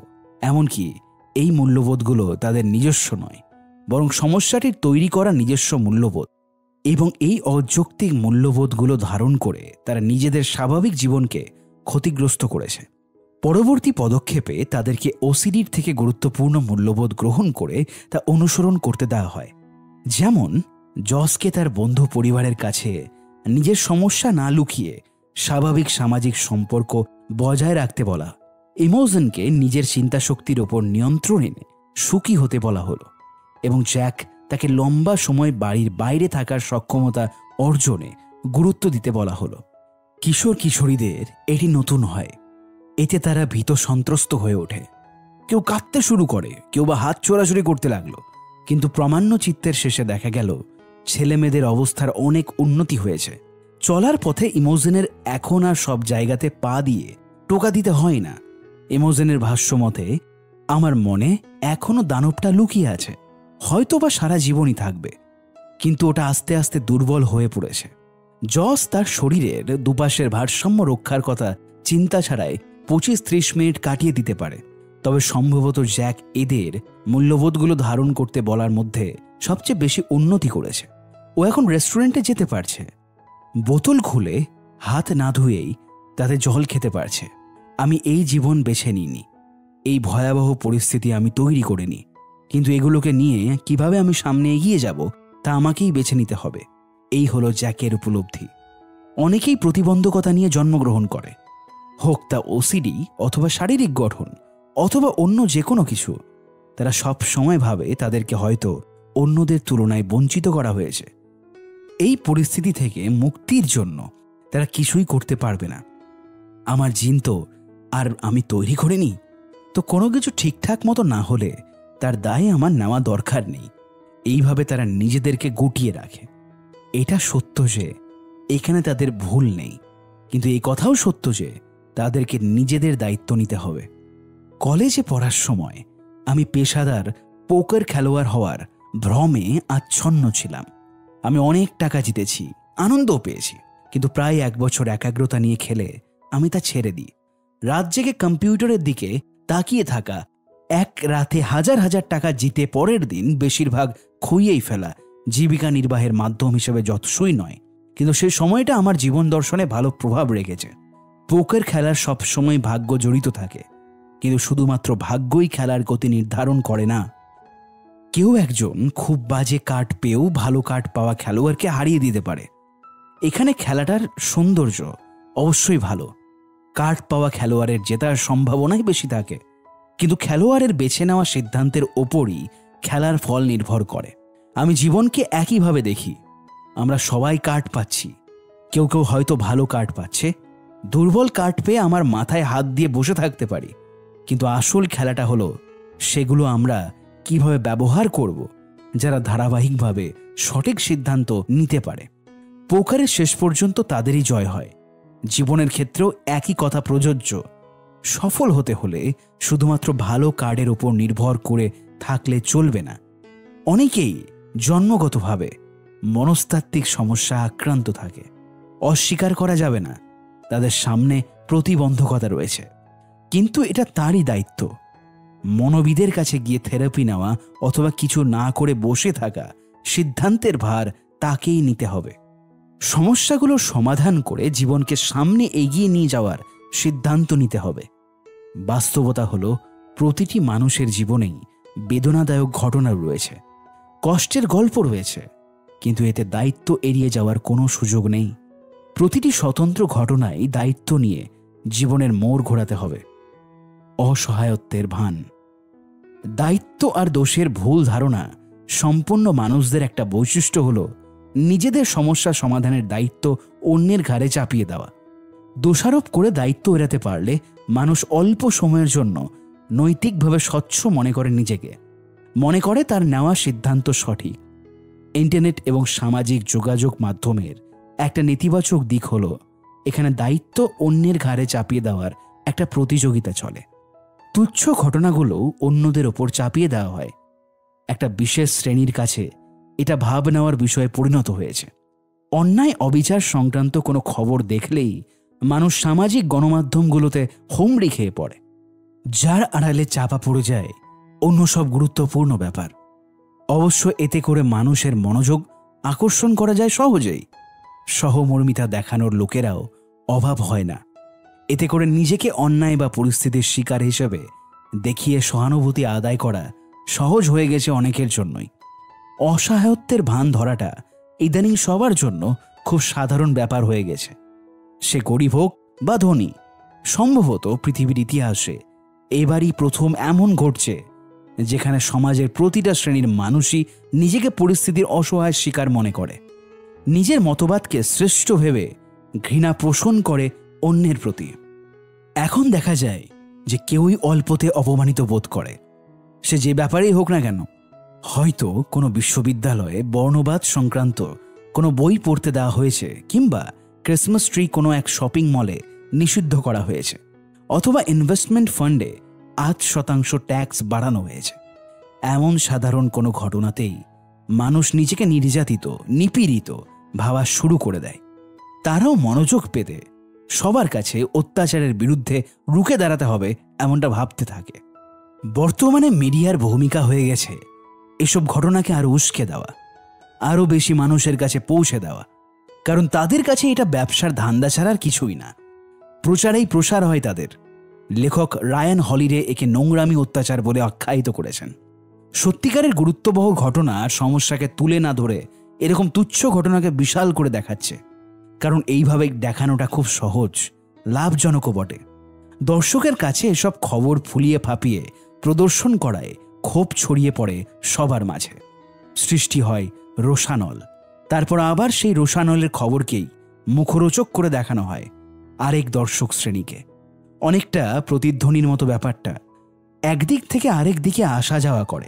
এর ফলে চাপা পড়ে যায় সত্যিকারের সামাজিক সমস্যাগুলো। এসব ভান ধরা মানুষের জন্য সত্যিকারের অন্যায়ের শিকার হওয়া মানুষগুলোর খবর কারও কাছেই পৌঁছায় না আসলে। কে অবিচার আর অত্যাচারের শিকার হয় আর কেউ নয়, সেটা নির্ধারণ করা খুব কঠিন হয়ে যাচ্ছে। মানুষের এক সময় এই ব্যাপারটা নেশায় পরিণত হয়ে যায়। সবসময় নিজের মূল্যবোধ আর মতকে অন্যের চাইতে শ্রেষ্ঠ মনে করাটা জেকে বসে মনে। প্রখ্যাত কার্টুনিস্ট টিম ক্রেইডের ব্যাপারটাকে নিউ ইয়র্ক টাইমসে তুলে ধরে এইভাবে বিক্ষোভ প্রদর্শনের ব্যাপারটা উপভোগ্য করে। কিন্তু সময়ের সাথে সাথে এটা আমাদের কুড়ে কুড়ে খায়। অন্য সব অপরাধের তুলনায় এর মাত্রা আরও ভয়াবহ কারণ এটা যে আপনার রীতিমতো উপভোগ করি, সেটা স্বীকার করতেও চায় না। গণতান্ত্রিক সমাজে বাস করতে হলে অনেক সময় পছন্দ না হলেও অন্যের দৃষ্টিভঙ্গিকে মোকাবিলা করতে হয় আমাদের। স্বাধীন দেশ, স্বাধীন সমাজে বাস করার মূল্য চুকানো বলা যায় একে। গণতন্ত্রে মূল কথা এটাই। একে অন্যকে পছন্দ না করলেও মেনে নিতে হয়। আর দিন দিন মানুষ এই কথাটা মনে রাখতে ভুলে যাচ্ছে। আমাদের যুদ্ধক্ষেত্র নিজেদেরই সতর্কতার সাথে বেছে নিতে হবে। সেই সাথে তথাকথিত শত্রুকেও বোঝার চেষ্টা করতে হবে। মিডিয়া এবং সংবাদকে কিছুটা সংশয় নিয়ে দেখতে হবে এবং যাদের সাথে মতের মিল হচ্ছে না, তাদের মুছে ফেলার প্রবণতা পরিহার করতে হবে। আমাদের উচিত সততা, স্বচ্ছতা বজায় রাখা। ত্যাগ করা উচিত সব সময় আমি ঠিক এই মনোভাবটি বর্জন করা দরকার প্রতিশোধ নেওয়ার ইচ্ছা আগে, কিংবা বিপদেও হাসি মুখে থাকার অপ্রয়োজনীয় মূল্যবোধ পালন না করা। এইসব গণতান্ত্রিক মূল্যবোধ ধরে রাখাটা দিন দিন কঠিন হয়ে যাচ্ছে বর্তমান দুনিয়ায়। কিন্তু আমাদের দায়িত্ব নেওয়া শেখাতে হবে, নিজেদের উন্নত করে গড়ে তুলতে হবে। কে জানে, হয়তো আমাদের রাজনীতির ভবিষ্যৎ লুকিয়ে আছে এরই মাঝে। কীভাবে বলে কিছুই নেই। অনেকেই এসব শুনে বলবে, ঠিক আছে, কিন্তু কীভাবে? মানলাম আমার বোধগুলো ফালতু এবং সমস্যাগুলো আমি এড়িয়ে চলছি এবং আমি একজন বড় বোকা যে ভাববে পৃথিবী ঘুরবে আমাকে কেন্দ্র করে। আমি কীভাবে বদলাবো? ইয়োডার মতো করে বলতে চাই হয় করো না হয় করো না। এখানে কেন? কীভাবে করতে হবে নেই। আপনি প্রতিদিনই ভাবছেন কোনো বিষয়কে গুরুত্ব দিতে হবে, কিন্তু তা বদলানোটা খুব একটা কঠিন কাজ নয়। এটা খুবই সাধারণ একটা কাজ। তবে সহজ নয়। সহজ নয় কারণ প্রথম দিকে আপনার নিজেকে বিধ্বস্ত, অভাগা বলে মনে হবে। আপনি অস্থির হয়ে পড়বেন। আপনার স্ত্রী এবং বন্ধু এমনকি বাবার সাথেও খারাপ ব্যবহার করতে পারেন। এগুলো আপনার মূল্যবোধ পরিবর্তনের পার্শ্ব প্রতিক্রিয়া। সাধারণ হলেও বিষয়টা কঠিন, কিন্তু পার্শ্ব প্রতিক্রিয়া নিয়ে আলোচনা করা যায় বাজি ধরে বলা যায়, আপনি অস্থিরতায় ভুগবেন। আমার কি আসলে এসব ত্যাগ করা উচিত? এটা কি ঠিক হচ্ছে? এত বছর ধরে যেভাবে চলছেন তা ঝেড়ে ফেলা আসলেই কষ্টদায়ক। যেন আপনি ঠিক বেঠিকগুলোকে গুলিয়ে ফেলেছেন। এরপর আপনার নিজেকে ব্যর্থ মনে হবে। জীবনের অর্ধেকটা সময় পুরাতন মূল্যবোধ। মানদণ্ডে চলার পর সেগুলো পরিবর্তন করতে হচ্ছে আপনাকে। আপনার মাঝে একটা শূন্যতা তৈরি হবে। আপনার অনেক কাজ পরবর্তী মূল্যবোধের সাথে জড়িত ছিল। যখনই আপনি সিদ্ধান্ত নেবেন যেমন পার্টি করা থেকে পড়ালেখা করা অনেক গুরুত্বপূর্ণ। উদ্যম জীবন ফেলে বিয়ে করে পরিবার গঠন করাটা জরুরি, আপনার সব কর্মকাণ্ডে একটা ঝাঁকুনি দিয়ে যাবে। খুবই অস্বস্তিদায়ক অনুভূতি হলেও অস্বাভাবিক কিছু নয়, কষ্টকর হলেও এই ধরনের পরিবর্তন জরুরি। গুরুত্ব বেছে নিয়ে সঠিক জায়গায় এম দিতে হবে, এতে করে আপনার শক্তি যথার্থ ব্যবহার হবে। আপনার মূল্যবোধে পরিবর্তন আনলে ভিতর এবং বাইরে দুদিক থেকেই প্রতিবন্ধকতার শিকার হবেন আপনি। সবচেয়ে বড় কথা আপনি অনিশ্চয়তায় ভুগবেন। আসলেই ঠিক পথে আছেন কিনা? কিন্তু একসময় নিজেই বুঝতে পারবেন, এই ধরনের পরিবর্তন মঙ্গল বয়ে আনে।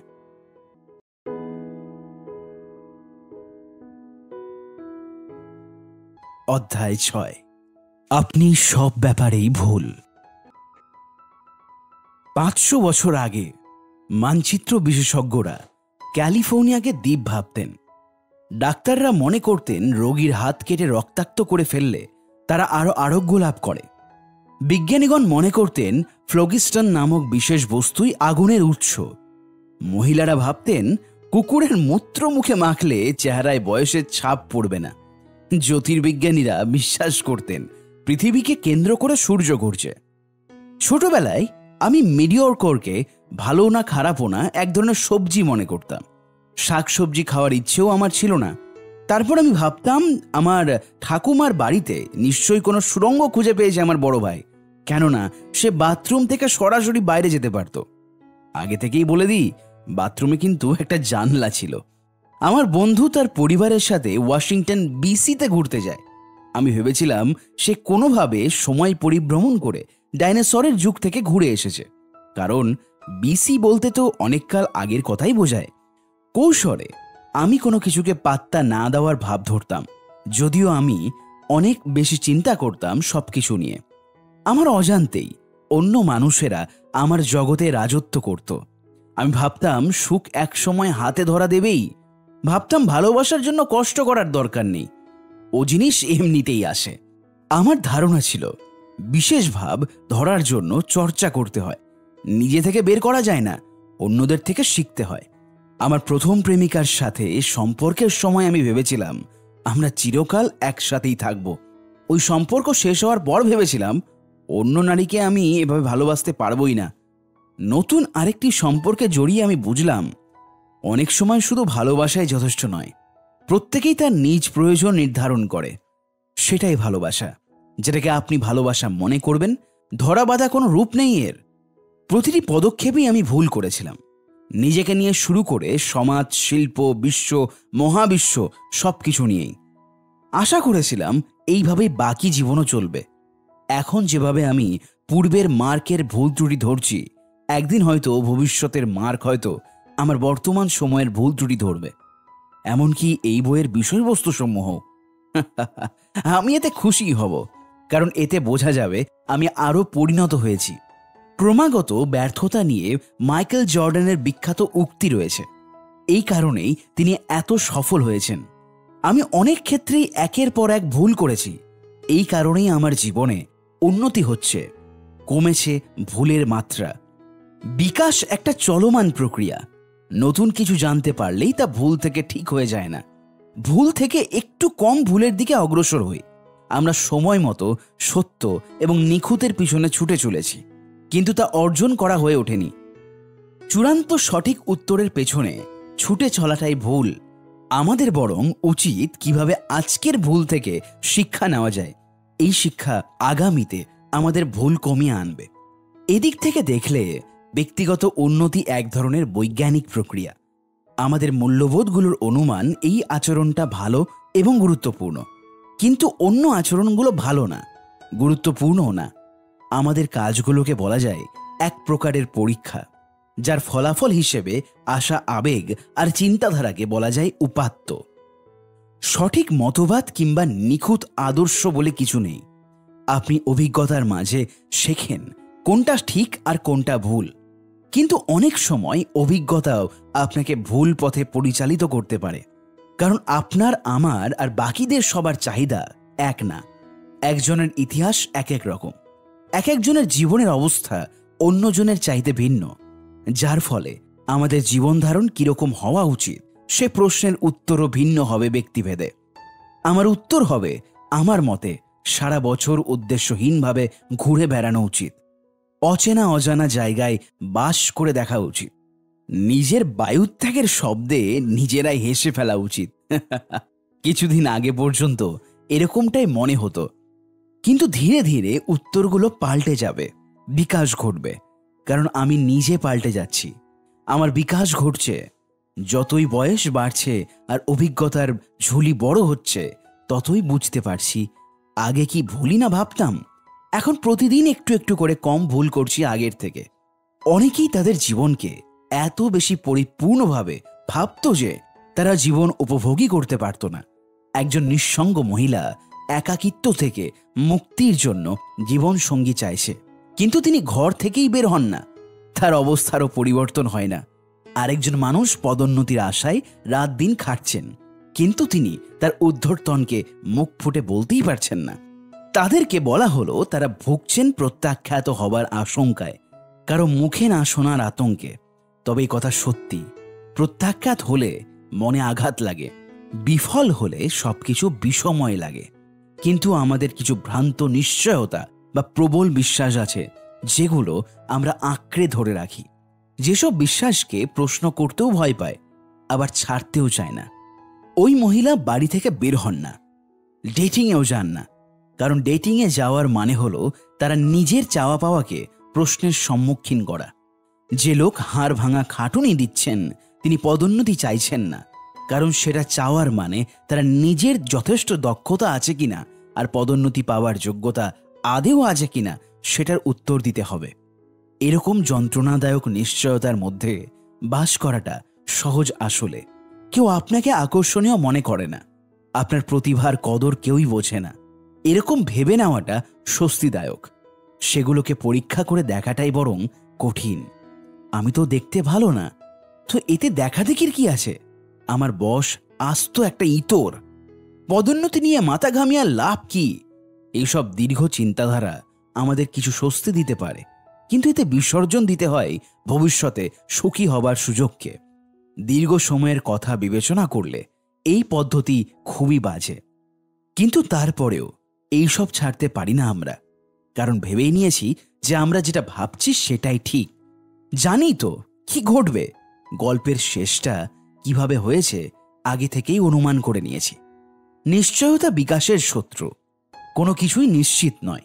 যতক্ষণ পর্যন্ত না সেটা ঘটছে, আর ঘটলেও সেটা তর্কের বাইরে যেতে পারবে না। আর ঠিক এই কারণেই আমাদের ত্রুটিযুক্ত মূল্যবোধকে মেনে নিতে হবে, যাতে সেগুলো বিকাশ ঘটার সুযোগ পায়। নিশ্চয়তার পেছনে ছোটার দরকার নেই। আমাদের দরকার সর্বদা সংশয়কে খোঁজা। নিজেদের বিশ্বাসকে সংশয় করা, আবেগকে প্রশ্ন করা উচিত। ভবিষ্যৎ আমাদের কাছ থেকে কি লুকিয়ে রেখেছে, সেটা নিয়ে শুধু চিন্তা না করে সেটা অর্জনের লক্ষ্যে কাজ করে যাওয়া দরকার। সব সময় ঠিক হওয়ার বাসনা থেকে সরে এসে জানা দরকার, কি কারণে ভুল করে এসেছি সব সময়।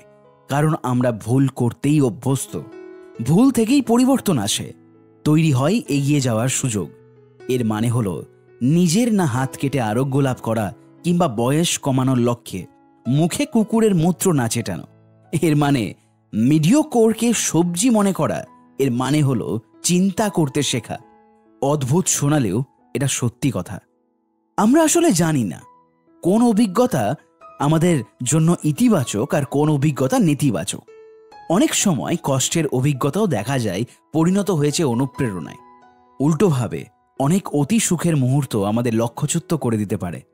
এমনকি হতাশাও ডেকে আনতে পারে। আপনার ইতিবাচক, নেতিবাচক ধারণাকে আঁকড়ে ধরে থাকবেন না। আমরা শুধু জানি কোন ব্যাপারটা এই মুহূর্তে আমাদের আঘাত করেছে আর কোনটা করছে না। ব্যাস, এতটুকুই যথেষ্ট। পাঁচশো বছর আগের কথা। মানুষের জীবনযাত্রার কথা চিন্তা করলে আমরা শিউড়ে উঠব। আমার মনে হয় এখন থেকে পাঁচশো বছর পরে মানুষ আমাদের কথা ভেবে হাসবে। আমাদের অতি নিশ্চয়তার কথা জেনে মজা করবে। আমরা প্রতিনিয়ত টাকা আর চাকরির চিন্তায় হন্য হয়ে ছুটে চলেছি। সেটার জন্য হাসির পাত্র হব আমরা। আমরা আপনজনদের কাছে টানার বদলে সেলিব্রিটিদের পেছনে হোমড়ি খেয়ে পড়ে থাকতাম, ভেবে মুচকি মুচকি হাসবে তারা। আমাদের সংস্কার আর কুসংস্কার, যুদ্ধ আর উদ্বিগ্নতার কথা জেনেও হেসে ফেলতে পারে। আমাদের নিষ্ঠুরতার ইতিহাস জেনে নাক কুচকে ফেলবে। আমাদের শিল্প নিয়ে গবেষণা করবে। ইতিহাস নিয়ে তর্ক জুড়বে, হয়তো আবিষ্কার করবে এমন এক সত্যের যা আমরাই জানি না এখনও। আর তারাও ভুল করবে, কেবল আমাদের থেকে একটু কম করবে। এই যা। নিজের আত্মপ্রত্যয়ের নির্মাতা। ধরুন কয়েকজন ব্যক্তিকে একটি রুমে এনে কিছু বাটন চাপতে দেওয়া হলো। তাদের বলা হলো, বিশেষ ধারায় বাটন চাপ দিলে আলো জ্বলে উঠবে এবং তাকে একটি পয়েন্টে পাবে। আধা ঘন্টায় কত পয়েন্ট পেল তার হিসেব করতে দেওয়া হলো। মনোবিদরা কাজটা করার পরে যা হওয়ার তাই হলো। সবাই বসে বসে এলোপাথারি বাটন টিপতে লাগল আর আচমকা আলো জ্বেলে উঠল। মানে তার একটা পয়েন্ট পেল। যুক্তি অনুযায়ী আগে যেসব বাটন চাপার জন্য আলো জ্বলে উঠেছিল সেগুলোই আবার চাপতে লাগল। কিন্তু এবার আর আলো জ্বলল না। এরপর নানা রকম পরীক্ষা নিরীক্ষা শুরু হলো তাদের। কেউ একবার অমুক বাটন চাপছে তিনবার, তারপর তমুক বাটন একবার, এরপর পাঁচ সেকেন্ডের অপেক্ষা, তারপর ডিং করে একটা শব্দ আর এক পয়েন্ট, কিন্তু এরপরও এই উপায়ও আর পয়েন্ট আসছে না। হয়তো বাটনের দোষ না, হয়তো আমার বসে থাকার ভঙ্গিতেই সমস্যা, তাই জ্বলছে না, কিংবা আমি ভুল কিছু ধরে ফেলেছিলাম, নাকি আমার পায়ের জন্য হচ্ছে এমনটা। ডিং আর একটা পয়েন্ট পাওয়া গেছে। যাক, তার মানে আমার পায়ের জন্য পয়েন্ট পেয়েছি। এখন আরেকটা বাটন চাপি। ডিং। দশ থেকে পনেরো মিনিটের মধ্যে রুমের সবাই কোনো না কোনো পদ্ধতি বের করে ফেলেছে। পয়েন্ট পাবার জন্য। সবগুলোই অদ্ভুত বলা যায়। যেমন এক পায়ে খাড়া হয়ে থাকছে কেউ, আবার কেউ নির্দিষ্ট ক্রমানুসারে নির্দিষ্ট সংখ্যাবার বাটন চাপছে, কিংবা ঘরের একদিকে মুখ ফিরিয়ে রেখেছে যাতে আলো জ্বলে ওঠে। মজার ব্যাপার হলো, পয়েন্টগুলো একেবারেই খাপছাড়া। নির্দিষ্ট কোনো ক্রমে জ্বলে না, কোনো প্যাটার্নও নই সেফ ডিং শব্দের সাথে শুধু ডিং করে আওয়াজ করছে। শব্দের সাথে জ্বলে ওঠে এলোপাথারি অন্যদিকে সবাই ভাবছে তার বুদ্ধির জোরেই পয়েন্ট পেয়েছে। রসিকতা বাদ দিই এই পরীক্ষার উদ্দেশ্য ছিল মানুষের মন যে কত দ্রুত উদ্ভট ব্যাপার বিশ্বাস করে ফেলতে পারে তা দেখানো। সবাই রীতিমতো দক্ষ এই ব্যাপারে। রুম থেকে বের হওয়ার সময় প্রত্যেকেই ভাবছে নিজের বুদ্ধির জোরে উতরে গেছে পরীক্ষায়, জিতে গেছে খেলায়। সবারই দৃঢ় বিশ্বাস তার বের করা পদ্ধতি সঠিক। প্রত্যেকের পদ্ধতি আলাদা। একটা লোক তো একগাদা বাটন চেপে গেছে তার মন মতো। ভাবছে সেটাই ঠিক। আরেক মেয়ের ধারণা হয়েছিল, সে সিলিংয়ে লাফিয়ে উঠে টোকা দিতে না পারলে পয়েন্ট অর্জন করতে পারবে না। রুম থেকে বের হওয়ার সময় হাঁপাচ্ছিল মেয়েটা, লাফালাফির ফলে। আমাদের মস্তিষ্কের কাজই হলো ব্যাখ্যা তৈরি করা। একাধিক অভিজ্ঞতার ফসল হিসেবে মস্তিষ্ক ব্যাখ্যা তৈরি করে। আমরা বাটন চাপার পরে দেখতে পাই আলো জ্বলে উঠেছে। আমরা ধরে নিই বাটনের কারণেই আলো জ্বলছে। বাটন আলো আলো বাটন। আমরা একটা চেয়ার দেখলাম। খেয়াল করলাম চেয়ারটার রং ধূসর। মস্তিষ্ক সম্পর্কটা দাঁড় করায় এভাবে রং ধূসর বস্তুর চেয়ার। সুতরাং ব্যাখ্যা হলো, চেয়ারটা ধূসর। আমাদের মস্তিষ্ক প্রতিনিয়ত ব্যাখ্যা তৈরি করে যাচ্ছে। যাতে আশেপাশের পরিবেশকে আমরা বুঝতে পারি, চাইলে নিয়ন্ত্রণও করতে পারি। এই সবই হচ্ছে বাহ্যিক আর অভ্যন্তরীণ অভিজ্ঞতার ফসল। এমনকি এই পৃষ্ঠায় ছাপা সব লেখার কথাই ধরা যায় ব্যাকরণের জ্ঞান দ্বারা আপনি লেখার অর্থ বুঝতে পারছেন। আমার লেখা পড়ার পরে এক ঘেয়ে লাগলে মনে বিরূপ ধারণা তৈরি হচ্ছে। এই প্রত্যেকটা চিন্তাধারা তৈরি হচ্ছে মস্তিষ্কের স্নায়ুতে, হাজার হাজার সম্পর্কের ফসল হিসেবে। মস্তিষ্ক ব্যাখ্যা তৈরি করে আপনাকে সরবরাহ করে যাচ্ছে। বিকাশ ঘটছে জ্ঞান আর উপলব্ধির, কিন্তু এখানে দুটো সমস্যা আছে। এক, মস্তিষ্ক ত্রুটিহীন না? অনেক সময় আমরা যা দেখি বা শুনি তার ভুল অর্থ তৈরি করি, ভুল বুঝি কিংবা অনেক কিছুই ভুলে যায় দুই, একবার ব্যাখ্যা তৈরি করে ফেললে মাথায় সেটা গেথে যায়, আর সেটাকে পরিবর্তন করাও কোনো ইচ্ছে থাকে না আমাদের। বলতে গেলে গো ধরে বসে থাকি। এমনকি মন গড়া ব্যাখ্যার উল্টো কোনো অর্থ খুঁজে পেলেও দেখেও না দেখার ভান করে এড়িয়ে যেতে চাই তাও বুঝতে পারি না। কারণ একবার যেটা বিশ্বাস করে ফেলেছি, সেটাকে কেউই পাল্টাতে চায় না। কমেডিয়ান ইমো ফিলিপস বলেছিলেন, আমি আগে মনে করতাম, আমার শরীরের সবচাইতে বিস্ময়কর অঙ্গ হচ্ছে মস্তিষ্ক। কিন্তু তারপরেই আমার মনে হলো এই কথাটা আমাকে আসলে কে বলছে? দুর্ভাগ্যজনক হলেও সত্যি আমরা আসলে যাই জানি বা বিশ্বাস করি সেসব কিছুই হচ্ছে মস্তিষ্কে একগাদা ত্রুটিপূর্ণ তথ্যের সমারোহ। এছাড়া আর কিছুই না। অনেক দিনের চর্চা করা মূল্যবোধগুলো আসলে ঘটনার পরিপ্রেক্ষিতে গড়ে উঠেছে, যেগুলো আসলে অত গুরুত্বপূর্ণ না। অতীতে হওয়া অভিজ্ঞতার ফসল হিসেবে ভুল মূল্যবোধ গড়ে ওঠাটাও অস্বাভাবিক কিছু না। তো কি দাঁড়াল ব্যাপারটা? আমাদের বেশিরভাগ বিশ্বাসই ভুল। স্পষ্ট করে বললে, সব বিশ্বাসই ভুল। একটা অন্যটা থেকে একটু হয়তো কম ভুল, কিন্তু ভুলই। কারণ মানুষের মন ত্রুটিতে পরিপূর্ণ। এইসব কথা শুনতে অস্বস্তি লাগতে পারে। কিন্তু এই ধারণাটা মেনে নেওয়াটা খুবই গুরুত্বপূর্ণ। কেন গুরুত্বপূর্ণ? সেটা আমরা পরে বুঝতে পারব। বিশ্বাস করার ব্যাপারে সতর্ক হন। উনিশশো অষ্টআশি সালে থেরাপি নেওয়ার সময় সাংবাদিক ও নারীবাদী লেখিকা মেরিডি ম্যারেন এক ভয়াবহ সত্য উপলব্ধি করেন। শিশুবেলায় তিনি তার জন্মদাতা পিতার দ্বারা যৌন নির্যাতনের শিকার হয়েছিলেন। ব্যাপারটা তাকে প্রচণ্ড একটা ধাক্কা দিয়ে যায়। কিন্তু তার মনের গভীরে এই স্মৃতি চাপা পড়েছিল প্রাপ্তবয়স্ক হওয়ার পরেও। সাঁত্রিশ বছর বয়সে তিনি তার বাবার মুখোমুখি হন। পরিবারকে জানিয়ে দেন কি ঘটেছিল। ভয়ানক ঘটনার কথা শুনে গোটা পরিবার স্তব্ধ হয়ে যায়। শোনা মাত্রই এমন কিছুই ঘটেনি বলে নাকচ করে দেন মেরিডিথের বাবা। কেউ মেরিডিথের পক্ষ নিল আর কেউ তার বাবার। দুভাগে ভাগ হয়ে যায় পরিবারটি। মেরিডিথের সাথে তার বাবার সম্পর্কটা ছিল যন্ত্রণাদায়ক। অভিযোগ জানানোর পরেই এই যন্ত্রণা ছড়িয়ে যায় সবার মাঝে। তুমড়ে মুচড়ে যায় সবকিছু। তারপর উনিশশো ছিয়ানব্বই সালে মেরেডিথ উপলব্ধি করেন, তার পিতা আসলে কখনোই তাকে যৌন নির্যাতন করেননি। আরেকজন থেরাপিস্টের সাহায্যে তিনি সেই স্মৃতি উদ্ধার করেন।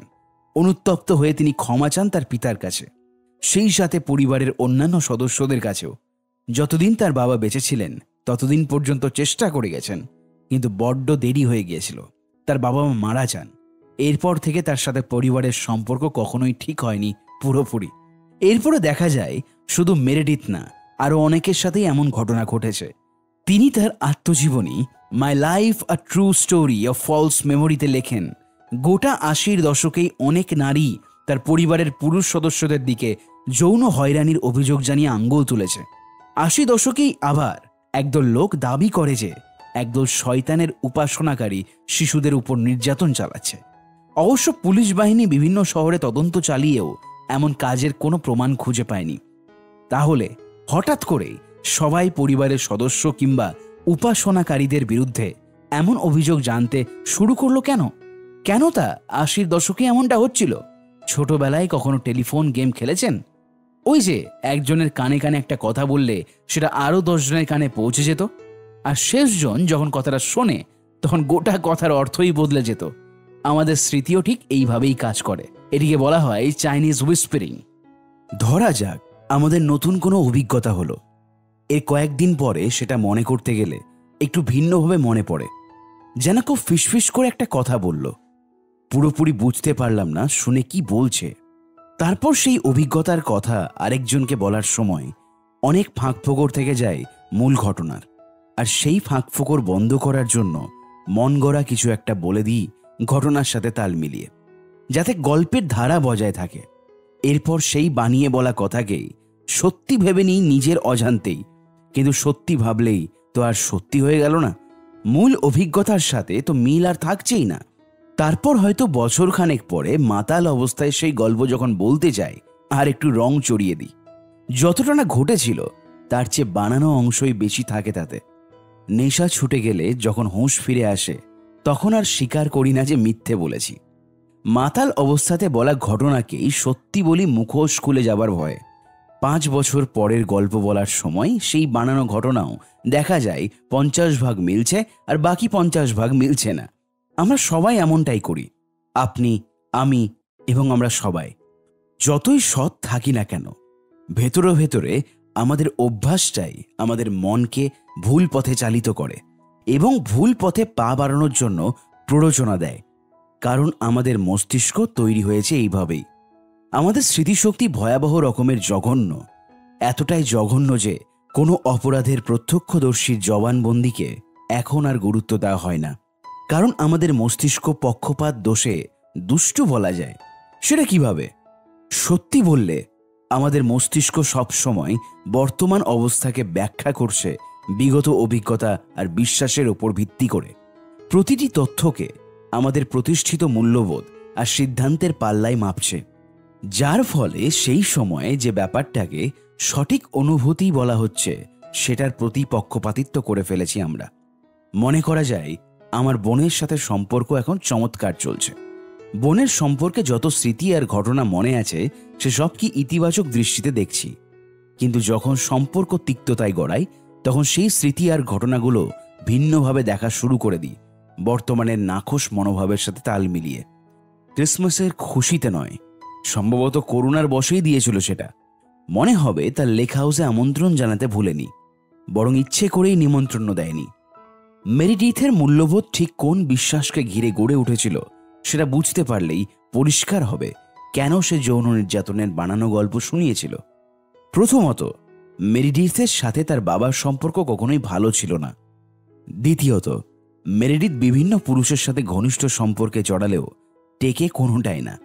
এমনকি একবার বিয়েও হয়েছিল, কিন্তু ডিভোর্সে গড়ায় সেটা। সুতরাং তার মূল্যবোধ অনুযায়ী পুরুষদের সাথে ঘনিষ্ঠ সম্পর্ক খুব একটা ভালো হচ্ছিল না।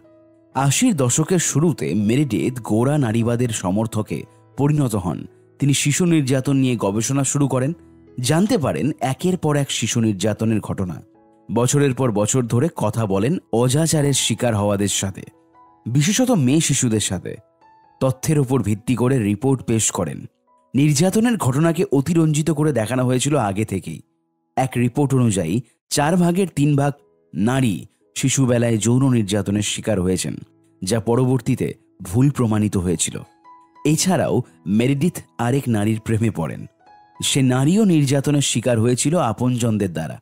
শুরু হয় এক সম্পর্কের, যেখানে মেরিডিথ চাইছিলেন তার সঙ্গিনীকে ছোটবেলার ভয়াল স্মৃতি রক্ষা করতে। তার সঙ্গিনীও মেরিডিথের করুণা আদায় করে নেয় আর অতীতকে ব্যবহার করে। এই ব্যাপারে আট নম্বর অধ্যায়ে বিস্তারিত আলোচনা হবে। এর মাঝে তার বাবার সাথে সম্পর্কের অবনতি হতে থাকে। মেরিডিথ সমকামী জানার পরে তিনি মোটেই খুশি ছিলেন না। মেরিডিথ ঘন ঘন থেরাপিতে আসা যাওয়া করতে থাকেন। তার থেরাপিস্টদের এক একজনের এক এক মূল্যবোধ দৃষ্টিভঙ্গি ছিল। তাদের কথা অনুযায়ী, মেরিডিথের বর্তমান অবস্থার জন্য তার চাকরি বা গবেষণা দায়ী নয়। এর পেছনে আরও গভীর কোনো ঘটনা জড়িত আছে। এদিকে নতুন এক ধরনের চিকিৎসার প্রচলন শুরু হয় সেই সময়, যাকে রিপ্রেসড মেমোরি থেরাপি নাম দেওয়া হয়। এই পদ্ধতি জনপ্রিয় হতে বেশি সময় নেয়নি। এই পদ্ধতিতে থেরাপিস্ট তার রোগীকে সম্মোহিত করেন আর তাকে উপদেশ দেন ছোটবেলার ভুলে যাওয়া কোনো স্মৃতির কথা মনের গভীর থেকে তুলে আনতে। পদ্ধতিটা অবশ্যই মাঝে মাঝে কাজে দিত। এই পদ্ধতি অনুসরণ করার মূল উদ্দেশ্য ছিল অল্প কয়েকটা হলেও কোনো ভয়াবহ স্মৃতি খুঁজে পাওয়া। বেচারি মেরিডেথ সারাটা দিন কাটে শিশু নির্যাতন আর অজাচারের মতো বিষয় নিয়ে ঘাঁটাঘাঁটি করে। বাবার বিরাগ ভাজন, কোনো পুরুষের সাথে তার সম্পর্ক টেকেনি বেশি দিন একমাত্র এক নারী তাকে বুঝতে পারে। সেই নারী আবার অজাচারের শিকার হয়েছিল। আহা, ওই তো থেরাপিস্টের কাউচে শুয়ে শুয়ে কাঁদছে আর বলছে, তার কি যেন একটা কথা মনে পড়ছে। কিন্তু বলতে পারছে না, কারণ মনে আসছে না সেটা। ব্যাস, আর কি লাগে। যৌন নির্যাতনের বানানো গল্প, বানানোর মাল মশলা তো সব মিলেই গেল। কোনো অভিজ্ঞতাকে ব্যাখ্যা করার সময় আমাদের মন চেষ্টা করে বিগত অভিজ্ঞতা, আবেগ আর বিশ্বাসের সাথে সামঞ্জস্য রেখে সেটাকে সাজানোর। কিন্তু আমরা প্রায়ই নতুন কোনো ঘটনার বা অভিজ্ঞতার মুখোমুখি হই, যার সাথে আগের কোনো কিছুর মিল নেই। সেক্ষেত্রে নতুন সেই অভিজ্ঞতা পূর্বের অভিজ্ঞতাকে নাড়া দিয়ে যায় কারণ আমাদের জন্য এটা সম্পূর্ণ নতুন অভিজ্ঞতা। যার সাথে আমরা পরিচিত না। তো মন তখন কি করে? সামঞ্জস্যতা রক্ষার জন্য মিথ্যে কিছু স্মৃতি তৈরি করে। বর্তমানে যা ঘটছে তার সাথে মিল রেখে বানানো অতীত দাঁড় করিয়ে ফেলে, যাতে বরাবরের মতো পূর্ব অভিজ্ঞতা, আবেগ আর বিশ্বাসের সামঞ্জস্যতা বজায় থাকে। আগেই বলেছিলাম, মেরিডিথের কাহিনী নতুন কিছু না। আশি আর নব্বইয়ের দশকে শত শত নিরীহ মানুষকে যৌন নির্যাতনের অভিযোগে হয়রানি করা হয়েছে। যার জের ধরে অনেকেই জেল খেটেছে, যাদের জীবনে সুখ বলে কিছুই নেই। তাদের মাঝে এই অপপ্রচার মহামারীর মতো ছড়িয়ে যায়। আপনিও নির্যাতনের শিকার হতে পারেন। এমন কথা শুনে তাদের মনের অজান্তেই নিজেকে আসলেই নির্যাতিত বলে মনে করা শুরু করে অনেকেই, যাতে নিজেকে পরিস্থিতির নিরীহ শিকার হিসেবে প্রমাণ করে যাবতীয় দায় দায়িত্ব থেকে মুক্তি পাওয়া যায়। রিপ্রেসড মেমোরি থেরাপি বলতে গেলে অবচেতন মনের গভীরে লুকিয়ে থাকা সুপ্ত বাসনাকে বাস্তবে রূপ দিত। ব্যাপারটা এতটাই গুরুতর আকার ধারণ করে যে একে একটি নামও দিয়ে ফেলা হয় ফলস মেমোরি সিন্ড্রোম এই ঘটনার পর থেকে কোর্টরুমের সাক্ষীদের ভূমিকাও কমে আসে। হাজার হাজার থেরাপিস্টকে বিচারের মুখোমুখি হতে হয়। অনেকের লাইসেন্সও বাতিল করে দেওয়া হয়। রিপ্রেসড মেমোরি থেরাপি পদ্ধতি বাদ দেওয়া হয়। তার বদলে আরও বাস্তবসম্মত, আরও কার্যকর পদ্ধতি গ্রহণ করা হয়। সম্প্রতি এক গবেষণায় বলা হয়েছে, আমাদের বিশ্বাস সহজেই পাল্টাতে পারে। স্মৃতির ওপর ভরসা করা যায় না মোটেও। আশি আর নব্বই দশকের ভুলটা যেন আরও একবার চোখে আঙ্গুল দিয়ে দেখিয়ে দিল এই গবেষণা। রাস্তাঘাটে অনেক জ্ঞান গর্ব কথা শোনা যায়। সবাই আপনাকে বলছে, নিজের ওপর ভরসা রাখুন। মন যা বলে তাই করুন। শুনতে ভালোই লাগে, কিন্তু এগুলো ফালতু কথা ছাড়া আর কিছুই না। হয়তো আমাদের উচিত নিজেকে একটু কম হলেও বিশ্বাস করা। যদি আমাদের মন ভরসার যোগ্যই না হয়, তেমনভাবে আমাদের উচিত নিজেদের বিচার বিবেচনাকে প্রশ্ন করা। আমরা যদি সব সময় ভুল করেই যাই, তাহলে আত্মসন্দেহ আর আত্মজিজ্ঞাসায় তো নিরাপদ রাস্তা। মানসিকভাবে বেড়ে ওঠার জন্য এটাই তো সঠিক উপায় হতে পারে, তাই না? অতিরিক্ত নিশ্চয়তার বিপদ এরিন সুশি রেস্টুরেন্টে আমার বিপরীতে বসে আছে। বলছে, কেন সে মৃত্যুতে বিশ্বাস করে না? তিন ঘণ্টা পার হয়ে গেছে। এর মাঝে চারটা শশার রোল হাফিস করে দিয়েছে সে। এক বোতল শাকে, অর্থাৎ ভাত থেকে তৈরি জাপানি ওয়াইন, একদম গিলে মাতাল হয়ে আছে। দু নম্বর বোতল খালি হবার পথে মঙ্গলবার, ঘড়িতে চারটে বাজে। আমি ওকে এখানে আসার জন্য বলিনি। আমি কোথায় আছি ইন্টারনেটের মাধ্যমে জানতে পেরে চলে এসেছে। আবারও এদিন আগেও এমনটা করেছে। তার দৃঢ় বিশ্বাস তার মৃত্যুকে জয় করার ক্ষমতা আছে। কিন্তু সে এও বিশ্বাস করে যে এই কাজে তার আমার সহযোগিতা লাগবে। কিন্তু এই সাহায্য কেন ব্যবসায়িক সহযোগিতার মতো না? সেই যদি শুধু আমার পরামর্শ চাইতো, তাহলে অন্য কথা ছিল। কিন্তু না এডিনের এর চেয়েও কিছু বেশি লাগবে। তার চাওয়া হচ্ছে আমি তার বয়ফ্রেন্ড হব। কিন্তু কেন?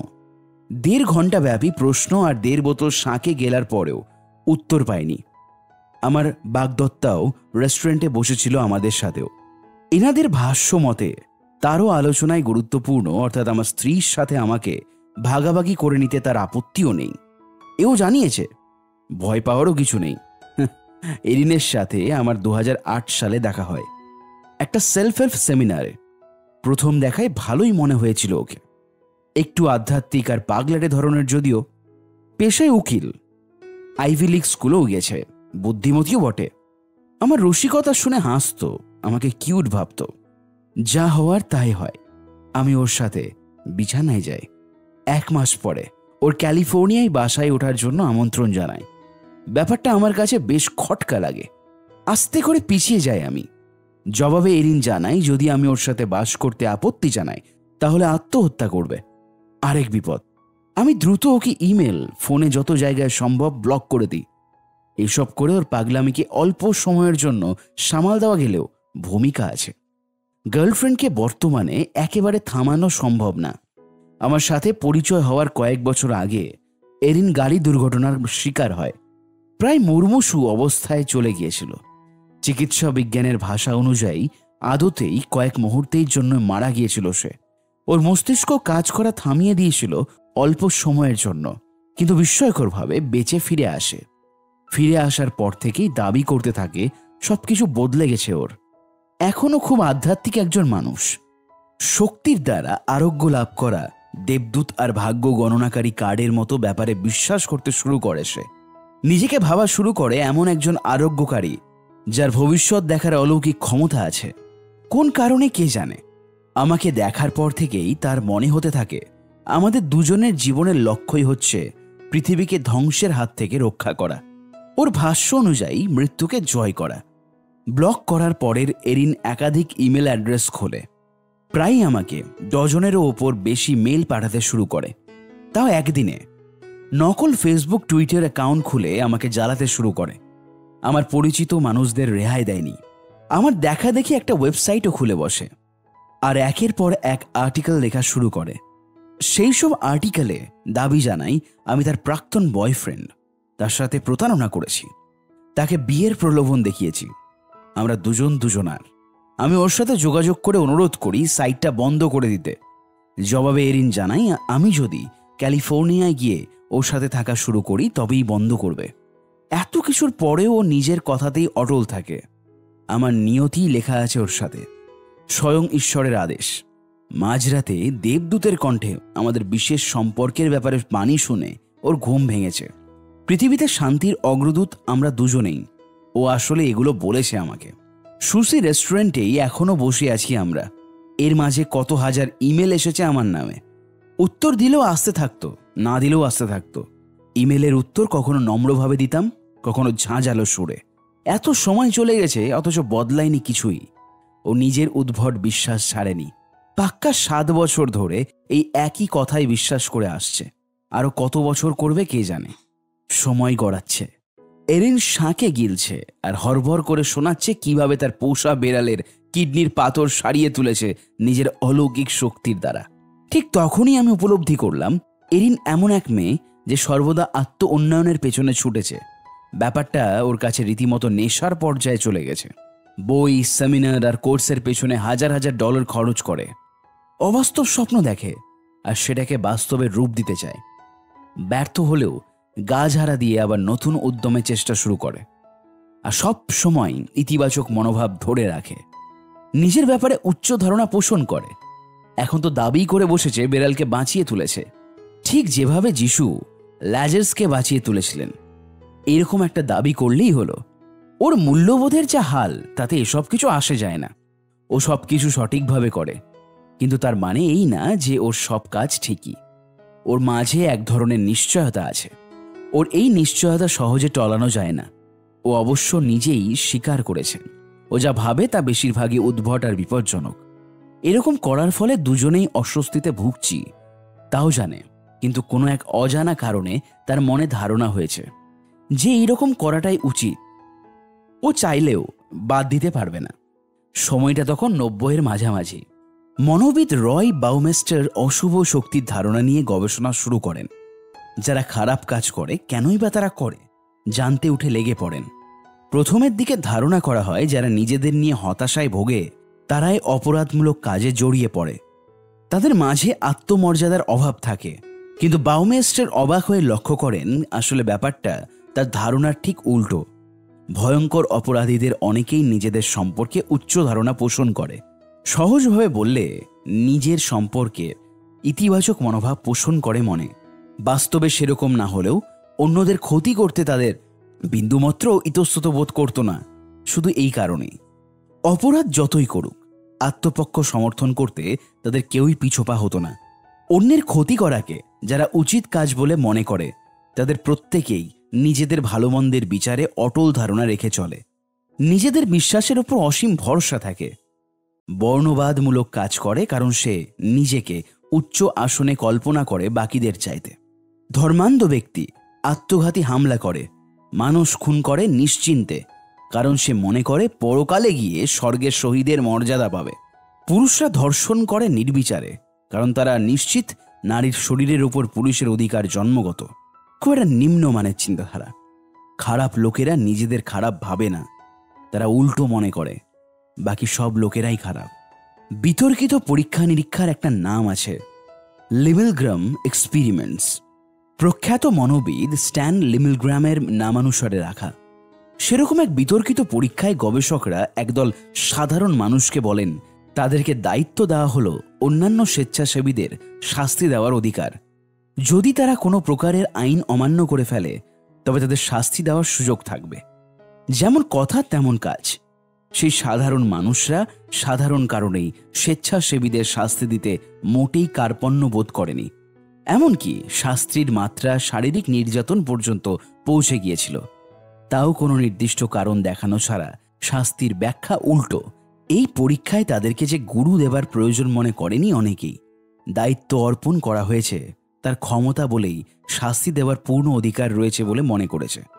এখানে সমস্যা হচ্ছে কখনোই নিশ্চয়তা অর্জন করা যায় না পুরোপুরিভাবে। বরং এই নিশ্চয়তার পেছনে ছোটার ফলে তৈরি হয় বাজে রকমের সংশয় বোধের প্রচুর সংখ্যক মানুষের নিজের সামর্থ্যের ব্যাপারে অতি নিশ্চয়তা ভোগে। চাকরিতে তাদের কি পরিমাণ বেতন পাওয়া উচিত, সেই ব্যাপারে পূর্ণ নিশ্চিত তারা। কারণ তাদের নিজেদের সামর্থ্য সম্পর্কে উচ্চ ধারণা পোষণ করছে। কিন্তু এই অতি নিশ্চয়তা তাদের আরও ক্ষতি করছে। ভালো করা তো দূরের কথা। অন্যরা পদোন্নতি পাচ্ছে আর সেই শুধু চেয়ে চেয়ে দেখছে আর ভাবছে তাকে উপেক্ষা করা হয়েছে, অবহেলা করা হচ্ছে। তাদের প্রাপ্য প্রশংসা আর পুরস্কার থেকে বঞ্চিত করা হচ্ছে। আপনি যদি আপনার বয়ফ্রেন্ডের ইনবক্সে উঁকি দিয়ে কি লেখা আছে দেখতে চান কিংবা বন্ধুকে বরাবর জিজ্ঞাসা করতে থাকেন, অন্যরা আপনার ব্যাপারে কি বলছে, তাহলে আমি বলব আপনি সংশয়ে ভুগছেন। নিজের সম্পর্কে নিশ্চিত হতে চাইছেন। উঁকি দিয়ে না হয় দেখলেনই বয়ফ্রেন্ডের ইনবক্সে কি মেসেজ এসেছে। পেলেন না তেমন কিছুই। কিন্তু ব্যাপারটা এখানেই থেমে যাবে না। এরপর সন্দেহ করা শুরু করবেন আর আরেকটা মোবাইল আছে কিনা। নিজেকে প্রত্যাখ্যাত মনে করতে পারেন। অজুহাত দেখানো শুরু করতে পারেন। কেন আপনাকে পদোন্নতি দেওয়া হলো না? কিন্তু এতে ঘটনা খারাপের দিকেই মোড় নেবে। আপনি প্রমাণ করে দিচ্ছেন, আপনার সহকর্মীদের বিশ্বাস করেন না। তাদের সব কথার অন্য অর্থ খুঁজতে শুরু করবেন একটা সময়। এর ফলে আপনার পদোন্নতির শেষ আশাটুকুও নিভে যাবে। জীবনে বিশেষ একজনের পেছনে ছুটে বেড়াতে পারেন, কিন্তু এক একটা নিঃসঙ্গ রাত কাটবে আর আপনি চিন্তা করতে থাকবেন জীবনে কি কি ভুল করেছেন, যার ফলে সেই বিশেষ একজনকে পাচ্ছেন না। আপনি আসলে সংশয়ে ভুগছেন, প্রবল হতাশা ঘিরে ধরেছে আপনাকে। এমন সময় মনে হতে পারে, একটু আধটু প্রতারণা করাই যায় এই অবস্থায়। শাস্তি পাওয়াটা অন্যদের প্রাপ্যই। আমাদের ন্যায্য অধিকার পাওয়ার সময় হয়েছে। দরকার হলে জোর করে হলেও অধিকার আদায় করা যায়। ব্যাকওয়ার্ড ল আবার কাজ করা শুরু করে দিয়েছে। আপনি যতই নিশ্চিত হতে যাচ্ছেন, ততই অনিশ্চয়তা আর সংশয়ে ভুগছেন। কিন্তু প্রকৃত সত্য হলো, আপনি যখন থেকে অনিশ্চয়তার উপস্থিতি মেনে নেবেন মেনে নেবেন আপনি কতটা কম জানেন, ততটাই স্বস্তি বোধ করবেন। অনিশ্চয়তা অন্যকে বিচার করা প্রবণতাকে কমিয়ে আনে। অপ্রয়োজনীয় ধ্যান ধারণা আর পক্ষপাত দুষ্ট থেকে মুক্তি পেয়ে যাবেন। এমনকি নিজেকে বিচার করার প্রবণতা থেকেও সরে আসবেন। আমরা আসলে জানি না আমরা আদৌ ভালোবাসার যোগ্য কিনা। দেখতে সুদর্শন কিনা, কখনো সফল হতে পারব কিনা, তাও জানা নেই, ভালোবাসা কিংবা সফলতা পাবো কিনা। এইসব জানার একমাত্র উপায় হলো তা অর্জনের জন্য পরিশ্রম করা। পেলাম কি পেলাম না সেটা পরের কথা। অনিশ্চয়তাই উন্নতির চাবিকাঠি। কথায় আছে যে মানুষ বিশ্বাস করে যে সে সব জানে, সে কখনোই শিখতে পারে না। আমরা তখনই শিখব যখন কিছু জানব না। অজানাকে স্বীকার করে নিতে পারলে জ্ঞান অর্জনের পথ সুগম হয়। আমাদের মূল্যবোধ অসম্পূর্ণ, ত্রুটিপূর্ণ, কিন্তু মূল্যবোধকে নিখুঁত আর সম্পূর্ণ মনে করলেই বিপদ। সমস্যা সমাধানের সহজ উপায় হলো, আমাদের বিশ্বাস আর কৃতকর্ম সবই ভুল, যার ফলে সমস্যার সমাধান হচ্ছে না। সত্যিকারের উন্নয়নের পথ খুঁজে পেতে চাইলে ভুল স্বীকার করা বাধ্যতামূলক। মূল্যবোধ সংস্কার করার আগেই বর্তমান মূল্যবোধের সম্পর্কে নিশ্চয়তা ত্যাগ করতে হবে। সোজা কথায় বলতে গেলে মন থেকে ছুঁড়ে ফেলতে হবে। তাতেও খুঁত আর পক্ষপাতিত্বকে সাদা চোখে বিচার করার মানসিকতা গড়তে হবে। নিজেদের অজ্ঞতাকে নির্দ্বিধায় স্বীকার করে নেওয়া শিখতে হবে। কারণ আমাদের অজ্ঞতা সবচেয়ে বেশি গুরুত্বপূর্ণ। ম্যানসনের এড়িয়ে যাওয়ার সূত্র। আপনি হয়তোবা পার্কিনসন্স ল সম্পর্কে জেনে থাকবেন। কাজ ততটুকুই বৃদ্ধি পায়, যতটুকু সময় হাতে থাকে, তা শেষ করার জন্য। আর মার্ফির ল সম্পর্কে তো জানেনি যদি কোনো বিপদের সম্ভাবনা থাকে, তবে তা ঘটবেই। এর পরের বার যখন কোনো ককটেল পার্টিতে গিয়ে সবাইকে মুগ্ধ করতে চাইবেন, ম্যানসনের এড়িয়ে যাওয়ার সূত্র প্রয়োগ করে দেখতে পারেন। আপনার গোটা অস্তিত্বকে হুমকির মুখে ফেলে দিচ্ছে। তেমন কিছুকে এড়িয়ে যেতে পারবেন। ব্যাখ্যা করে বলি, আপনি নিজের সম্পর্কে যে ধারণা পোষণ করেন, আপনার মূল্যবোধ, সফলতার মাপকাঠি, এসব কিছুকে যদি হুমকির সম্মুখীন হতে দেখেন, তাহলে সেই হুমকির মুখোমুখি না হয়ে সযত্নে এড়িয়ে যাবেন। নিজের জায়গা কোথায় সেটা জানা স্বস্তি আছে। কিন্তু যখন কোনো কারণবশত সেই স্বস্তির জায়গাটা কেউ হুমকির মুখে ফেলে দেয়, তখন আপনি সেই অবস্থাকে এড়িয়ে যেতে চাইবেন। এমনকি তাতে যদি আপনার উপকারও হয়, তাও আপনি এড়িয়েই যাবেন। অজানাকে জানার চাইতে না জানাতেই স্বস্তি, কারণ সেখানে কোনো ভয় নেই, ঝুঁকি নেই। ম্যানসনের সূত্র জীবনের ভালো মন্দ উভয় ব্যাপারেই প্রয়োগ করা যায়। এক মিলিয়ন ডলার জেতার মানে আপনার টাকা হারানোর সম্ভাবনা বেড়ে গেছে। বিখ্যাত রকস্টার হবার অসুবিধে হলো, আপনার চাকরি নিয়ে টানাটানি পড়ে যেতে পারে। এই জন্যই মানুষ সফলতাকে ভয় পায়। ঠিক এইভাবেই তার ব্যর্থ হতেও ভয় পায়। বর্তমানের আমিকে ছেড়ে আসার ভয়। আপনার অনেক দিনের স্বপ্ন একটা চিত্রনাট্য লিখবেন, কিন্তু লিখছেন না।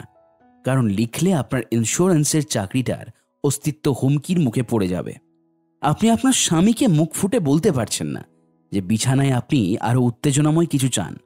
বললেই নম্রভদ্র নারীর মুখোশটা তো খুলে যেতে পারে। বন্ধুত্ব রাখতে চাইছেন না, আবার তাকে ছেড়েও দিতে পারছেন না। দিলে আপনার ভালো মানুষটে দয়ালু ভাবটা যে থাকবে না, এইসব হচ্ছে গুরুত্বপূর্ণ সুযোগ। কিন্তু সর্বদা এই সুযোগগুলোই হাতছাড়া করি আমরা। কারণ সুযোগগুলো নেওয়ার মানে তথাকথিত ধারণার বাইরে গিয়ে কাজ করা হবে। এতদিনের গড়ে ওঠা মূল্যবোধ আর অভ্যাসের কোনো দামই থাকছে না। আমার এক বন্ধু ছিল। সে অনেক দিন ধরেই বলে আসছে তার আঁকা ছবি ইন্টারনেটে বিক্রি করবে। পেশাদার আর্টিস্ট হবার স্বপ্ন ছিল। বছরের পর বছর বলে গেছে, টাকা জমিয়েছে বেশ কিছু। কয়েকটা ওয়েবসাইটও বানিয়েছে, তারপর সেখানে নিজের পোর্টফোলিও আপলোড করেছে। কিন্তু কখনো ব্যবসাটা চালু করেনি। কোনো একটা কারণে হয়তো করেনি। হয়তো নিজের কাজের প্রতি যথেষ্ট মনোযোগী ছিল না, অধ্যাবসায় ছিল না। পোর্টফোলিও আপলোড করার পরে হয়তো আরেকটা ভালো ছবি এঁকেছিল, কিংবা হাতে সময় ছিল না এসব করার জন্য। এইভাবে অনেক বছর কেটে গেছে। আর সেও আসল চাকরি ছাড়েনি। কেন? ছবি আঁকাকে পেশা হিসেবে নেবার স্বপ্ন দেখলেও ঝুঁকি ছিল। কারণ সবার অপছন্দের শিল্পী হওয়ার চাইতে অচেনা এক শিল্পী হওয়া অনেক স্বস্তিদায়ক ছিল তার জন্য। এতে করে তার সম্ভবত কোনো আপত্তিও ছিল না। না বা জানো, কেউ তার ছবির কথা, অন্তত ঘৃণা তো আর করছে না। আমার আরেকজন বন্ধু ছিল, ফুর্তিবাজ একজন মানুষ। সব সময় মদ গিলেছে, মেয়েদের পেছনে ছুটেছে। বহু বছর উদ্দাম জীবনযাপন করার পরে হঠাৎ করে নিজেকে বড্ড একলা আবিষ্কার করে। হতাশায় ভেঙে পড়ে, স্বাস্থ্য খারাপ হয়ে যায়। চাইছিল আগের উচ্চ শৃঙ্খল জীবনধারাকে ছেড়ে আসতে। বন্ধুবান্ধবদের মধ্যে আমরা যারা মোটামুটি একটা শান্ত জীবনযাপন করছি, তাদের সাথে বাজে ব্যবহার করা শুরু করে। ঈর্ষায় পুড়তে থাকে, কারণ তার চেয়ে আমরা ভালো অবস্থানে আছি। কিন্তু এরপরও বদলাতে পারেনি। বহুদিন ধরে একই কাজ করে গেছে। বোতলের পর বোতল মদ পেটে পড়েছে। রাতের পর রাত একাকি থেকেছে। সবসময় অজুহাত দেখাতো এসব করে যাওয়ার পক্ষে। তার এই বুনো জীবন ছেড়ে আসার মানে তার অস্তিত্বকে হুমকিতে ঠেলে দেওয়া। সে কেবল ফুর্তি করতে জানত। সেটা ত্যাগ করা তার জন্য আত্মহত্যার সামিল। আমাদের প্রত্যেকেরই নিজস্ব মূল্যবোধ আছে। আমরা সেই মূল্যবোধকে রক্ষা করে চলি। সেই অনুসারে জীবনযাপন করি আর সবকিছুকে সেটার দ্বারাই বিচার করতে চাই। মানতে না চাইলেও কথা সত্য। আমাদের মস্তিষ্ক এইভাবেই কাজ করে। আগেই বলেছি, আমরা যেসব ব্যাপারে অবগত সেই সব ব্যাপারে পক্ষপাতিত্ব করি। কোন ব্যাপারে নিশ্চিত আছি? এর মানে আমার কাছে সেটাই সত্যি, যদি আমি বিশ্বাস করি আমি একজন ভালো মানুষ, তাহলে আমি সব সময় সেই সব পরিস্থিতিকে এড়িয়ে চলব, যেখানে ভালো মানুষটা রক্ষা নাও করতে পারি। নিজেকে দক্ষ রাধুনি ভাবি, নিজের কাছে নিজেকে প্রমাণ করতে থাকব যে আমি আসলেই ভালো রাখতে পারি। বিশ্বাসের অগ্রাধিকার সব কিছুতেই যতক্ষণ পর্যন্ত না নিজেদের দৃষ্টিভঙ্গি পরিবর্তন করব। ততক্ষণ পর্যন্ত এড়িয়ে যাওয়ার প্রবণতা থেকে মুক্তি পাবো না। উদ্বিগ্নতা থেকে বাঁচতে পারব না। নিজেকে বদলাতে পারব না। এই অবস্থায় নিজেকে জানা কিংবা নিজেকে খুঁজে পাওয়া উল্টো বিপজ্জনক হতে পারে আপনার জন্য। কারণ এতে নিজের সম্পর্কে অনর ধারণা তৈরি হয়ে যেতে পারে। উচ্চাভিলাষিতা পরিণত হলেও অবাক হওয়ার কিছু থাকবে না।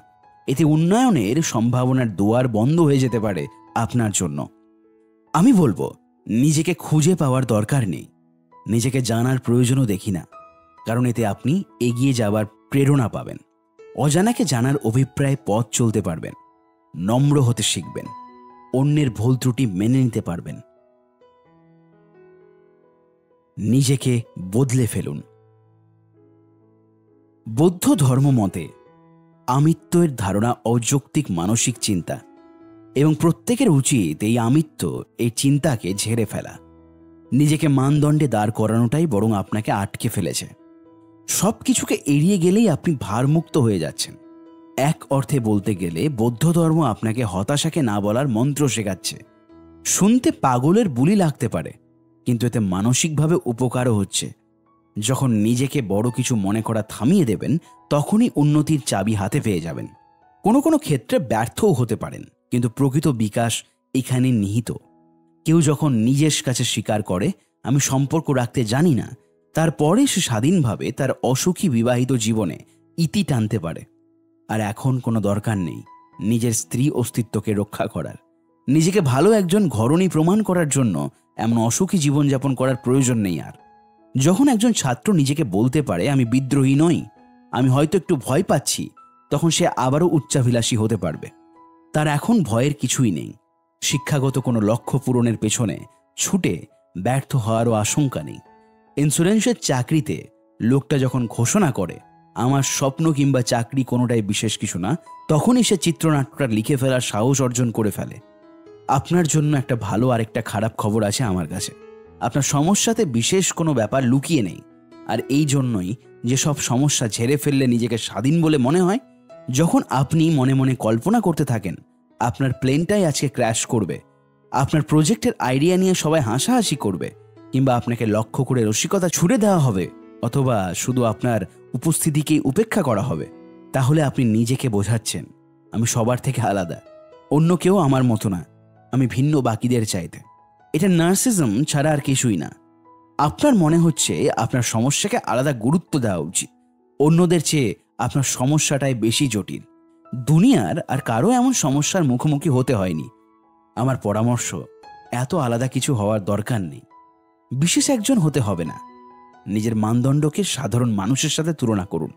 নিজেকে। ভবিষ্যতের সুপারস্টার মনে করার দরকার নেই। জিনিয়াস ভাবাটাও অযৌক্তিক হবে। পরিস্থিতির শিকার ভাবলে চলবে না। ব্যর্থ ভাবাটাও বুদ্ধিমানের কাজ হবে না। তার চেয়ে বরং নিজেকে খুব সাধারণ ভাবতে শিখুন। সেটা একজন ছাত্র হতে পারে কিংবা কারও সঙ্গী, বন্ধু, এমন কেউ যে নতুন কিছু তৈরি করতে জানে। নিজেকে সহজ আর সাধারণ ভাবার সুবিধা হলো, এতে আপনার অস্তিত্বকে হুমকির মুখে পড়তে হবে না। এই কথার অর্থ হলো, নিজেকে বিশাল ভাবার প্রবণতা বন্ধ করা। যেমন আপনি তীক্ষ্ণ বুদ্ধিমান, প্রখুর বুদ্ধির অধিকারী, সর্বগুণে গুণান্বিত, দেখতে অসম্ভব সুদর্শন কিংবা ভয়াবহ রকমের নির্গৃহের বলি মাত্র পুরো দুনিয়া অজানা কারণে আপনার কাছে ঋণী হয়ে আছে। এইসব বদভ্যাস বাদ দেওয়ার অর্থ হচ্ছে অতি কল্পনা বিসর্জন দেওয়া, অতি আবেগের রাশ টেনে ধরা। ব্যাপারটা অনেকটা নেশাগরকে বলা ইঞ্জেকশন না নিতে। আপনার প্রচণ্ড কষ্ট হবে বাদ দিতে, কিন্তু একবার বদভ্যাস ত্যাগ করতে পারলেই আপনি রূপান্তরিত হবেন অন্য এক মানুষে। কীভাবে নিজের সামর্থ্যকে প্রশ্ন করবেন? নিজের বিশ্বাস এবং চিন্তাধারাকে প্রশ্ন করার দক্ষতা সহজসাধ্য নয়, কিন্তু তা অর্জন করা সম্ভব। কিছু প্রশ্নের উত্তর দেওয়ার মাধ্যমেই তা পারবেন। প্রশ্ন এক, আমি যদি ভুল করি, তাহলে? কদিন আগে আমার এক বান্ধবীর বিয়ে সম্পন্ন হয়েছে। ওর স্বামী মানুষটি হিসেবে ভালোই, মদ্যপান করে না, ওর সাথে বাজে ব্যবহারও করে না। লোকটি মিশুক প্রকৃতির এবং ভালো একটা চাকরিও করছে। কিন্তু বিয়ের পর থেকেই বান্ধবীর ভাই ও ভবিষ্যৎ নিয়ে অনবরত অনুযোগ করে যাচ্ছে। তার মতে, বান্ধবী দায়িত্বহীনের মতো কাজ করেছে এবং এই অপরিপক্ক সিদ্ধান্তের কারণে ওকে পস্তাতে হবে। যখনই বান্ধবী ওর ভাইকে জিজ্ঞাসা করে, তোমার সমস্যাটা কি? তোমার এত জ্বলছে কেন? সে এমন একটা ভাব করে যেন তার কিছুই যায় আসে না। সে শুধু তার ছোট বোনটাকে সাহায্য করতে চাইছে। কিন্তু এটা পরিষ্কার যে এই ব্যাপারে তার সমস্যা হচ্ছে। হতে পারে বিয়ে নিয়ে তার নিজের অনিশ্চয়তাপূর্ণ মনোভাব, হতে পারে ভাই বোনের দ্বন্দ্ব, হিংসা থেকেও হতে পারে। এমন হতে পারে তার নিজের জীবনের তিক্ত অভিজ্ঞতার জন্য অন্যের সুখ সহ্য করতে পারে না। অন্যকে সুখী হতে দেখলে প্রথমে তাদের কিছু কষ্ট দিতে চাইছে সাধারণ নিয়মানুসারে, পৃথিবীতে আমরা নিজেদের পর্যবেক্ষণের ব্যাপারে জঘন্য। আমরা যখন রেগে যাই বা হিংসা করি অথবা হতাশায় থাকি, আমরাই হয়তো সবার পরে তা বুঝতে পারি। সেটা বোঝার জন্য দরকার হলো ক্রমাগত নিজেদের অতি নিশ্চয়তায় ফাটল খুঁজে বের করা। নিজেদের ব্যাপারে ভুল হতে পারি কিনা, সে ব্যাপারে নিজেকে নিজের প্রশ্ন করা উচিত। আমি কি ঈর্ষান্বিত? হয়েও যদি থাকি, তবে কেন? আমি কি রেগে আছি? সে কি সঠিক? আমি কি শুধু আমার অহমকে রক্ষা করছি? এই সব প্রশ্নকে আমাদের অভ্যাসে পরিণত করতে হবে। অনেক ক্ষেত্রেই নিজেকে প্রশ্ন করার এই সাধারণ কাজই আমাদের নম্র করে তোলে। এখানে আরেকটি বিষয় লক্ষণীয়।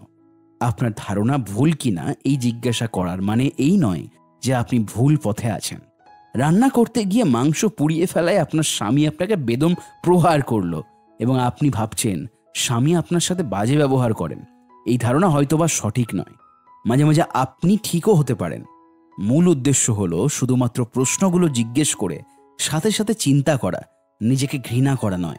মনে রাখবেন, আপনার জীবনে তখনই পরিবর্তন আসবে। যদি আপনি কোনো বিষয়ে ভুল করে থাকেন, আপনি ভগ্ন হৃদয়ে দিনের পর দিন বসে আছেন, তার মানে আপনার জীবনে অবশ্যই কোনো বড় ঘটনা ঘটে গেছে। নিজেকে সেই বিষয়ে প্রশ্ন করার সক্ষমতা অর্জনের আগে পর্যন্ত কোনো ফলই আসবে না। প্রশ্ন দুই, আমি যদি ভুল করেই থাকি, তাহলে এর মানে কি দাঁড়াল? ভুল পথে চলছে কিনা এই প্রশ্ন নিজেকে অনেকেই করতে পারে, কিন্তু অল্প সংখ্যক মানুষই পারে পরবর্তী পদক্ষেপ নিতে। এবং যদি তারা ভুল করে থাকে, তবে তার ফলাফল কি হবে, স্বীকার করে নিতে পারে। কারণ আমাদের ভুলের সম্ভাব্য কারণটা প্রায়ই বেদনাদায়ক। এটা শুধু আমাদের মূল্যবোধকে প্রশ্নের মুখে ঠেলে দেয় না। দেখিয়ে দিতে পারে ভিন্ন বা বিপরীত ধর্মী মূল্যবোধ আসলে কীরকম হতে পারে। অ্যারিস্টটল লিখেছিলেন, সব মত গ্রহণ করতে না পারলেও বিবেচনা করা শিক্ষিত লোকের লক্ষণ।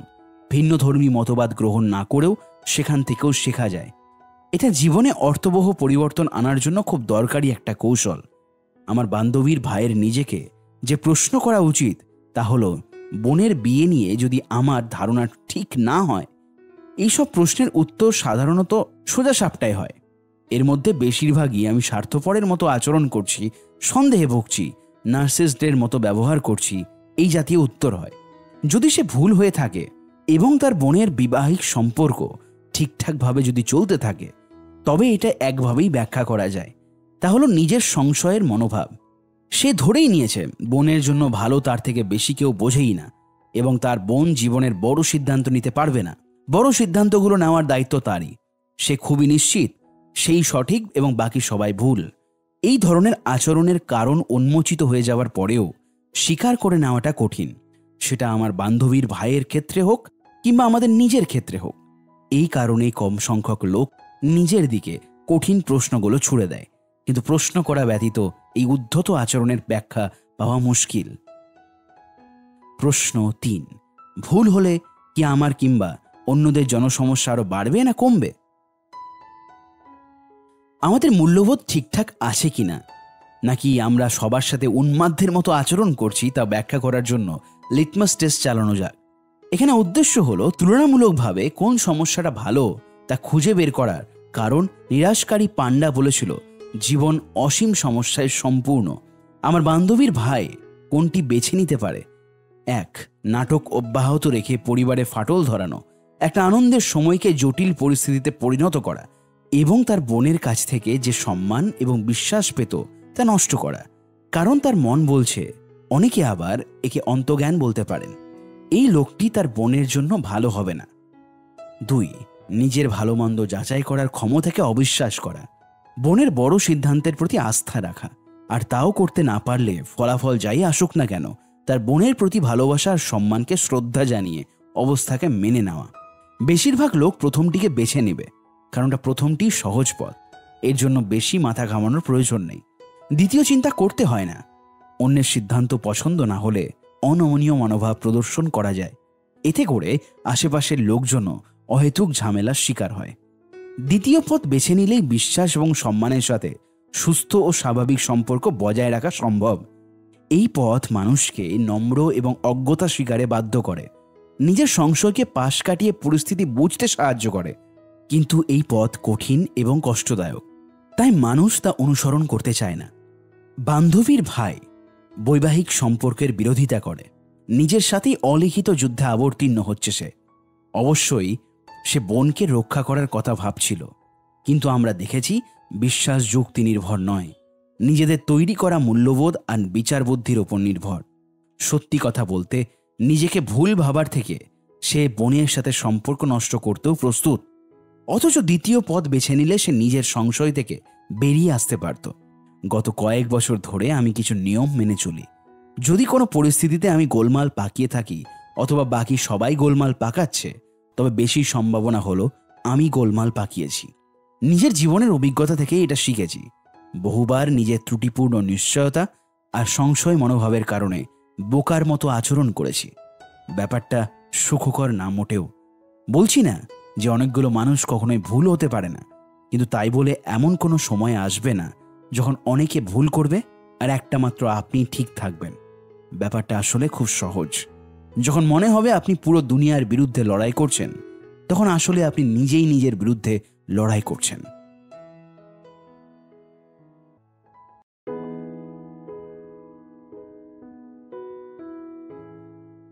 অধ্যায় সাত। ব্যর্থতাই এগিয়ে যেতে শেখায়। সত্যি কথা বলতে, আমার কপাল ভালো ছিল। আমি দু হাজার সাত সালে কলেজ থেকে স্নাতক শেষ করি। শেষ সময়টাতে অর্থনৈতিক ধস নামে এবং মহামন্দা শুরু হয়। আশি বছরের মধ্যে চাকরির বাজার যখন সবচেয়ে বাজে, তখন বাজারে ঢোকার চেষ্টা করতে হলো। একই সময় আমি আবিষ্কার করলাম, আমার অ্যাপার্টমেন্টের অন্য আরেকটি রুম ব্যবহার করা ব্যক্তি তিন মাস ধরে ভাড়া পরিশোধ করেননি।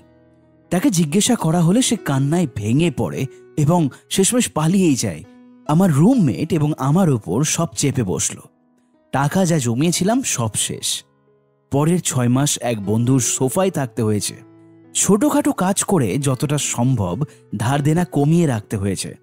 কপাল ভালো ছিল বলছি, কারণ প্রাপ্তবয়স্ক হওয়ার সময় আমি চালচুলোহীন ছিলাম। একেবারে গোড়া থেকে শুরু করতে হয়েছিল আমাকে। আর মানুষের ভয়টা থাকে সেখানেই। নতুন ব্যবসা শুরু করার আগে কিংবা পেশা বদলের সময় অথবা চাকরি ছেড়ে আসার প্রাককালে। সেখানে আমি শূন্য থেকেই শুরু করেছিলাম। এর চেয়ে খারাপ হওয়ার তো আর ভয়ই নেই। এরপর শুরু করলেন ব্লগ লেখা। আর ইন্টারনেটের ব্যবসা খুব খারাপ তো কিছু না। এমনও যদি হয় যে আমি যে ব্যবসাতেই হাত দিই না কেন, যত সিভি পাঠায় না কেন, সেসব যদি ফলপ্রসূ না হয়, তারপরও আমি সেই শূন্যতেই থেকে যাব। ক্ষতি তো আর হচ্ছে না। চেষ্টা করে দেখতে দোষ কি তাহলে? ব্যর্থতা আসলে দৃষ্টিভঙ্গির ব্যাপার। যদি আমি মনে করি আমার লক্ষ্য ছিল কমিউনিস্ট বিদ্রোহী হওয়া, তাহলে দু সাত আর দু হাজার আট সালে অর্থের অভাবে ভুগলেও বলতে পারব আমার লক্ষ্য অর্জনে সফল হয়েছিলাম আমি। আর যদি বলি, বাকি সবার মতো আমারও লক্ষ্য ছিল সাধারণ একটা চাকরি পাওয়া, যেখান থেকে বিল মেটানোর মতো টাকা আসে, তাও আমি পুরোপুরি ব্যর্থ হয়েছিলাম লক্ষ্য অর্জনে। অন্যদিকে আমি একটা সচ্ছল পরিবারে বেড়ে উঠেছি যেখানে বেশিরভাগ ক্ষেত্রে অর্থ দিয়ে সমস্যা সমাধানের থেকে এড়িয়ে যাওয়া হতো। এদিক দিয়েও আমি ভাগ্যবান, কারণ ছোট বয়সেই বুঝতে পেরেছিলাম যে অনেক অর্থ আয় করেও আপনি শোচনীয় অবস্থায় থাকতে পারেন। একইভাবে সব হারিয়েও আপনি সুখে থাকতে পারেন। তাই বলছি, অর্থের মাধ্যমে নিজের মূল্যায়নের গুরুত্ব আদেও আছে কি?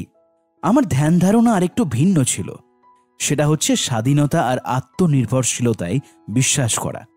আমি সবসময় উদ্যোক্তা হতে চাইতাম, কারণ আমার কখনোই অন্যের আদেশ মেনে কাজ করতে ভালো লাগতো না।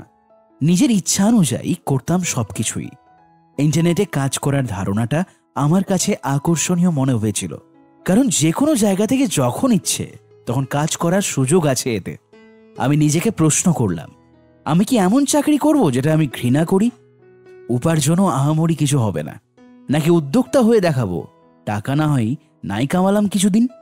খুব দ্রুত উত্তর পেয়ে গেলাম উদ্যোক্তা হয়ে দেখাবো।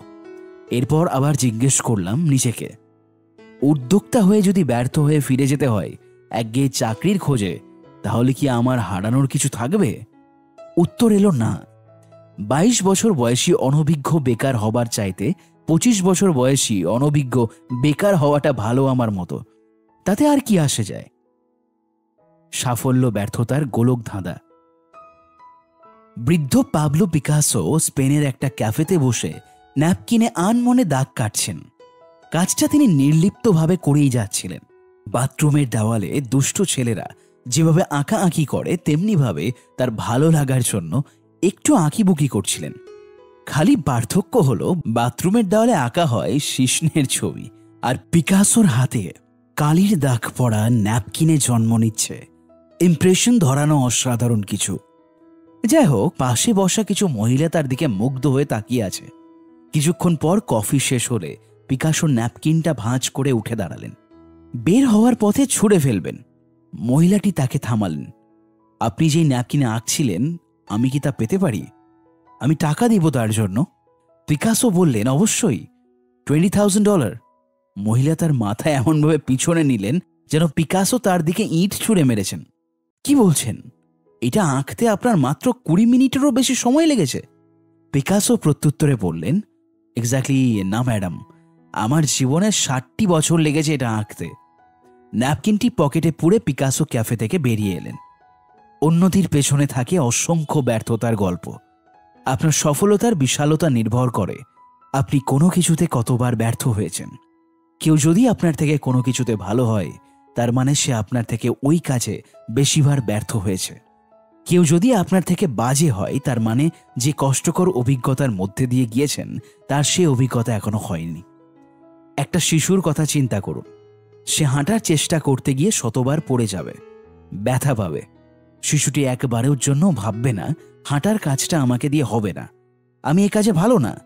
ব্যর্থতাকে এড়িয়ে যাওয়ার শিক্ষা আমরা জীবনে কোনো না কোনো সময় শিখি। আমি নিশ্চিত বেশিরভাগই আসে আমাদের শিক্ষা ব্যবস্থা থেকে, যা কাজের পুঙ্খানুপুঙ্খ হিসেব করে এবং যারা ভালো করে না, তাদের ভোগায়। আরেকটা বড় অংশ আসে একগুয়ে পিতামাতার কাছ থেকে, যারা তাদের সন্তানকে তাদের নিজেদের ইচ্ছেতে কিছু করতে দিতে চায় না। উল্টো নতুন কিছু করলে আরও শান্তি দেয়, আর গণমাধ্যম তো আছেই। অবিরত মহাকাশ গবেষণায় একের পর এক সফলতার খবর দিচ্ছে। কিন্তু এর পেছনের নিরস অনুশীলন এবং একঘেয়েমিতার কথা বলছে না। একটা সময় আমরা সবাই এমন এক অবস্থানে পৌঁছায় যে ব্যর্থতার ভয় আমাদের ঘিরে ধরে। আমরা প্রবৃত্তিগতভাবে আমরা সেসব ব্যর্থতা এড়িয়ে যাই। আমরা তখন আমাদের ভালো জিনিসগুলো নিয়েই বসে থাকি। এটা আমাদের অবরুদ্ধ এবং কণ্ঠরোধ করে ফেলে। আমরা কোনো কিছুতে তখনই সত্যিকারভাবে সফল হতে পারব যদি আমরা তাতে ব্যর্থ হতে রাজি থাকি। ব্যর্থতায় অস্বীকৃতি মানে সফল হওয়ার পথও বন্ধ করে দেওয়া। এই ভয়ের কারণ হল ফালতু সব মূল্যবোধ বেছে নেওয়া। ধরা যাক, আমি নিজের জন্য একটা মানদণ্ড তৈরি করলাম।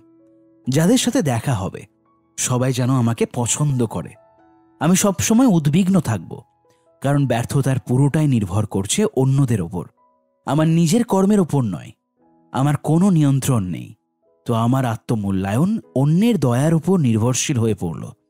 অন্যদিকে যদি আমি আমার মানদণ্ড ঠিক করলাম, আমার সামাজিক জীবনের উন্নতি করতে হবে, তাহলে সবাই আমাকে পছন্দ করার সাথে তাল মিলিয়েও চলতে পারবে। তারা আমার সাথে যেরকম ব্যবহারই করুক না কেন, আমার আত্মমূল্যায়ন, আমার ব্যবহার এবং সুখের ওপরে নির্ভর করবে। অধ্যায় চারে আমরা দেখেছি, ফালতু বা অপ্রয়োজনীয় ভ্যালিউ বস্তুগত লক্ষ্য ঠিক করে, যেগুলোর ওপর আমাদের নিয়ন্ত্রণ নেই। এইসব লক্ষ্যের পেছনে ছুটে চলা দারুণ উদ্বেগের সৃষ্টি করে এবং কোনোভাবে যদি তা অর্জনও করা যায়, তা আমাদের অন্তঃসার শূন্য করে দেয়। কারণ একবার তা অর্জিত হয়ে গেলে সমাধান করার জন্য আর কোনো সমস্যাই থাকল না। সঠিক মূল্যবোধ প্রক্রিয়া নির্ভর করে। যেমন, আমার সদ্ভাব সবার সাথে প্রকাশ করব। এটা সততা নামক ভ্যালিউর একটা স্ট্রাকচার এই সততা কখনোই পুরোপুরি শেষ হয় না। এটা এমন একটা সমস্যা যার সাথে বিরামহীনভাবে লেগে থাকতে হবে। প্রতিটি নতুন কথোপকথন, প্রতিটি নতুন সম্পর্ক নতুনভাবে প্ররোচিত করে সততাকে প্রকাশ করার জন্য। জীবনভর চলবে এমনটা, যার কোনো শেষ নেই। যদি আপনার মূল্যবোধের স্ট্রাকচার হয় আর বাকি সবার মতো একটা বাড়ি আর এক দামি একটা গাড়ি কেনা এবং আপনি কুড়ি বছর ধরে গাধার খাটুনি খেটে গেলেন, আপনি যখনই তা পেলেন, ঠিক তখনই আপনার মানদণ্ডের প্রয়োজন ফুরিয়ে যাবে। আপনার মধ্যজীবনের সংকট সমাধান করতে গিয়ে পুরো যৌবনটাই শেষ হয়ে গেল। বেড়ে ওঠা ও উন্নতির আর কোনো সুযোগ রইল না। উন্নতির ফলেই সুখ আসে। বস্তুগত অর্জনের মাধ্যমে সুখ নেই। সে হিসেবে গতানুগতিক লক্ষ্য যা হয়ে থাকে, কলেজ থেকে গ্র্যাজুয়েশন করা, লেকের ধারে বাড়ি, পনেরো পাউন্ড ওজন কমানো, এইসব খুব নির্দিষ্ট পরিমাণ সুখ বয়ে আনতে পারে। দ্রুত স্বল্প সময়ের সুবিধার জন্য তা হয়তো উপকারী, কিন্তু চলার গতির নির্দেশক হিসেবে একদমই যৎসই নয়। পিকাসো পুরো জীবনব্যাপী অসংখ্য সৃষ্টি করে গেছেন। তিনি নব্বই বছর পার করেছিলেন এবং শেষ সময় পর্যন্ত তার সৃষ্টিশীলতা অব্যাহত ছিল। তার মানদণ্ড যদি বিখ্যাত হওয়া অথবা শিল্প জগতে প্রচুর অর্থ উপার্জন অথবা এক হাজার ছবি আঁকা এইসব হতো, তাহলে এক সময় তার গতি মন্থর হয়ে যেত। উৎকণ্ঠা এবং আত্মবিশ্বাসহীনতা তাকে চেপে ধরত। দশকের পর দশক ধরে তার হাতের কারুকাজে যে উন্নতি ও সৃজনশীলতা সৃষ্টি হয়েছিল, তা দেখা সম্ভব হতো না। পিকাসোর সফলতার কারণ এছাড়া আর কিছুই ছিল না। তিনি একজন বৃদ্ধ মানুষ ছিলেন যিনি খুশি মনে ক্যাফেতে বসে একাকি ন্যাপকিনে আঁকতে পারেন। তার মূল্যবোধে খুব সাধারণ আর বিনয়ের প্রকাশ ছিল, যার শেষ নেই, আর তা হল সৎ অভিব্যক্তি। আর ঠিক এই কারণে ন্যাপকিনটার মূল্য এত ছিল। কষ্ট প্রক্রিয়ারই একটা অংশ। উনিশশো সালে ডাভোস্কি নামে একজন মনোবিদ দ্বিতীয় বিশ্বযুদ্ধে জীবিত ব্যক্তিদের নিয়ে গবেষণা করছিলেন। কীভাবে তারা এই বিভীষিকাময় যুদ্ধের অভিজ্ঞতা নিয়ে টিকে আছেন? পোল্যান্ডের অবস্থা খুব ভয়াবহ ছিল। এই মানুষগুলো অনাহারে প্রাণ ঝরে যেতে দেখছে। বোমা হামলা দেখতে হয়েছে, যার ফলে শহর ধূলিস্বাত হয়ে গেছে। গণহত্যা দেখেছে। যুদ্ধবন্দীদের ওপর নির্যাতন সহ্য করতে হয়েছে। প্রিয়জনের ধর্ষণ অথবা মৃত্যুর ভয়াল অভিজ্ঞতার মধ্যে দিয়ে যেতে হয়েছে। নাৎসিদের হাত থেকে কোনোভাবে রক্ষা পেলেও কয়েক বছর পর সোভিয়েতদের দ্বারা ক্ষতিগ্রস্ত হতে হয়েছে। যারা টিকে ছিল ডাবরোস্কি, তাদের ওপর গবেষণা করে যে ফল পান তা একই সাথে চমকপ্রদ এবং বিস্ময়কর। তাদের একটা বড় অংশ মনে করতেন, যুদ্ধকালীন সময়ে তারা যে অবর্ণনীয় কষ্ট এবং দুর্দশার মধ্যে দিয়ে গিয়েছে তার ফলে তারা অনেক বেশি দায়িত্বশীল এবং ভালো মানুষে পরিণত হয়েছে। এমনকি সুখীও হয়েছে অনেকে। যুদ্ধের আগের জীবনটাকে এইভাবে ব্যাখ্যা করেছে অকৃতজ্ঞতা। পছন্দের মানুষকে উপলব্ধি করতে না পারা, আলস্য এবং নানা সমস্যায় জর্জরিত জীবন, যুদ্ধ তাদের জীবনের ক্ষুদ্রতা, কষ্টের রহস্য উন্মোচিত করে দেয়। যুদ্ধের পর তারা আরও বেশি আত্মবিশ্বাসী, কৃতজ্ঞ হয়ে ওঠে। অবশ্যই তারা ভয়ালো পরিস্থিতির মধ্যে দিয়ে গিয়েছে। এই মানুষগুলোর জন্য সেই সব অভিজ্ঞতা মোটেও সুখকর ছিল না। অনেকেই আবেগের ক্ষত তখনও টাটকা, কিন্তু তাদের মাঝে কেউ কেউ সে ক্ষতকে ইতিবাচক এবং শক্তিরূপে গ্রহণ করে। কেবল তারাই এইভাবে বিপর্যয়কে কাটিয়ে গেছে তা নয়, বেশিরভাগ লোকেরা সবচেয়ে গর্বের অভিজ্ঞতা, সবচেয়ে ভয়ানক পরিস্থিতির সামনে এসেছে। কষ্ট আমাদের আরও শক্তিশালী করে আর প্রাণবন্ত করে। ক্যান্সার জয় করা বহু লোকই বলেছেন ক্যান্সারের বিরুদ্ধে সংগ্রামে জয় তাদের আরও শক্তিমান করে তুলেছে। সামরিক বাহিনীর অনেকেই যুদ্ধের ভয়ানক পরিস্থিতির সাথে লড়াই করে টিকে থাকাকে তাদের প্রাণশক্তির মূল চালিকা হিসাবে অভিহিত করেছেন। ডাবরোস্কির মতে, উদ্বেগ, ভয় এবং বিষণ্নতা সবসময় অনাকাঙ্ক্ষিত নয়, অথবা মনের জন্য ক্ষতিকারক নয়, বরং অনেক সময় তারা মানসিক উন্নতির জন্য কষ্টের প্রতিনিধি। এই কষ্টকে অস্বীকার করা মানে নিজের সম্ভাবনাকে থামিয়ে দেওয়া। সুঠাম স্বাস্থ্যের জন্য একজনকে অবশ্যই শারীরিক কষ্ট করতে হবে। ঠিক তেমনি নিজেকে ভালো মতো চিনতে হলে, সুখময় জীবন গড়ে তুলতে হলে অবশ্যই মানসিক কষ্ট ভোগ করতে হবে। আমাদের মধ্যে বড় ধরনের পরিবর্তন তখনই আসে যখন দেওয়ালে পিঠ ঠেকে যায়। আর সেই মুহূর্তে তীব্র কষ্টের মধ্যে দিয়ে যেতে যেতে উপলব্ধি হয় আমাদের মূল্যবোধ কেন কাজ করছে না? আমাদের জীবনযাপনের ধারাকে প্রশ্ন ততক্ষণ পর্যন্ত করি না, যতক্ষণ পর্যন্ত না অস্তিত্ব সংকটের মুখে পড়ি, আর তখনই দিক বদলের চিন্তা আসে মাথায়। এই অবস্থাকে আপনি তলানিতে গিয়ে ঠেকা কিংবা অস্তিত্ব হুমকির মুখে আখ্যা দিতেই পারেন। আমি একে ঝামেলাকে সয়ে নেওয়া বলব। এখন আপনি যেটা ইচ্ছে সেটা বলতেই পারেন। হয়তোবা আপনি এখনই সেই অবস্থায় আছেন হতে পারে আপনার জীবনের সবচেয়ে বড় ঝামেলা থেকে মুক্তির পথে আছেন। হতবম্ব হয়ে ভাবছেন কীভাবে আপনার পূর্বের সকল চিন্তাধারা ভুল প্রমাণিত হয়ে বদলে গেছে। সবেমাত্র শুরু, বলে বোঝাতে পারব না, কিন্তু কষ্ট এই বদলে যাওয়ার প্রক্রিয়ারই একটা অংশ। কারণ কষ্ট সবখানেই আছে, এই বোধ আসাটা জরুরি। কারণ আপনি ভিন্ন উপায়ে কষ্টকে ঢেকে রাখতে চাইলে ইতিবাচকতার ভ্রমে আটকে থাকলে, নেশায় জড়িয়ে পড়লে কিংবা অসৎ পথ বেছে নিলে কখনই পরিবর্তনের জন্য উপযুক্ত প্রেরণা পাবেন না। ছোট থাকতে আমার পরিবারের নতুন ভিসিআর বা স্টেডি ওয়েস্ট এলেই হলো। আমি সবগুলো বাটন চেপে দেখতাম, প্রতিটি তার খুলে লাগিয়ে দেখতাম, শুধুমাত্র কোনটার কি কাজ দেখার জন্য। সময়ের সাথে সাথে আমি পুরো বিষয়টা ধরে ফেলতাম। পুরো বাড়িতে শুধুমাত্র আমিই জানতাম সবকিছুর ব্যবহার। বেশিরভাগ ক্ষেত্রেই দেখা যেত একমাত্র আমি জিনিসগুলো ঠিকঠাক মতো ব্যবহার করছি। মিলেনিয়াল শিশুদের ক্ষেত্রে যা হয়। আমার বাবা মা আমাকে বিস্ময় বালক ভাবতে শুরু করেন। ব্যবহার নির্দেশিকা ছাড়াই আমি ভিজিআর ব্যবহার করতে পারতাম। তাদের কাছে আমি ছিলাম দ্বিতীয় টেসলা। আমার বাবা মার প্রজন্মের প্রযুক্তি ভিত্তির প্রতি সহজে উপহাস করাই যায়। কিন্তু বড় হতে হতে আমি বুঝেছি বাবা মার নতুন ভিসিআর এর মতো আমাদের প্রত্যেকের জীবনেই এমন অনেক বিষয় থাকে। আমি বসে মাথা নাড়াতে নাড়াতে ভাবি, কীভাবে সম্ভব? অথচ হয়তো জিনিসটা খুবই সাধারণ। অনেক লোকই এই ধরনের প্রশ্ন করে, আমাকে ইমেল করেন। অনেক বছর ধরে আমি বুঝতাম না তাদের কি লিখে পাঠাবো। এক মেয়ে ইমেল করছিল, তার বাবা মা দুজনেই অভিবাসী। তার জীবনের সমস্ত সঞ্চয় দিয়ে মেয়েটিকে মেডিকেল স্কুলে ভর্তি করেন। মেয়েটি এখন মেডিকেল স্কুলে পড়ছে, কিন্তু সে তা সহ্য করতে পারছে না। সে ডাক্তার হিসেবে নিজের জীবন কাটাতে চায় না। তাই সে মেডিকেল স্কুল ছেড়ে দিতে চায়। কিন্তু তবুও সে ওখানে আটকে আছে। কিছু বুঝতে না পেরে সে ইন্টারনেটের সম্পূর্ণ অপরিচিত একজন মানুষকে, অর্থাৎ আমাকে, বোকার মতো প্রশ্ন দিয়ে ইমেল করে। কীভাবে আমি মেডিকেল স্কুল ছাড়ব? অথবা কলেজ পড়ুয়া ছেলেটির কথাই চিন্তা করুন। সে তার শিক্ষকের প্রেমে হাবুডুবু খাচ্ছে। প্রতিটি পদক্ষেপে হাসি, ছোট ছোট কথা তার কাছে মানসিক যন্ত্রণার পর্যায়ে চলে গিয়েছে। সে আমাকে আস্ত একটা নভেলের সাইজের প্রায় আটশো পাতার ইমেল পাঠায়। বাপ রে, এর মধ্যে জিজ্ঞাসা করে আবার আমি কীভাবে তাকে বলব? অথবা ওই অবিবাহিতা মায়ের কথাই ধরুন। তার প্রাপ্তবয়স্ক ছেলেমেয়েরা স্কুলের পাঠ চুকিয়ে এখনও বাড়িতে গা এলিয়ে বসে খাবার খায়, টাকা উড়ায়। কিন্তু তিনি এখন একটু একান্তে থাকতে চায়। তিনি চান তার সন্তানেরা নিজের মতো করে চলুক। পাশাপাশি নিজেও নিজের মতো করে থাকতে চান। কিন্তু তারপরেও তিনি সন্তানদের দূরে ঠেলে দিতে ভয় পাচ্ছেন। আর আমাকে জিজ্ঞেস করছেন, কীভাবে আমি ওদের আমার বাড়ি থেকে যেতে বলব? এগুলো ভিসিআর এর মতোই অবস্থা। দূর থেকে দেখলে সহজেই উপদেশ দেওয়া যায়। কথা কম বলে কাজটা করে ফেলো। কিন্তু তাদেরও অবস্থা বিবেচনা করলে দেখবেন পরিস্থিতি খুবই জটিল। এই প্রশ্নগুলো বেশ মজার। কারণ যারা এই প্রশ্নের সামনে দাঁড়িয়ে আছে তাদের কাছে এর উত্তর খুবই জটিল।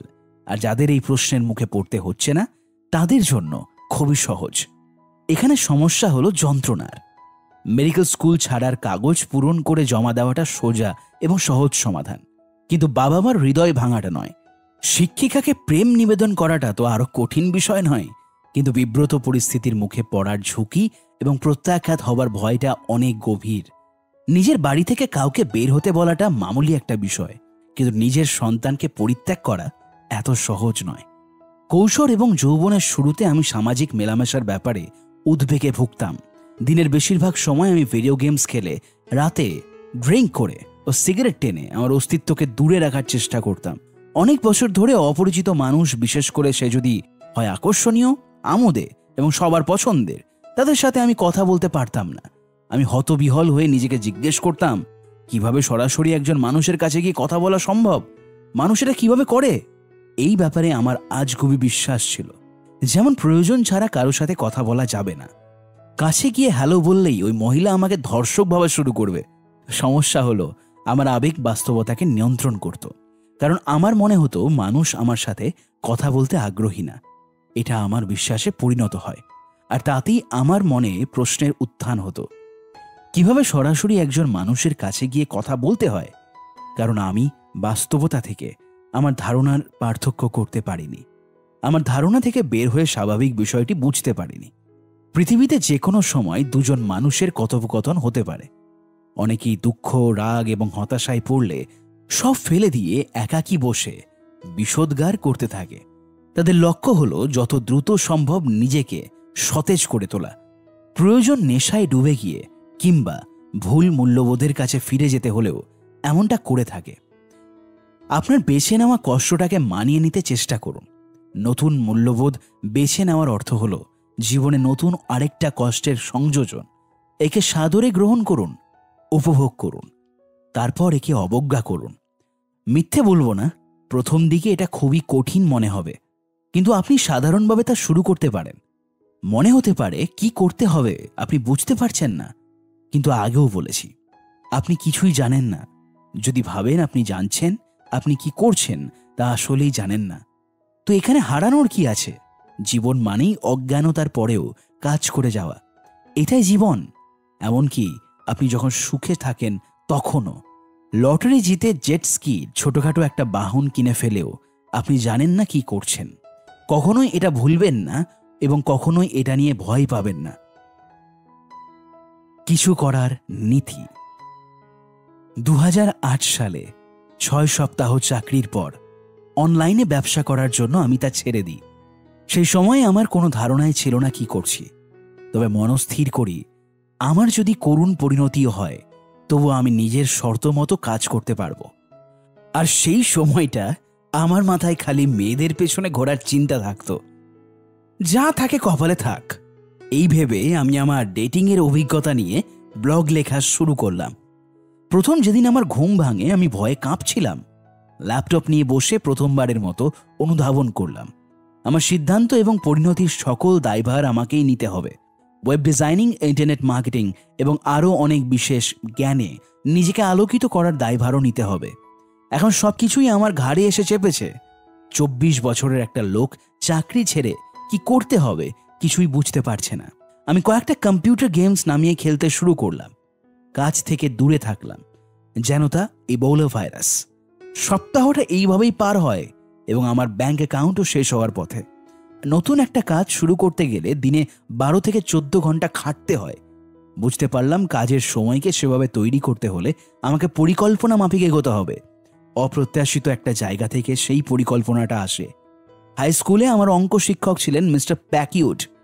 তিনি সব সময় বলতেন, কোনো সমস্যায় পড়লে বসে না থেকে চিন্তা করো, কাজ শুরু করো। তুমি যদি নাও বুঝতে পারো যে কি করছ, তাও চালিয়ে যাও। দেখবে ঠিকই সঠিক চিন্তাটা তোমার মাথায় উঁকি দেবে। প্রথম দিকগুলোতে প্রতিদিনই আমাকে সংগ্রাম করতে হতো। কি করতে হবে কিছুই বুঝতাম না এবং ফল নিয়ে খুব আতঙ্কেই থাকতাম। মিস্টার প্যাকিউডের উপদেশ আমাকে ঘুরে দাঁড়াতে সাহায্য করে। আমি মন্ত্রের মতো শুনতে পাই। শুধু শুধু বসে থেকো না, কিছু করো। উত্তর আপনা থেকেই পেয়ে যাবে। মিস্টার প্যাকিউডের উপদেশ কাজে লাগানোর সময় প্রেরণা সম্পর্কে আমি নতুন শিক্ষা পাই। এই শিক্ষা পাওয়ার জন্য আমার আট বছর লেগেছে। সেই মাসের পর মাস জীবনযাপন অ্যাডভাইস কলামে হাস্যকর সব লেখা, বন্ধুর বাড়িতে কাউচের ওপর কাটানো অস্বস্তিকর রাতগুলো ব্যাংক ঋণে ডুবে থাকা আর হাজার হাজার লেখাগুলোই, যেগুলো কেউ কোনোদিন পড়েনি, আমার জীবনে সবচেয়ে বড় শিক্ষা দিয়েছে। কাজ শুধু অনুপ্রেরণার ফল না, বরং অনুপ্রেরণা পাবার মূল রহস্যই হচ্ছে কাজ করা। পর্যাপ্ত প্রেরণা থাকলে আমরা যে কোনো কাজ করি। আর প্রেরণার জন্য দরকার হয় আবেগের উদ্দীপনা। আমার মনে হয় এটা একটা ধারাবাহিক প্রক্রিয়া, আবেগের উদ্দীপনা। উদ্দীপনা, প্রেরণা, শ্রম। আপনি যদি যথেষ্ট অনুপ্রেরণা ছাড়া কিছু করতে চান, আপনি ধরেই নেন আপনি কাজটা করতে পারবেন না। আপনার করার কিছুই নেই। জীবনে আবেগকে আন্দোলিত করার মতো কোনো ঘটনা হওয়ার আগে আপনি উঠে দাঁড়ানোর তাগিদ অনুভব করবেন না। প্রেরণা বিষয়টা হলো, এটা আসলে শুধুমাত্র তিনটি অংশের ধারাবাহিকতা নয়, বরং বিরামহীন চক্রের ন্যায়। উদ্দীপনা, প্রেরণা, শ্রম। আবার উদ্দীপনা, প্রেরণা, শ্রম ইত্যাদি। আপনার কাজ নতুন করে আবেগের ওপর প্রভাব বিস্তার করে, সেটাকে উদ্দীপিত করে এবং আপনার কাজে পুনরায় প্রেরণা যোগায়। এই জ্ঞানের সুবিধা নিয়ে আমরা নিচের উপায়ে নিজেদের মনোভাব পরিবর্তন আনতে পারি। শ্রম, উদ্দীপনা, আবার প্রেরণা।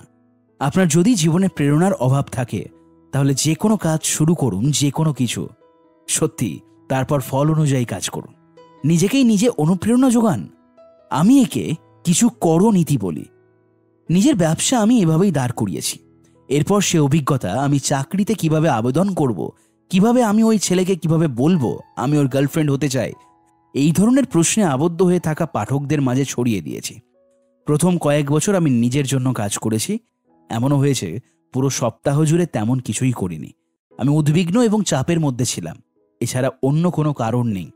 চাইলে সহজেই সব কিছু বন্ধ করে দিতে পারতাম। অবশ্য আমি খুব দ্রুত শিখছিলাম, নিজেকে জোর করে কাজ করাতাম। আলতু ফালতু ধরনের ছোটখাটো কাজগুলো করে লাভ হয়েছিল যে কঠিন কাজগুলোকে আর কঠিন লাগতো না। আমাকে যদি কোনো ওয়েবসাইটের ডিজাইন নতুন করে করতে হয়, আমি বসে নিজেকে বলব, ঠিক আছে? এখন শুধু হেডারটাই ঠিক করি, কিন্তু হেডারের কাজ শেষ হলে আমি অন্য অংশগুলো ঠিক করতে শুরু করি। এবং বুঝে ওঠার আগেই আমি উদ্যম নিয়ে কাজটার ভেতর ঢুকে পড়তাম। লেখক টিম ফেরিস একবার তার শোনার গল্প একটা শুনিয়েছিলেন।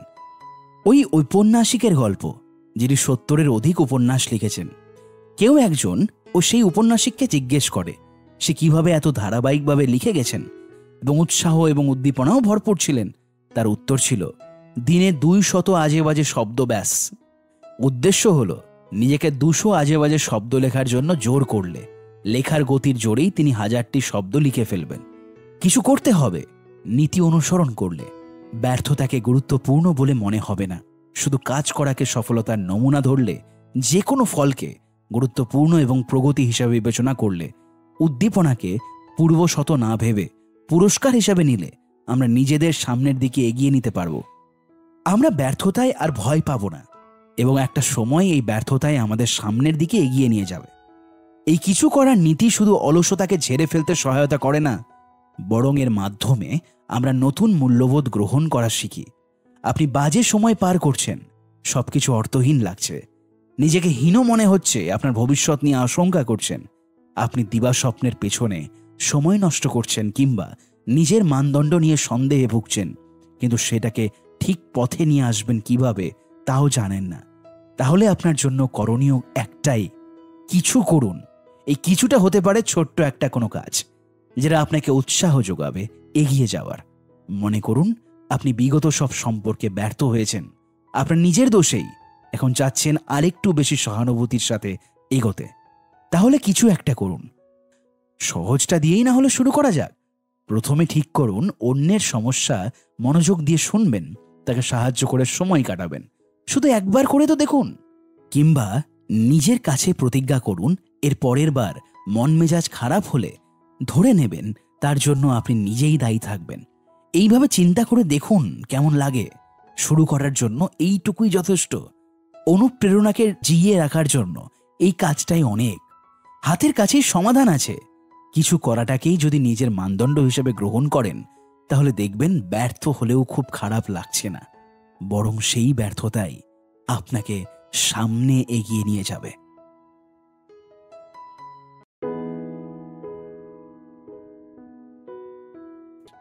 অধ্যায় আট।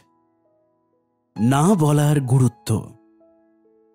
দু হাজার নয় সালে আমার সবকিছু ছেড়ে লাতিন আমেরিকায় পাড়ি জমায়। এতদিনে ডেটিং বিষয়ে আমার ব্লগটি ভালোই চলতে শুরু করেছে। পিডিএফ বিক্রি এবং অনলাইন কোর্সের মাধ্যমে আমি মোটামুটি আয় করছিলাম। তবে আমার পরিকল্পনা ছিল কয়েক বছর বিদেশে ঘুরে নতুন সংস্কৃতির স্বাদ নেওয়া এবং এশিয়া ও ল্যাটিন আমেরিকার উন্নয়নশীল দেশগুলোর জীবনযাত্রার কম খরচকে কাজে লাগিয়ে ব্যবসাকেও সম্প্রসারিত করা। ডিজিটাল যুগের এক ভবঘুরের স্বপ্ন পঁচিশ বছর বয়সী রোমাঞ্চপ্রেমী হিসেবে আমি এই জিনিসটাই চাচ্ছিলাম। আমার পরিকল্পনা শুনতে উত্তেজনায় পরিপূর্ণ মনে হলেও যেসব মূল্যবোধ আমাকে এই যাযাবর জীবনযাপনে উৎসাহ দিচ্ছিল, সেসব মূল্যবোধের সবগুলোই আমার জন্য কল্যাণকর ছিল, তা বলব না। প্রশংসা করার মতো যেগুলো ছিল, সেগুলো হলো পৃথিবীকে দেখার সুতীব্র বাসনা, নতুন সংস্কৃতি আর মানুষের সাথে পরিচিত হওয়ার আগ্রহ পুরনো আমলের মানুষদের মতো অ্যাডভেঞ্চার প্রেম কিন্তু এর মাঝেই কোথাও যেন খোঁতখোঁতে লাগছিল। সে সময় পুরোপুরি বুঝতে পারিনি, কিন্তু জানতাম কোথাও না কোথাও ভুল করে এসেছি। মূল্যবোধ ঠিক ছিল না আমার। দেখতে পাচ্ছিলাম না ঠিকই, কিন্তু যখন নিজের সাথে সম্পূর্ণ সৎ থাকতাম, তখন অনুভব করতে পারছিলাম। কৌশলের তিক্ত অভিজ্ঞতার জন্য আমি দায়বদ্ধতার ব্যাপারে বরাবরই কাঁচা ছিলাম। কৌশলের অভিজ্ঞতার মাসুল হিসেবে অনেক দিন ধরেই নিজেকে উড়তে দিয়েছি। যার ফলে মনে ধারণা ঢুকে গিয়েছিল, চাইলেই যে কারোর সাথে দেখা করতেই পারি, যে কাউকে বন্ধু বানাতে পারি, যাকে ইচ্ছে তাকে ভালোবাসতে পারি, কিংবা তার সাথে শুতেও পারি। সুতরাং দায়বদ্ধতার প্রশ্নের মুখোমুখি হওয়ার দরকারটা কি? তাও আবার শুধু একটা মানুষের প্রতি কিংবা নির্দিষ্ট একটা দল বা দেশের প্রতি অনুরাগ দেখানোরও মানে পাইনি কখনো। যদি সব কিছুই সমানভাবে পেতে পারি, তাহলে সব কিছুই পাওয়া উচিত, তাই না? এই ধারণায় পুষে রেখেই পাঁচ বছরেরও বেশি সময় ধরে দেশ থেকে দেশে আর সমুদ্রে ঘুরিয়ে বেরিয়েছি আমি পঞ্চান্নটি দেশ ঘুরেছি, অনেক বন্ধু বানিয়েছি এবং তাদের কাছে থেকে উষা ব্যবহারও পেয়েছি। নতুন বন্ধু হলে তাদের কথা ভুলে যেতাম। কয়েকজনের কথা তো পরবর্তী ফ্লাইটে অন্য আরেক দেশে যাওয়ার আগেই ভুলে যেতাম। জীবনটা ভারী অদ্ভুত ছিল। ফ্যান্টাসির জগতে ছিলাম যেন। ভুলতে না পারার মতো বহু অভিজ্ঞতা হয়েছিল। কষ্টকে ঢেকে রেখেছিলাম সেই সময়টা। তাৎপর্যপূর্ণ মনে হলেও একই সাথে অর্থহীন সময় গিয়েছে সেটা। জীবনের অনেক গুরুত্বপূর্ণ শিক্ষা আর চরিত্র গঠনের অনুপ্রেরণা এই ভ্রমণের সময়টাতেই অর্জন করেছি আমি। কিন্তু একই সময়ে, অনেক সময় আর কর্মশক্তিরও অপচয় করেছি। এখন আমি নিউ ইয়র্কে থাকি। আমার বাড়ি আছে, আসবাব আছে, নিয়মিত বিদ্যুৎ বিল দিই, স্ত্রীও আছে। এইসবের কোনোটাতেই উত্তেজনা বা চাকচিক্য নেই। আর আমি এইভাবেই থাকতে পছন্দ করি। এত বছরের উদ্দাম জীবনযাপনের পরে আমি যে সত্যের মুখোমুখি হয়েছি, তা হলো অবাধ স্বাধীনতা বলে আসলে কিছুই নেই। স্বাধীনতা অর্থবহ কিছু করার সুযোগ করে দেয়, কিন্তু স্বাধীনতা ধারণাটার নিজস্ব অর্থ নেই। জীবনে গুরুত্বপূর্ণ এবং অর্থবহ কিছু করার একমাত্র উপায় হলো একাধিক বিকল্প থেকে যে কোনো একটা বেছে নেওয়া। স্বাধীনতার পরিসীমাকে ছোট করে আনা এবং একটা নির্দিষ্ট জায়গার বিশ্বাসের কিংবা নির্দিষ্ট একটা মানুষের প্রতি দায়বদ্ধতা স্বীকার করা।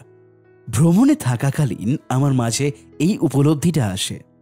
জীবনের অসংখ্য সুযোগ সুবিধার মাঝে নিজেকে ডুবিয়ে দিলে বুঝতে পারবেন আসলে এগুলো করে আপনি সুখ অনুভব করছেন না। ভ্রমণে গিয়ে আমার এই অভিজ্ঞতাই হয়েছে। তেপ্পান্ন, চুয়ান্ন, পঞ্চান্ন নম্বর দেশ ভ্রমণ করতে করতে বুঝতে পারলাম।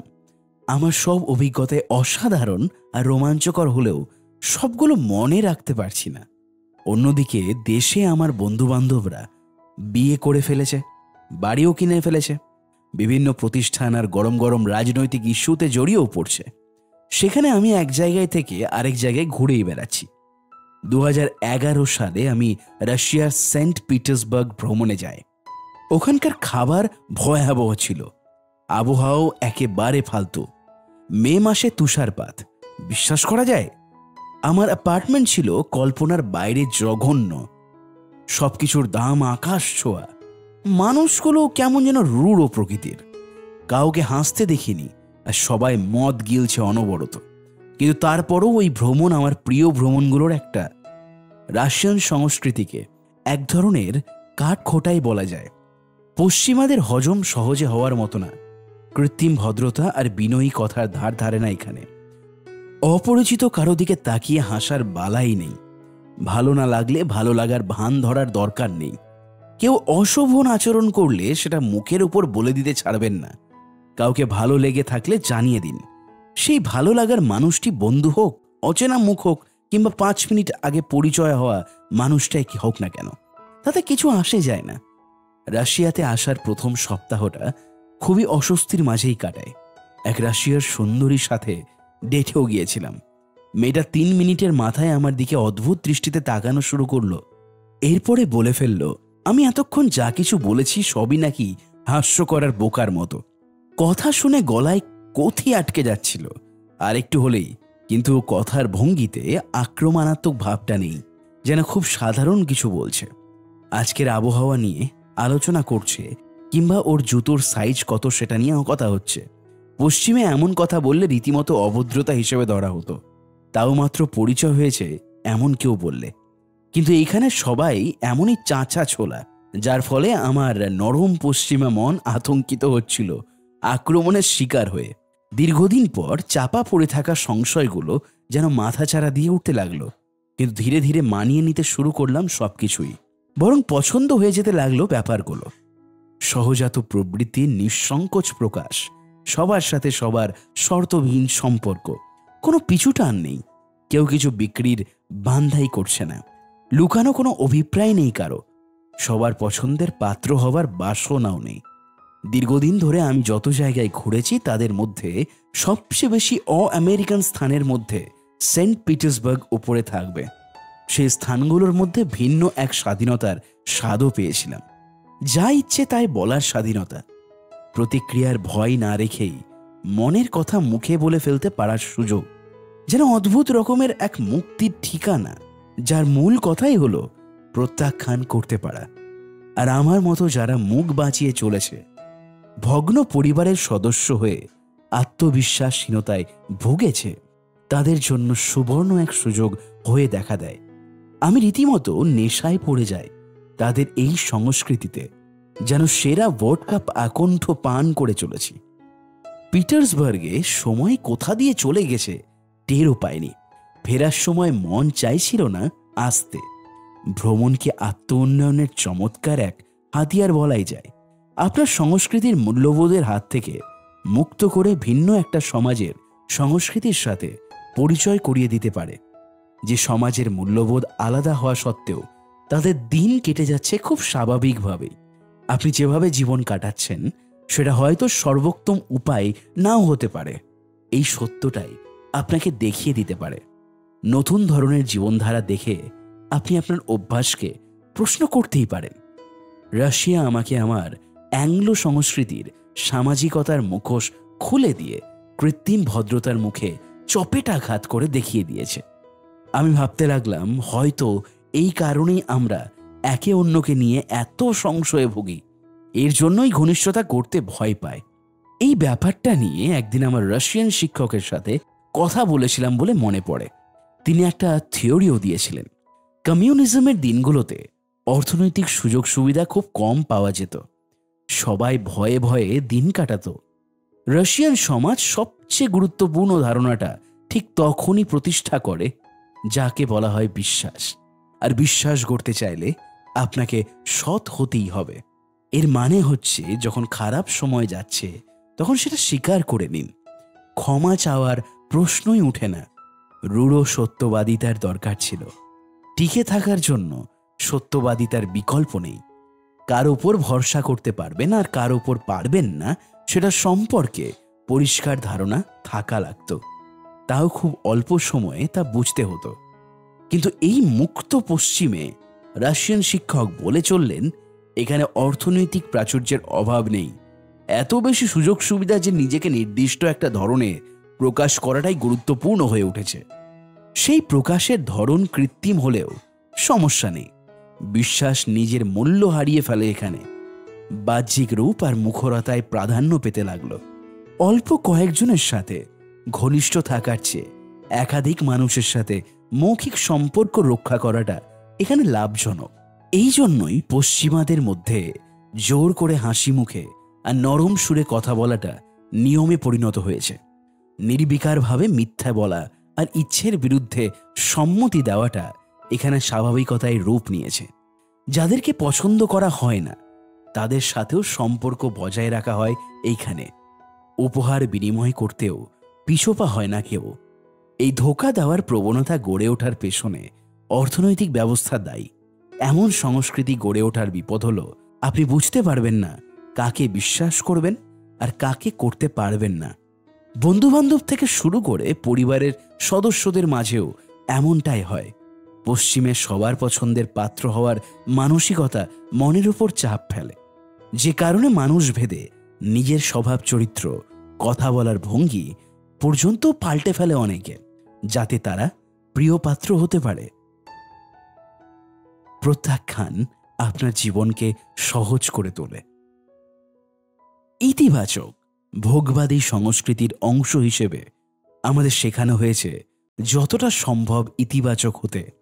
এটি ইতিবাচক চিন্তার বইগুলোর মূল ভিত্তিকে, সুযোগ গ্রহণ করতে এবং সবাইকে এবং সব কিছুকেই হ্যাঁ বলতে শেখায়। কিন্তু আমাদের প্রত্যাখ্যান করতে পারার প্রয়োজন আছে। আর সেটা করতে না পারার মানে হলো, আমরা অন্তঃসার শূন্য হয়ে পড়েছি।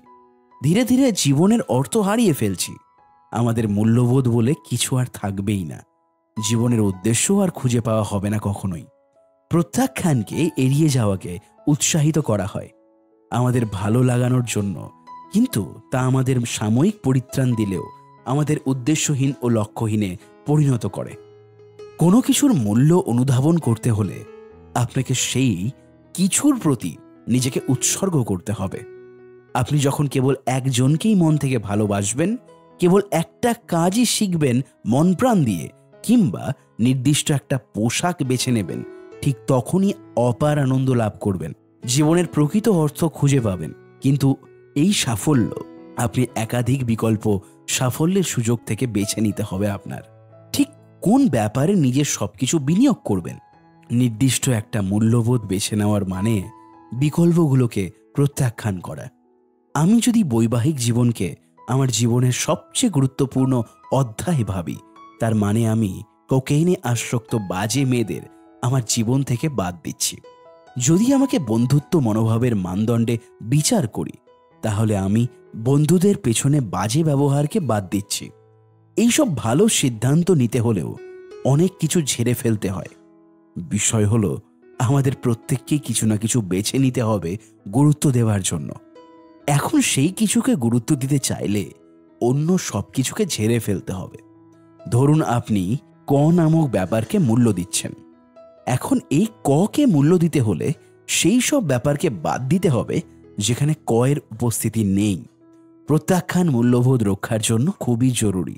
আমরা কি বাদ দিচ্ছি তার উপর আমাদের পরিচয় নির্ভর করে? আর যদি আমরা কিছুই বাদ দিতে না পারি, হয়তোবা নিজের কোনো আচরণ বাদ দেওয়ার ভয়ে, তাহলে আমাদের কোনো পরিচয় থাকল না। প্রত্যাখ্যান, সংঘর্ষ আর বিরোধিতাকে যে কোনো উপায়ে এড়িয়ে চলার প্রবণতা, সবকিছুকে সমান ভেবে সাম্যতা বজায় রাখার ইচ্ছেকে এক ধরনের বদভ্যাস বলা যায়। এই ধরনের প্রবণতা যাদের আছে, তারা ভাবে সবসময় নির্ঝঞ্ঝাট, ঝামেলাবিহীন। জীবন তাদের প্রাপ্য।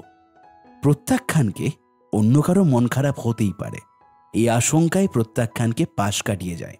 আর যেহেতু তারা প্রত্যাখ্যান করা শিখছে না, সেহেতু তারা সব সময় অর্থহীন আনন্দে বুধ হয়ে থাকে। সব সময় সবাইকে খুশি রাখার প্রচেষ্টায় মগ্ন থাকে, যাতে ব্যর্থতার মুখোমুখি হতে না হয়। সুখের পালা আরেকটু যাতে দীর্ঘ করা যায়। প্রত্যাখ্যান করতে পারা জীবনের অন্যতম গুরুত্বপূর্ণ দক্ষতা। সম্পর্কে সুখ না থাকলে কেউই তাতে আটকে থাকতে চায় না। কেউ এমন কোনো কাজ করতে চায় না যা সে ঘৃণা করে এবং যাতে তার আস্থা নেই। কেউই এমন কথা বলতে চায় না যেটা সে মন থেকে বলছে না। তবুও মানুষ এসব বেছে নিচ্ছে। সব সময় সততা মানুষের প্রকৃতিগত আকাঙ্ক্ষাগুলোর একটি। কিন্তু আমাদের জীবনে সততা চর্চার মানে হলো না বলা এবং শোনার সাথে অভ্যস্ত হয়ে পড়া। আর ঠিক এইভাবেই প্রত্যাখ্যান আমাদের মাঝের সম্পর্কগুলোকে আরও সুন্দর এবং সুখময় করে তোলে। সীমারেখা। একদা দুজন প্রাণোচ্ছল তরুণ তরুণী ছিল। তাদের পরিবার একে অপরকে দল করত। কিন্তু মেয়েটির পরিবারের একটি অনুষ্ঠানে ছেলেটি লুকিয়ে ঢুকে পড়ে, কারণ সে একটা বোকা। মেয়েটা ছেলেটিকে দেখে ফেলে এবং সে এমনভাবে আন্দোলিত হয় যে মুহূর্তেই ছেলেটির প্রেমে পড়ে যায় সে। ছেলেটি লুকিয়ে মেয়েটার বাগানে চলে আসে। তারা ঠিক করে পরদিনই বিয়ে করবে। কেনই বা করবে না? তাদের পরিবার একে অপরকে খুন করতে চায়। এত তাড়াহুড়ো করাটা অস্বাভাবিক কিছু না। তাদের পরিবার বিয়ের খবরটি জেনে ফেলে। রাগে ফেটে পড়ে দুপক্ষই। ছেলেটির এক বন্ধু এই কলহে মারা যায়। রোমিও জুলিয়েটে যেভাবে মার্কুশিও মারা গিয়েছিল, মেয়েটি এত হতাশায় ভেঙে পড়ে, সে এক ধরনের ওষুধ পান করে ফেলে।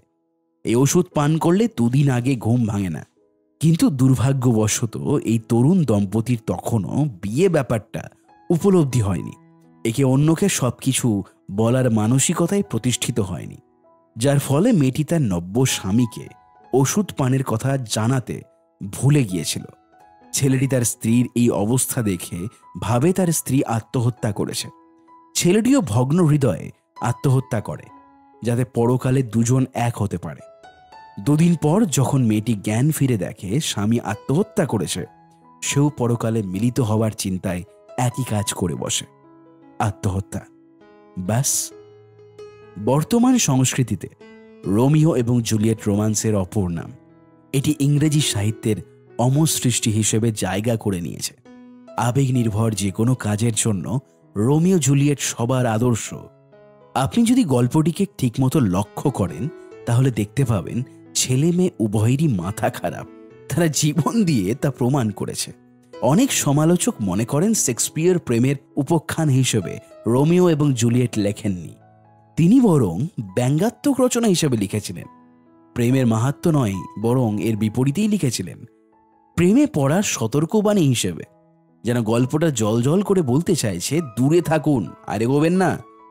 মানব ইতিহাসে প্রেমের গল্প এখনকার মতো এত সমাদৃত আর কখনোই হয়নি। এমনকি উনিশ শতকের দিকেও প্রেমকে দেখা হতো অপ্রয়োজনীয় এবং ক্ষতিকারক মানসিক বাধা হিসেবে। এর থেকেও অনেক গুরুত্বপূর্ণ কাজ রয়েছে, যেমন ভালো মতো কৃষিকাজ করা, ভেড়া ছড়ানো প্রেমের থেকে আর্থিক অবস্থা বিবেচনা করে বিয়ে হতো। এতে করে তারা পরিবার নিয়ে সুখে থাকতেই পারত। কিন্তু এটাই এখন সংস্কৃতিকে নিয়ন্ত্রণ করছে। যত বেশি নাটকীয়তা, তত বেশি আবেদন। এই যেমন বেন অ্যাফ্লেক তার প্রেমিকার জন্য পৃথিবীকে রক্ষা করতে, গ্রহাণু ধ্বংস করতে ছুটে যায়, অথবা মেল গিবসন তার নির্যাতিতায় স্ত্রীর হত্যার প্রতিশোধ নিতে অসংখ্য ইংরেজকে হত্যা করে। শেষে নিজে অবর্ণনীয় কষ্টের মৃত্যুকে আলিঙ্গন করে নেয়, কিংবা লর্ড অফ দ্য রিংসের আরওয়েন নিজের অমরত্ব বিসর্জন দেয় প্রেমিক আরগ্যানের জন্য। এই সমাজে প্রেমটা যদি কোকেন হতো, আমরা সবাই তখন স্কারফেসের টনি মন্টানার মতো করতাম কোকেনে বুধ হয়ে চিৎকার করে বলতাম hello to my little friend.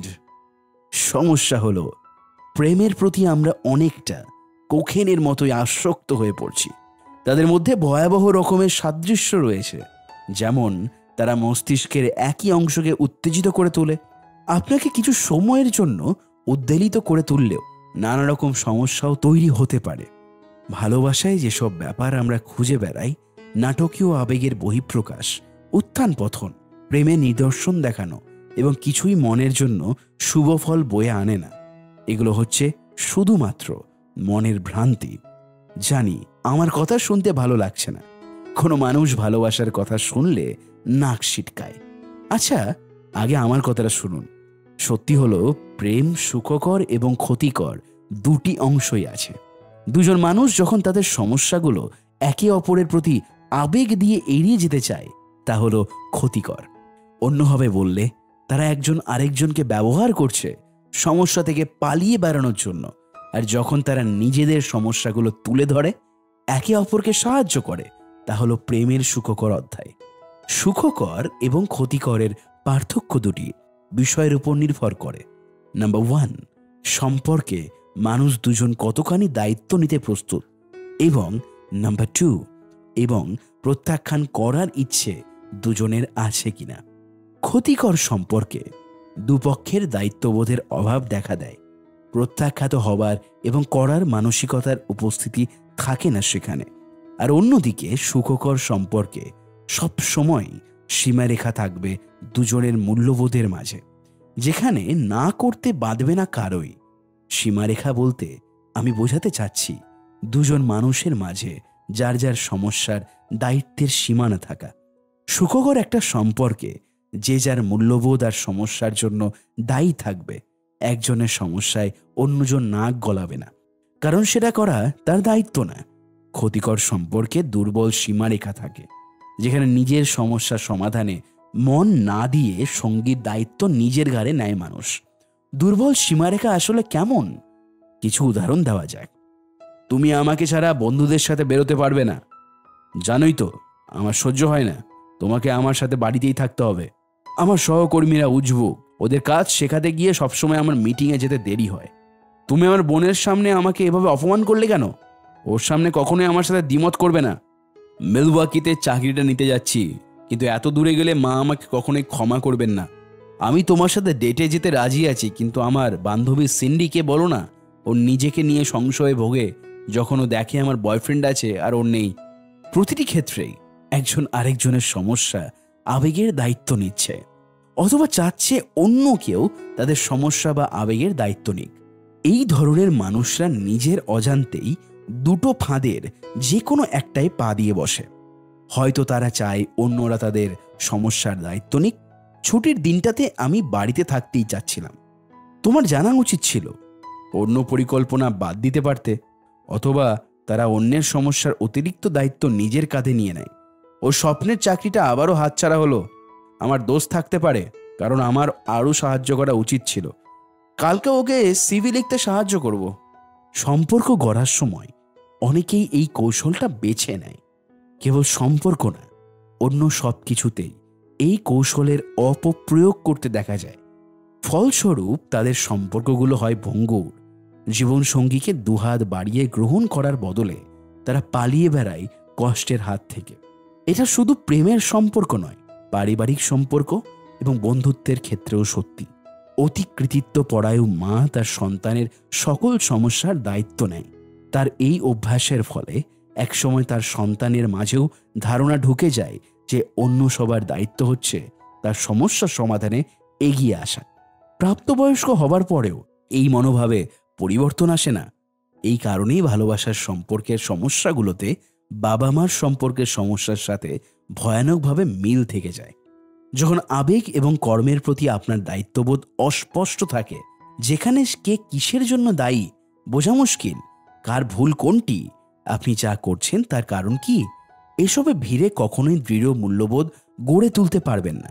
একমাত্র মূল্যবোধ যেটা তৈরি হয় সেটা হলো সঙ্গীকে সর্বদা খুশি রাখার ইচ্ছে, কিংবা আপনার সঙ্গী সব সময় আপনাকে খুশি রাখার চেষ্টা করবে। এমন প্রত্যাশা তৈরি হয়ে যায়। অবশ্যই, এটা নিজেকে বোকা বানানো। এরকম অস্পষ্টতার সম্পর্কগুলো জার্মান এয়ারশিপ হেন্ডেলবার্গের মতোই মাটিতে আছড়ে পড়ে। আপনার সমস্যাগুলো অন্য কেউ সমাধান করতে পারবে না। তাদের চেষ্টা করারও দরকার নেই, কারণ তা আপনাকে সুখী করবে না। একইভাবে আপনিও অন্যের সমস্যাগুলো সমাধান করতে পারবেন না, কারণ তা তাদের সুখী করবে না। সুখী রাখার জন্য একে অন্যের সমস্যা সমাধান করছে। এটাই ক্ষতিকর সম্পর্কের লক্ষণ। অন্যদিকে, একে অন্যকে সুখী করার জন্য নিজেই নিজের সমস্যা সমাধান করছে, এমনটা হলে সেটা সুখকর সম্পর্কের ইঙ্গিত দেয়। সীমারেখা তৈরির মানে এই নয় যে আপনি আপনার সঙ্গীকে সাহায্য করতে পারবেন না অথবা সাহায্য নিতে পারবেন না। কিন্তু অবশ্যই আপনার নিজেকে বেছে নিতে হবে। আপনি এক্ষেত্রে নিজেকে বাধ্য ভাবতে পারবেন না। যেসব মানুষ নিজেদের আবেগ আর কর্মের জন্য অন্যকে দায়ী করে, তারা বিশ্বাস করে, যদি ক্রমাগত এই কাজ চালিয়ে যায়, তাহলে কখনো না কখনো কেউ এগিয়ে আসবেই তাদের রক্ষা করতে। তাদের প্রাপ্য অধিকার বুঝে নেবে সেই রক্ষাকর্তার হাত থেকে। যারা অন্যের আবেগ আর কর্মের জন্য নিজেকে দায়ী করে, তারা বিশ্বাস করে, যদি আসলেই তার সঙ্গীর সমস্যাকে সমাধান করে ফেলতে পারে, তাহলে তারা পুরস্কৃত হবে আদর আর ভালোবাসায়। ক্ষতিকর সম্পর্কেও এই হচ্ছে সাদা আর কালোর অংশ, অসহায় আর তার ত্রাণকর্তা। যে মানুষটা বিপদে ঝাঁপ দেয়, সে মনে করে, এতে তার গুরুত্ব বৃদ্ধি পাবে। আর যে ব্যক্তি এগিয়ে এসে বিপদ থেকে তাকে উদ্ধার করে, সে মনে করে, এতে তার গুরুত্ব বৃদ্ধি পেল। এই দুই ধরনের মানুষ একে অপরের প্রতি আকৃষ্ট হয়। তাদের মধ্যে বিদ্যমান সমস্যাগুলো একে অন্যের সাথে খাপ খায়। হয়তোবা তাদের বাবা মার মধ্যেও এই বৈশিষ্ট্য বিদ্যমান ছিল। সুতরাং তাদের দৃষ্টিতে একটা সুখী সম্পর্কের সংজ্ঞা তৈরি হয় দুর্বল সীমারেখার ওপর ভিত্তি করে। দুঃখজনক হলো, তারা একে অন্যের প্রকৃত চাহিদা মেটাতে পারে না। তাদের দোষারোপ করা আর দোষ স্বীকার করার প্রবণতা বরং আত্মসম্মানকে আরও নিচে নামিয়ে দেয়। ঠিক যে কারণে আগে থেকেই তারা অসুখী ছিল। সেটাকেই উস্কে দেওয়া হয় এই আচরণের মাধ্যমে। প্রতারিত ব্যক্তি আরও সমস্যা তৈরি করে। সমাধানের জন্য। এমন না যে সে নতুনভাবে উকি দেওয়া বিপদের মুখে পড়েছে, আর সেখান থেকে উদ্ধারের পথ নেই। অহেতুক সমস্যায় জড়িয়ে লাভ একটাই হয়, অন্যের দৃষ্টি আকর্ষণ করা যায়। অন্যের মনোযোগের কেন্দ্রবিন্দু হতে ভালোবাসে মানুষ, আর রক্ষাকর্তাও একের পর এক সমস্যার সমাধান করে যেতে থাকে। তার বিশ্বাস, সে সমাধান করে যেতে থাকলে এক সময় না এক সময় কারও না কারও মনোযোগ আকর্ষণ করতে পারবে। এক্ষেত্রে বলা যায় বিপদের শিকার আর রক্ষাকর্তা। আর এত কিছু ডামারও সত্যিকারের ভালোবাসার স্বাদ কখনোই পাওয়া হয় না কারোরই। ক্ষতিগ্রস্ত মানুষটি যদি সত্যিই তার সঙ্গীকে ভালোবেসে থাকে, তাহলে সে বলবে, দেখো, এই হচ্ছে আমার সমস্যা, কিন্তু তোমাকে এর সমাধান করতে হবে না। শুধু আমাকে সাহস দেবে যখন আমি এর সমাধান করব। তার সেটাই হবে প্রকৃত ভালোবাসার নিদর্শন। নিজের দায়িত্ব নিজে নিতে শেখা। অন্যের ঘাড়ে চাপিয়ে না দিয়ে। আর তার সঙ্গীও যদি সত্যি সত্যি তার সাথীকে উদ্ধার করতে চায়, তাহলে সেও বলবে, দেখো, নিজের সমস্যার জন্য তুমি অন্যদের দোষ দিচ্ছ। তোমার উচিত নিজের হাতে একে সামাল দেওয়া। উদ্ভট হলেও এটা হচ্ছে ভালোবাসার চিহ্ন। সমস্যা সমাধানে অন্যকে উৎসাহ দেওয়া। কিন্তু এর জায়গায় বিপদের শিকার আর রক্ষাকর্তা দুজনেই দুজনের আবেগ রক্ষার জন্য ব্যবহার করছে। ব্যাপারটা অনেকটা নেশার মতো দুজনের কাছে যদি কখনো তাদের স্বাভাবিক মানুষের সাথে ডেটে যেতে বলা হয়, তারা একঘেয়ে অনুভব করে। ভাবে এই মানুষটার সাথে তার কোনো রসায়নই নেই। সুস্থ, স্বাভাবিক, ব্যক্তিগতভাবে সংশয়হীন মানুষদের তারা এড়িয়ে যাবে।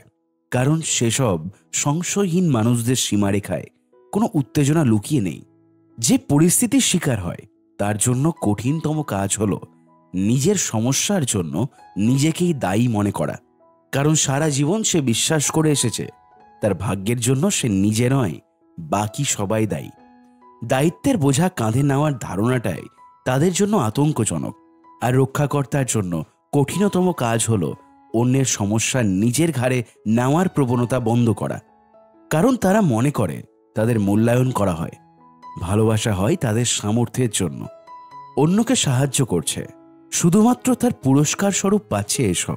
এই প্রবণতা থেকে সরে আসার চিন্তা করাও তাদের কাছে ভীতি জাগিয়ে তোলে। আপনি পছন্দ করেন মনে মনে।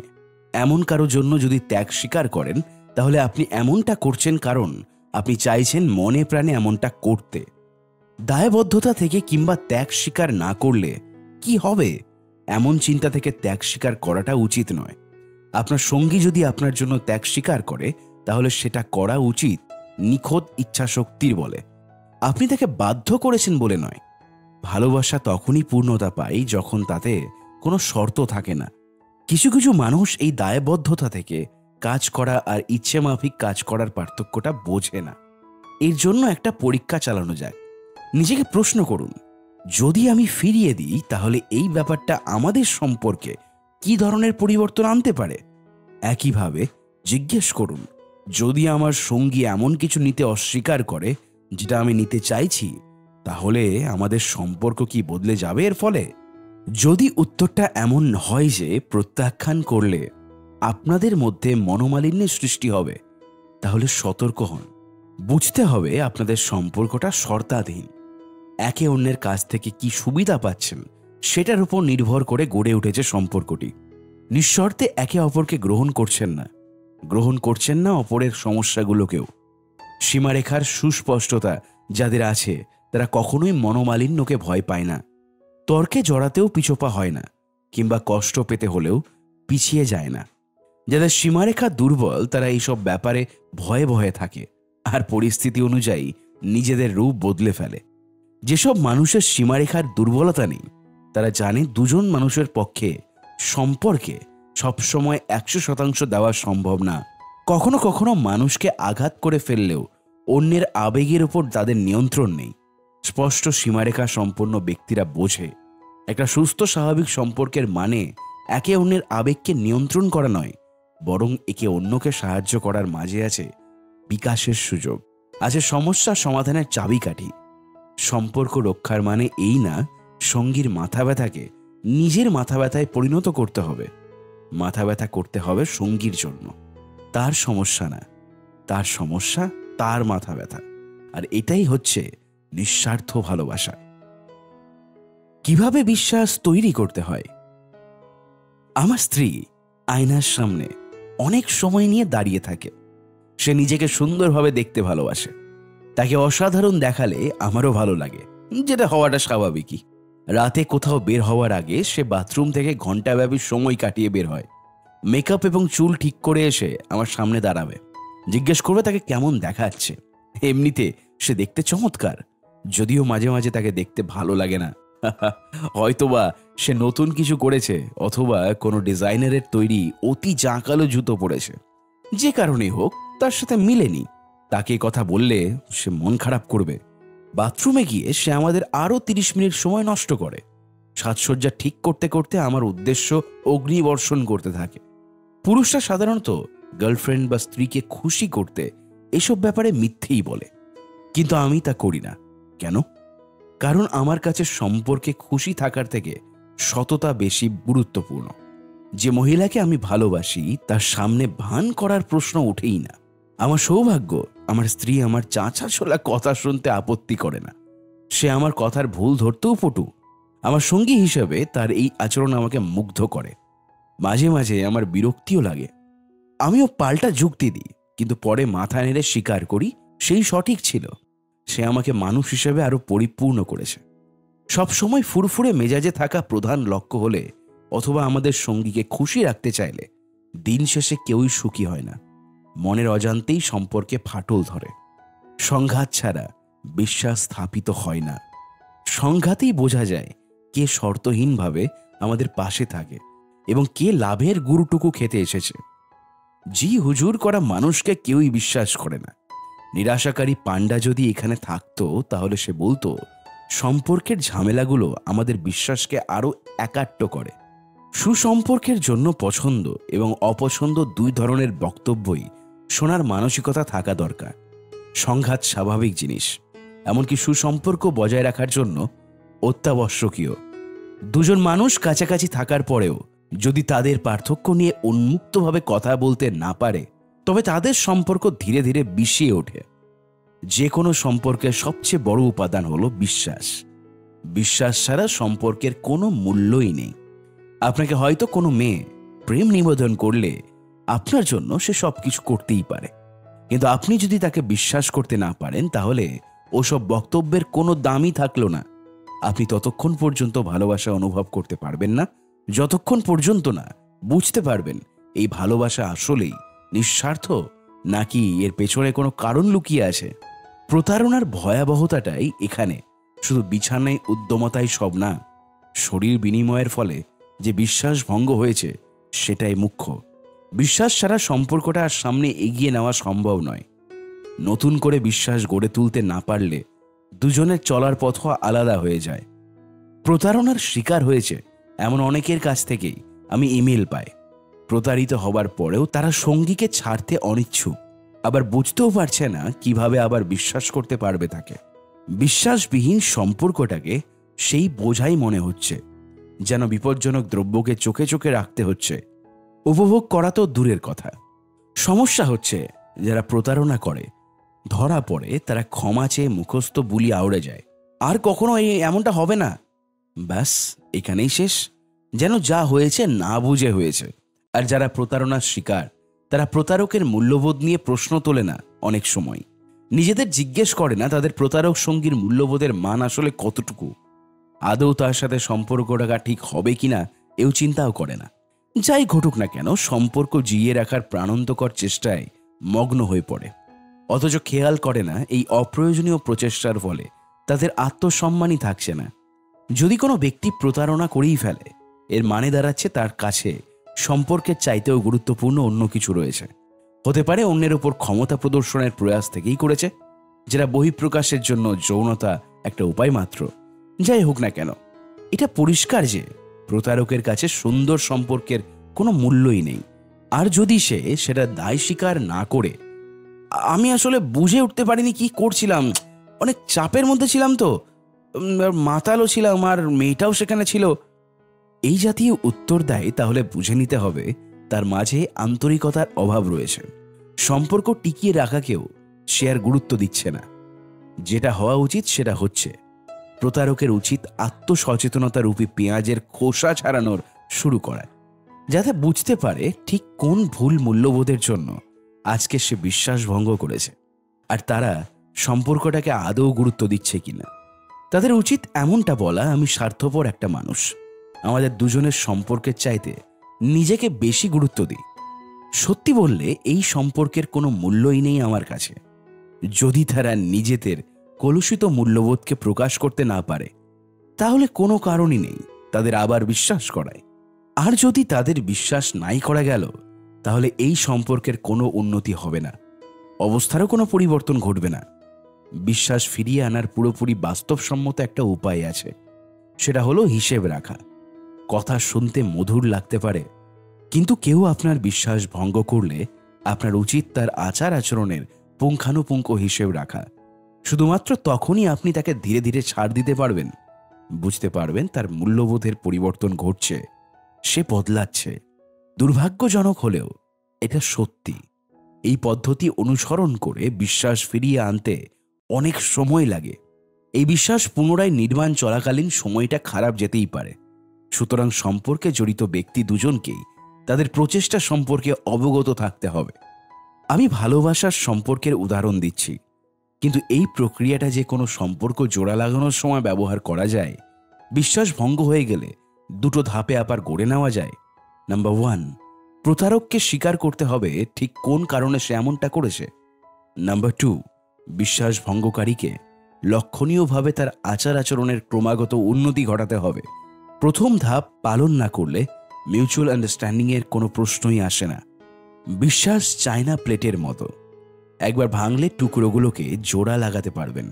আরেকবার ভাঙলে ভাঙা টুকরোর সংখ্যা বেড়ে যাবে, জোড়া লাগানোটা কঠিন হয়ে পড়বে। এরপরও যদি ভেঙে ফেলেন, তাহলে জোড়া লাগানো অসম্ভব। ভেঙে যাওয়া টুকরো আর ধুলোবালি ছাড়া আর কিছুই থাকবে না। অঙ্গীকারেই মুক্তি নিহিত। ভোগবাদী সংস্কৃতি আমাদের চাহিদা বাড়িয়েই চলেছে। আমি অনেক বছরে ধারণায় আটকে ছিলাম। অনেক টাকা আয় করো, দেশ বিদেশ ঘুরে বেড়াও, অভিজ্ঞতা সঞ্চয় করো, মেয়েদের সাথে ঘুরে বেড়াও। প্রাচুর্যের মানেই সুখ নয়, এমনকি এর বিপরীতটাই সঠিক। কম পেয়ে আমরা সুখে থাকি। যখন আমাদের হাতে অবারিত সুযোগ এবং সম্ভাবনা থাকে, আমরা মধুর সমস্যায় পড়ি। মনোবিদরা একে বেছে নেওয়ার গোলকধাঁধা বলেন। আসলে অতিরিক্ত সুযোগ পেলে আমরা বাছাই করা জিনিস নিয়ে আরও কতই না সন্তুষ্ট হই। কারণ বাদ দেওয়া সুযোগ সম্পর্কেও আমরা অবগত থাকি। আপনাকে যদি থাকার জন্য দুটি জায়গার একটি বেছে নিতে বলা হয়, আপনি সহজেই একটা সিদ্ধান্ত নিতে পারবেন এবং সে সিদ্ধান্তকে সঠিক ভাববেন। আপনাকে যদি থাকার জন্য আঠাশটি জায়গার একটি বেছে নিতে বলা হয়, বেছে নেওয়ার ধাঁধার নিয়মানুযায়ী আপনি বছরের পর বছর ভেবে ভেবে হয়রান হবেন। আসলেই সঠিক সিদ্ধান্ত নিতে পেরেছিলেন কিনা এবং এই উদ্বেগ, নিখুঁত সিদ্ধান্ত এবং সাফল্যের এই আকাঙ্ক্ষা আপনাকে অসুখী করে তুলবে। তো আমরা কি করব?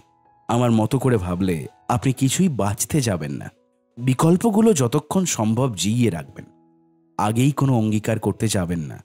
কিন্তু নির্দিষ্ট একজন মানুষের কাছে, জায়গায় বা কাজে নিজেকে উৎসর্গ করে দেওয়ার মানে হচ্ছে নিজেকে অবারিত অভিজ্ঞতার হাত থেকে বঞ্চিত করা। আবার একাধিক অভিজ্ঞতার পেছনে ছুটলে আমরা কখনোই গভীরভাবে নির্দিষ্ট একটা অভিজ্ঞতা লাভ করতে পারব না। যত যাই করি না কেন বা যত জায়গায় যায় না কেন, আপনি যখন একের অধিক অভিজ্ঞতার পেছনে ছুটবেন, তখন প্রত্যেকটা নতুন অভিজ্ঞতা, প্রতিটি নতুন মানুষের পরিচয় হবার কিংবা নতুন জিনিস জানার আগ্রহ ততই কমতে থাকবে আপনার। অর্থনীতিতে একে ল অফ ডিমিনিশিং রিটার্ন বলা হয়। আপনি কখনোই দেশ ছেড়ে বিদেশে পাড়ি জমাননি। এখন প্রথম যে দেশে যাবেন, সেখানে গিয়ে আপনার মাঝে ব্যাপক আলোড়নের সৃষ্টি হবে। আপনার দৃষ্টিভঙ্গির পরিবর্তন আসবে। কারণ এতদিন কোমর ব্যাং হয়ে কাটিয়েছেন, কিন্তু ধরুন আপনি কুড়িটি দেশ ভ্রমণ করেছেন। একুশ নম্বরে ভ্রমণের সময় আহামরি কিছু মনে হবে না। পঞ্চাশটা দেশ ঘুরলে একান্ন নম্বর দেশ ঘোরার সময় ভালো নাও লাগতে পারে। বস্তুগত জিনিসের ক্ষেত্রেও এই কথা প্রযোজ্য। টাকা পয়সা শখ আহ্লাদ চাকরি, বন্ধুবান্ধব, ভালোবাসার মানুষ, এসব কিছুই। আপনার যতই বয়স বাড়বে, ততই অভিজ্ঞতার ঝুলি ভারী হবে আর ততই অভিজ্ঞতাগুলো আপনার ওপর কম প্রভাব ফেলবে। পার্টিতে প্রথমবার মদ গেলার সময় আমার মাঝে উত্তেজনা কাজ করছিল। একশোতম বার মদ পানের সময় ভালোই লেগেছিল। পাঁচশোতম বারের যখন মদ গিলি, মনে হচ্ছিল শুধু খুব সাধারণ কিছু করছি আর হাজার বারের মতো চুমুক দেওয়ার সময় মদ পানকে একঘেয়ে গুরুত্বহীন লাগছিল। গত কয়েক বছরে আমার বলার মতো অর্জন হচ্ছে অঙ্গীকার করতে শেখা। পছন্দের মানুষ আর অভিজ্ঞতা মূল্যবোধ ছাড়া বাকি সব কিছুকে আমি প্রত্যাখ্যান করেছি। সমস্ত ব্যবসা বন্ধ করে দিয়ে লেখালেখিতে মনোযোগ দিয়েছি। এরপর থেকেই আমি ওয়েবসাইটের জনপ্রিয়তা কল্পনাকেও ছাড়িয়ে যায় ভালোবেসেছি এক নারীকেই আর অবাক হলেও সত্যি, এতদিনের উদ্দাম জীবন আর একের পর এক নারী সঙ্গ উপভোগের চাইতে এই সম্পর্কই মধুর আমার কাছে। নির্দিষ্ট একটা জায়গায় থিতু হয়েছি, বন্ধুত্বের উপর জোর দিতে শিখেছি। আমি একটা ব্যাপার উপলব্ধি করেছি, প্রথাগত বুলির চেয়ে একটু বিপরীত ধর্মী শোনালেও সত্যি, অঙ্গীকারের মাঝেই আছে মুক্তি। অঙ্গীকার আপনাকে স্বাধীনতা এনে দেয়, কারণ আপনার আর বিভ্রান্ত হবার সুযোগই নেই। এতে আপনার মনোযোগ দেবার ক্ষমতা বৃদ্ধি পায়, লক্ষ্যে অবিচল থাকা যায়। আপনার জন্য যেটা কল্যাণকর সেটার দিকে ধাবিত করে। সিদ্ধান্ত গ্রহণ করতে আর দ্বিধাবোধ হয় না। আপনার যা আছে তাই নিয়ে সন্তুষ্ট থাকছেন। আরও বেশি কিছুর পেছনে ছোটা দরকার কি? অঙ্গীকারের মাধ্যমে সুনির্দিষ্ট লক্ষ্যকে পাখির যোগ করতে পারবেন, যা বয়ে আনবে সাফল্য। বিকল্পকে প্রত্যাখ্যানেই আছে সত্যিকারের স্বাধীনতার স্বাদ, যেটা আপনার মূল্যবোধ আর তার মানদণ্ডের সাথে খাপ খায় না সেটাকে ফিরিয়ে দেওয়াতেই আছে আনন্দ। অল্প বয়সে মনে হতে পারে, যত বেশি অভিজ্ঞতা জ্ঞান লাভ করা যায় তত লাভ। অবশ্য এক সময় না এক সময় আপনাকে অভিজ্ঞতার মাধ্যমে বুঝতে হবে কিসে আপনি দক্ষ। কিন্তু প্রকৃত সাফল্য হচ্ছে গুপ্তধনের মতো। আপনাকে গভীরে গিয়ে দেখতে হবে কোথায় লুকোনো আছে সেই সম্পদ। এমনটা করতে হবে সব ব্যাপারে।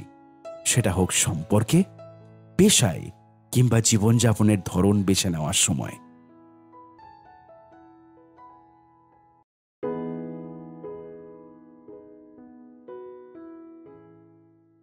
অধ্যায় নয়, শেষ অধ্যায়। অতঃপর আপনি মৃত্যুর কোলে ঢলে পড়েন। সত্যের অন্বেষণ করো, তোমার সাথে আমার দেখা হবে সেখানেই। এটাই ছিল আমাকে বলা যশের শেষ কথা। কথাটা গভীরভাবে বলা আসলে অন্যদের বলার ভঙ্গিকে খোঁচা মারার চেষ্টা করছিল। শো ছিল সেই সময়। ও আমার খুব ভালো বন্ধু ছিল। উনিশ বছর বয়সে আমার জীবনের সবচেয়ে বড় পরিবর্তন এনে দেওয়া ঘটনা ঘটে। জস আমাকে ডালাসের উত্তর দিকে অবস্থিত এক লেকের পার্টিতে নিয়ে যায়। পাহাড়ের ওপরে নির্মিত ভবন, পাহাড়ের গোড়ায় সুইমিং পুল আর পুলের নিচেই খাড়ি নেমে গেছে লেকে। খাড়িটা তিরিশ ফুটের মতো হবে। অবশ্যই ওখান থেকে লাভ দেওয়ার আগে দ্বিতীয়বার ভাবতে হবে। অবশ্য পেটে অ্যালকোহল পড়লে আর উত্তেজিত জনতার উৎসাহ পেলে দ্বিতীয়বার চিন্তা করার দরকার নাও হতে পারে। পার্টিতে পৌঁছেই জস আর আমি পুলে নেমে পড়ি। বিয়ার গিলতে গিলতে গল্প করছিলাম। নিউ ইয়র্কে গিয়ে একসাথে ব্যান্ড করার কথাও বললাম। সে সময়ের অসম্ভব একটা স্বপ্ন। নেহাত কিশোর ছিলাম আমরা। কিছুক্ষণ পর লেখের দিকে তাকিয়ে বললাম, এখান থেকে তো লাভ দেওয়া যাবে? হুম লোকেরা সবসময় দেয়। জহস বলল তুমি কি দেবে? "উম, দিতেই পারি। দেখা যাক। কাঁধ ঝাঁকিয়ে জবাব দিল সে। বিকেলের দিকে আমি যশের থেকে আলাদা থাকলাম। একটা সুন্দরী এশিয়ান মেয়ের প্রতি আকৃষ্ট হয়ে পড়ি। মেয়েটা ভিডিও গেমস পছন্দ করত। আমার জন্য ব্যাপারটা খুবই উত্তেজনার ব্যাপার ছিল। আমার প্রতি এর বিশেষ আগ্রহ ছিল না। কিন্তু মেয়েটা মিশুক স্বভাবের। তোর সাথে গল্প আলাপ জমানোর চেষ্টাই করলাম। কয়েকটা বিয়ার পান করার পর সাহস করে মেয়েটাকে জিজ্ঞাসা করি ওপরের ঘরে গিয়ে আমার সাথে খাবার নিয়ে আসবে কিনা? মেয়েটাও রাজি হলো। ঢাল বেয়ে ওঠার পথে যশের সাথে দেখা হলো। আমি ওকে কিছু জিজ্ঞেস করলাম যে কিছু খাবে কিনা। না করে দিল। জিজ্ঞেস করলাম পরে ওকে কোথায় পাবো? যশ হেসে বলল "হ্যাঁ, সত্যের অন্বেষণ করো। তোমার সাথে আমার দেখা হবে সেখানেই। আমি মাথা নেড়ে গম্ভীর মুখে বললাম, হুম, ঠিক আছে। ওখানে দেখা হবে। যেন সবাই জানে সত্যকে কোথায় পাওয়া যাবে। যশ একটু হেসে ঢাল বেয়ে নামতে থাকল আর আমি ঢাল বেয়ে ওপরে উঠতে থাকলাম। কতক্ষণ ভিতরে ছিলাম মনে করতে পারছি না। খালি মনে আছে মেয়েটা আর আমি যখন বের হই, আর কেউ ছিল না সেখানে। আর সাইরেন বাজছিল। পুল খালি পড়ে আছে। লোকজন লেক পার দিয়ে দৌড়ে যাচ্ছে। অনেকে জলে নেমেও পড়েছে। কয়েকটা ছেলেকে দেখলাম সাঁতরাচ্ছে। অন্ধকারে ভালো দেখা যাচ্ছিল না। গান বেজে চলেছে কিন্তু সেদিকে কারও মনোযোগ নেই। তখনও দুই আর দুই মেলাতে পারিনি। স্যান্ডউইচ খেতে খেতে লেকের পাড়ের দিকে নামতে থাকলাম। সবার মতো আমিও উৎসুক চোখে তাকিয়ে আছি। অর্ধেক পথ নামার পর এশিয়ান মেয়েটা আমাকে বলল, আমার মনে হয় ভয়ানক কিছু হয়ে গেছে। পাহাড় থেকে নেমে আমি একজনকে যশের কথা জিজ্ঞেস করি। কেউ আমার দিকে তাকাচ্ছিল না, আমাকে চিনতেও পারছিল না, সবাই জলের দিকে তাকিয়েছিল। আমি আবারও জিজ্ঞেস করলাম, একটা মেয়ে হাউমাউ করে কাঁদতে শুরু করল, তখনই আমি বুঝে ফেলি কি ঘটেছে। যশের দেহ খুঁজে পেতে স্কুবা ডাইভারদের তিন ঘণ্টার সময় লাগে।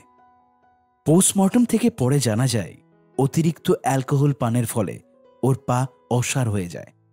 এত উঁচু থেকে লাভ দেওয়ার ফলে প্রচণ্ড শক্তিতে জলে ধাক্কা খায়ও, যার ফলে ঠিকমতো পা নেড়ে সাঁতরাতে পারেনি। ও যখন লাভ দেয় তখন চারিদিকে অন্ধকার। অন্ধকারে জলের স্তর বোঝাও যাচ্ছিল না। ও সাহায্যের চিৎকার কোথা থেকে আসছে কারোর পক্ষেই বোঝা সম্ভব হয়নি। শুধু জলের ঝাঁপটার আওয়াজ পাওয়া যায়। পরে ওর বাবা মার থেকে জানতে পারি ও ঠিকমতো সাঁতারই কাটতে পারত না। বারো ঘণ্টা পার হওয়ার পর আমার চোখে জল এলো। আমি অস্টিনে গাড়ি চালিয়ে বাড়ি ফিরছিলাম। আমি বাবাকে ফোন করে জানাই। আমি তখনও ডালাসের কাছে। অফিসে যেতে পারব না। আমি বাবার সাথে ওই গ্রীষ্মে কাজ করতাম। বাবা জিজ্ঞেস করেন, কি হয়েছে? সব ঠিকঠাক আছে কিনা আর তখনই আমার চোখ থেকে অশ্রু গড়িয়ে পড়তে শুরু করল। রাস্তার পাশে আমি গাড়ি থামিয়ে রাখি। শিশুর মতো বাবার কাছে ফোনে কাঁদতে থাকি। ওই গ্রীষ্মে আমি গভীর বিষণ্নতায় আক্রান্ত হই। আমি ভাবতাম আমি আগেও বিষণ্ন ছিলাম, কিন্তু তখন নতুন পর্যায়ে অর্থহীন অবস্থায় পড়ি। গভীর দুঃখে শারীরিকভাবেও যেন আক্রান্ত হয়ে মানুষজন এসে আমাকে উৎফুল্ল করার চেষ্টা করত, আর আমি বসে বসে কি করা উচিত সে কথা শুনতাম। আমার সাথে দেখা করার জন্য তাদের ধন্যবাদ জানাতাম। সামান্য হাসি দিয়ে মিথ্যেও বলতাম, আমি ঠিক আছি, কিন্তু ভিতরে আমি কিছুই অনুভব করতে পারতাম না। কয়েক মাস পর আমি যশকে স্বপ্নে দেখি। স্বপ্নে ও আর আমি জীবন এবং মৃত্যু নিয়ে কথা বলার পাশাপাশি অর্থহীন জিনিস নিয়ে আলোচনা করি। সেদিনের আগে পর্যন্ত আমি আর দশটা মধ্যবিত্ত ঘরের ছেলের মতোই ছিলাম।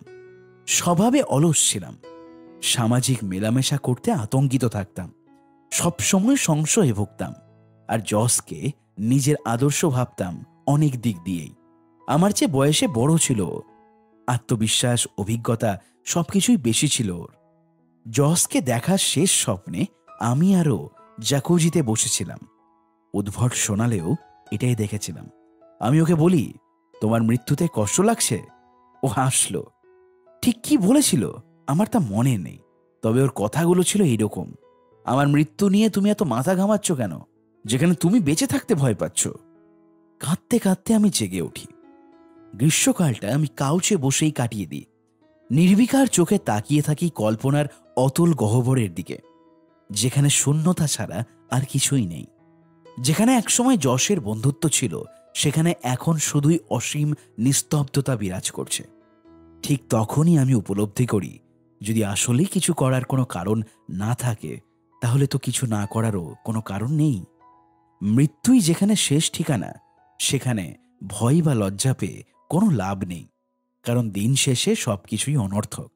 ক্ষুদ্র এই জীবনে এতদিন শুধু কষ্ট আর অস্বস্তিকে পাশ কাটিয়ে যায়নি, বরং বেঁচে থাকাকেই পাশ কাটিয়ে গেছি নিজের অজান্তে।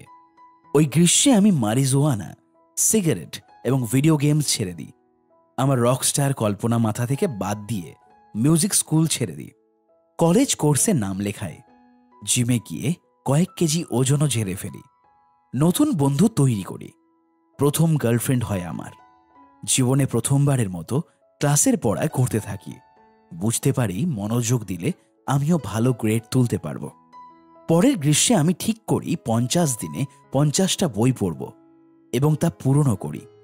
পরের বছর আমি দেশের অপর প্রান্তে খুবই ভালো একটা বিশ্ববিদ্যালয়ে বদলি হই।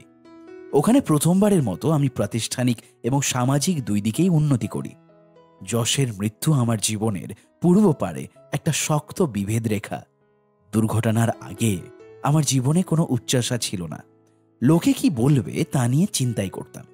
দুর্ঘটনার পর আমি দায়িত্ববোধ সম্পন্ন, উৎসুক এবং পরিশ্রমী নতুন একজন মানুষে পরিণত হই।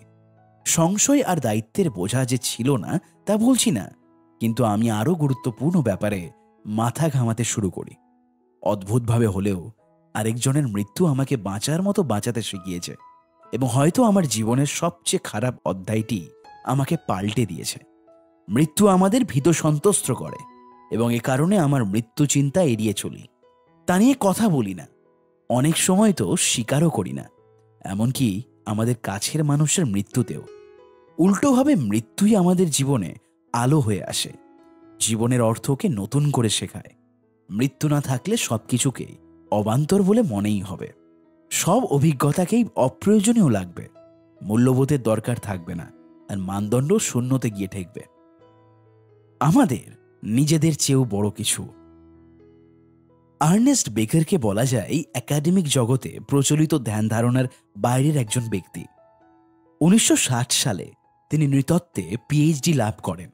তার রিসার্চের বিষয় ছিল, জৈন বৌদ্ধবাদের রীতিবিরুদ্ধ চর্চা আর মনোবিজ্ঞানের তুলনামূলক তত্ত্ব।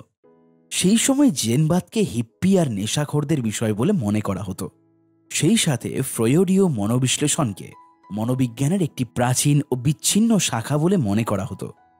সহকারী অধ্যাপক হিসেবে চাকরিতে ঢোকার পরপরই বেকারের কুখ্যাতি ছড়িয়ে পড়ে শিক্ষক মহলে। বেকারের মতো মানুষরা প্রচলিত মনোরোগ বিদ্যাকে ফ্যাসিজমের অংশ বলে মনে করত। দুর্বলের উপর অবৈজ্ঞানিক অত্যাচার হিসেবে দেখত। সমস্যা হচ্ছে বেকারের খোদ বসই ছিলেন একজন মনোরোগ বিশেষজ্ঞ। ব্যাপারটা ছিল প্রথম চাকরিতে গিয়ে বসকে হিটলারের সাথে তুলনা করার সমতুল্য। বুঝতেই পারছেন, তাকে চাকরি হারাতে হয়। বেকার তার ধারণা অন্যান্য জায়গায় ছড়িয়ে দেবার চেষ্টা করতে লাগলেন। বার্কলি, ক্যালিফোর্নিয়া, কিন্তু লাভ হয়নি তেমন। বেকার শুধু তার ধ্যান ধারণার জন্যই যে বিপদে পড়েছিলেন তা নয়, তার শিক্ষাদানের পদ্ধতিও অস্বাভাবিক ছিল। তিনি মনোবিজ্ঞানের ক্লাসে শেক্সপিয়রকে টেনে আনতেন। নৃতত্ত্ব পড়তে গিয়ে মনোবিজ্ঞানের বই পড়াতেন। সমাজ বিজ্ঞানে নৃতাত্ত্বিক তথ্য ব্যবহার করতেন। কিং লিয়ারের মতো পোশাক পরে ক্লাসে তলোয়ার যুদ্ধকে ব্যঙ্গ করতেন। কঠোর ভাষায় রাজনীতির সমালোচনা করতেন, যার সাথে পাঠের কোনো সম্পর্ক নেই। তার ছাত্ররা তাকে পছন্দ করত আর অন্য ফ্যাকাল্টিরা করতেন ঘৃণা। বছরের পর বছর পার হওয়ার আগেই আবারও চাকরি থেকে বিতাড়িত হন তিনি। বেকার এরপর স্যান ফ্রান্সিসকোতে স্টেট ইউনিভার্সিটিতে যান। সেখানে তিনি এক বছরের বেশি সময় চাকরি ধরে রাখেন। কিন্তু ছাত্ররা ভিয়েতনাম যুদ্ধের প্রতিবাদে নামলে বিশ্ববিদ্যালয় থেকে ন্যাশনাল গার্ড চাওয়া হয়। অবস্থাও সংঘাতপূর্ণ হয়ে পড়ে। বেকার ছাত্রদের পক্ষে অবস্থান নিয়ে প্রকাশ্যে ডিনের সিদ্ধান্তের সমালোচনা করেন। আবারও তার বসকে হিটলারের আসনে বসাচ্ছিলেন তিনি। তাকে আরও একবার বরখাস্ত হতে হয়। বেকার ছয় বছরে চারটি চাকরি বদল করেন। পাঁচ নম্বর চাকরি থেকে বরখাস্ত হওয়ার আগেই তার কোলন ক্যান্সার ধরা পড়ে। অসুখ থেকে ভালো হওয়ার সম্ভাবনা ছিল ক্ষীণ। পরবর্তী বছরগুলো তিনি বিছানায় পড়ে থাকেন অসুস্থ হয়ে। সেরে ওঠার আশা বলতে গেলে নিরাশায় পরিণত হয়েছিল। বেকার বই লেখার সিদ্ধান্ত নিলেন। মৃত্যুকে উপজীব্য করে লেখেন বইটি। তিনি উনিশশো চুয়াত্তর সালে মৃত্যুবরণ করেন। তার বই, the denial of death Pulitzer পুরস্কার লাভ করে। বিংশ শতাব্দীর সবচেয়ে প্রভাবশালী বুদ্ধিভিত্তিক সৃষ্টি হিসেবে বিবেচিত হয়। নৃতত্ত্ব আর মনোবিজ্ঞান দুই জগতেই তা ঝড় তোলে। এখনকার দিনেও এর প্রভাব অনস্বীকার্য। ডিএনএল অফ ডেথে দুটো ব্যাপার নিয়ে আলোচনা করা হয়। নাম্বার ওয়ান, জগতে প্রাণী হিসেবে মানুষ অনন্য। কারণ আমরাই একমাত্র প্রজাতি যারা নিজেদের সম্পর্কে ধারণা রাখি। নিজেকে নিয়ে ভাবতে পারি। কুকুর বসে বসে কখনো কেরিয়ার নিয়ে ভাবে না। বিড়ালরা তাদের পূর্বের ভুল নিয়ে চিন্তা করে না এবং তারা ভিন্নভাবে কাজ করলে সামনে কি হতে পারে তাও ভাবে না। ভবিষ্যতের সম্ভাবনা নিয়ে বাননের দল ঝগড়া করে না। মাছও ভাবে না, তার পাখনা আরও বড় হলে অন্য মাছেরা হয়তো তাকে আরও পছন্দ করত। আমরা নিজেদেরকে মন গড়া পরিস্থিতিতে কল্পনা করতেই পারি। সেটা অতীত কিংবা ভবিষ্যৎ দুই সময়ের জন্যই প্রযোজ্য। যেখানে বাস্তবতা কিংবা পরিস্থিতি ভিন্ন হলে কি হতো সেটা চিন্তা করতে পারি। অনন্য সাধারণ এই মানসিক ক্ষমতার কারণে বেকার বলেছেন, জীবনে এক সময় নিজেদের মৃত্যুর অবশ্যম্ভাবিতা সম্পর্কে অবগত হয়ে পড়ি। বাস্তবতাকে ভিন্নভাবে কল্পনা করার শক্তি একমাত্র আমাদেরই আছে, যার ফলে এমন বাস্তবতাকেও আমরা কল্পনা করতে পারি, যেখানে খোদ আমাদেরই উপস্থিতি নেই। আর এই উপলব্ধিকে বেকার মৃত্যু ভয় নামে আখ্যা দিয়েছেন। আমরা যা কিছুই করি বা ভাবি না কেন, এই ভয় আমাদের ঘিরে রাখে। নাম্বার টু বেকারের আলোচনার দ্বিতীয় অংশে বলা হয় আমাদের প্রত্যেকের দুটো সত্তা রয়েছে। একটা হচ্ছে বাহ্যিক সত্তা, যে সত্তা খায়, ঘুমায়, নাক ডাকে। দ্বিতীয়টি হচ্ছে অভ্যন্তরীণ সত্তা, আমাদের পরিচয়। আমরা নিজেদেরকে কীভাবে দেখি বেকারের যুক্তি অনুযায়ী আমাদের নশ্বর দেহ একদিন মারা পড়বে। এই ধারণা সবসময় বহন করে চলছি। মৃত্যু অলঙ্ঘনীয়, আর এই অলঙ্ঘনীয়তায় অবচেতন মনে ভয় ঢুকিয়ে দেয়। এই কারণেই মানুষ নিজের অভ্যন্তরীণ সত্তাকে টিকিয়ে রাখতে চায়, যাতে শরীর না থাকলেও তার নাম টিকে থাকে। বিল্ডিংয়ের গায়ে খোদাই করে। মূর্তি বানিয়ে, বইয়ের ওপর নাম লিখে রাখা বাসনার পেছনে কারণ এটাই। অন্যদের সাথে বিশেষত শিশুদের সাথে আমরা সময় ব্যয় করি এজন্যই, যাতে আমাদের বিস্তার করা প্রভাব তাদের ওপরে পড়ে। নিজেদের ধ্যান ধারণা ছড়িয়ে দিতে পারি তাদের মধ্যে। আমরা বেঁচে না থাকলেও আমাদের প্রদত্ত শিক্ষা রয়ে যাবে। মরে গেলেও যাতে সবাইকে স্মরণ করা হয় আমাদের। বেকার এই আচরণের একটা নাম দিয়েছেন। অমরত্বের প্রচেষ্টা। আমাদের অভ্যন্তরীণ সত্তার অস্তিত্ব টিকিয়ে রাখার ইচ্ছে। তিনি বলেন, মানব সভ্যতা হচ্ছে এই অমরত্বের প্রচেষ্টার ফসল শহর সরকার স্থাপনা কর্তৃপক্ষ। এসব কিছুই হচ্ছে আমাদের পূর্বপুরুষদের অমরত্বের প্রচেষ্টার ফল।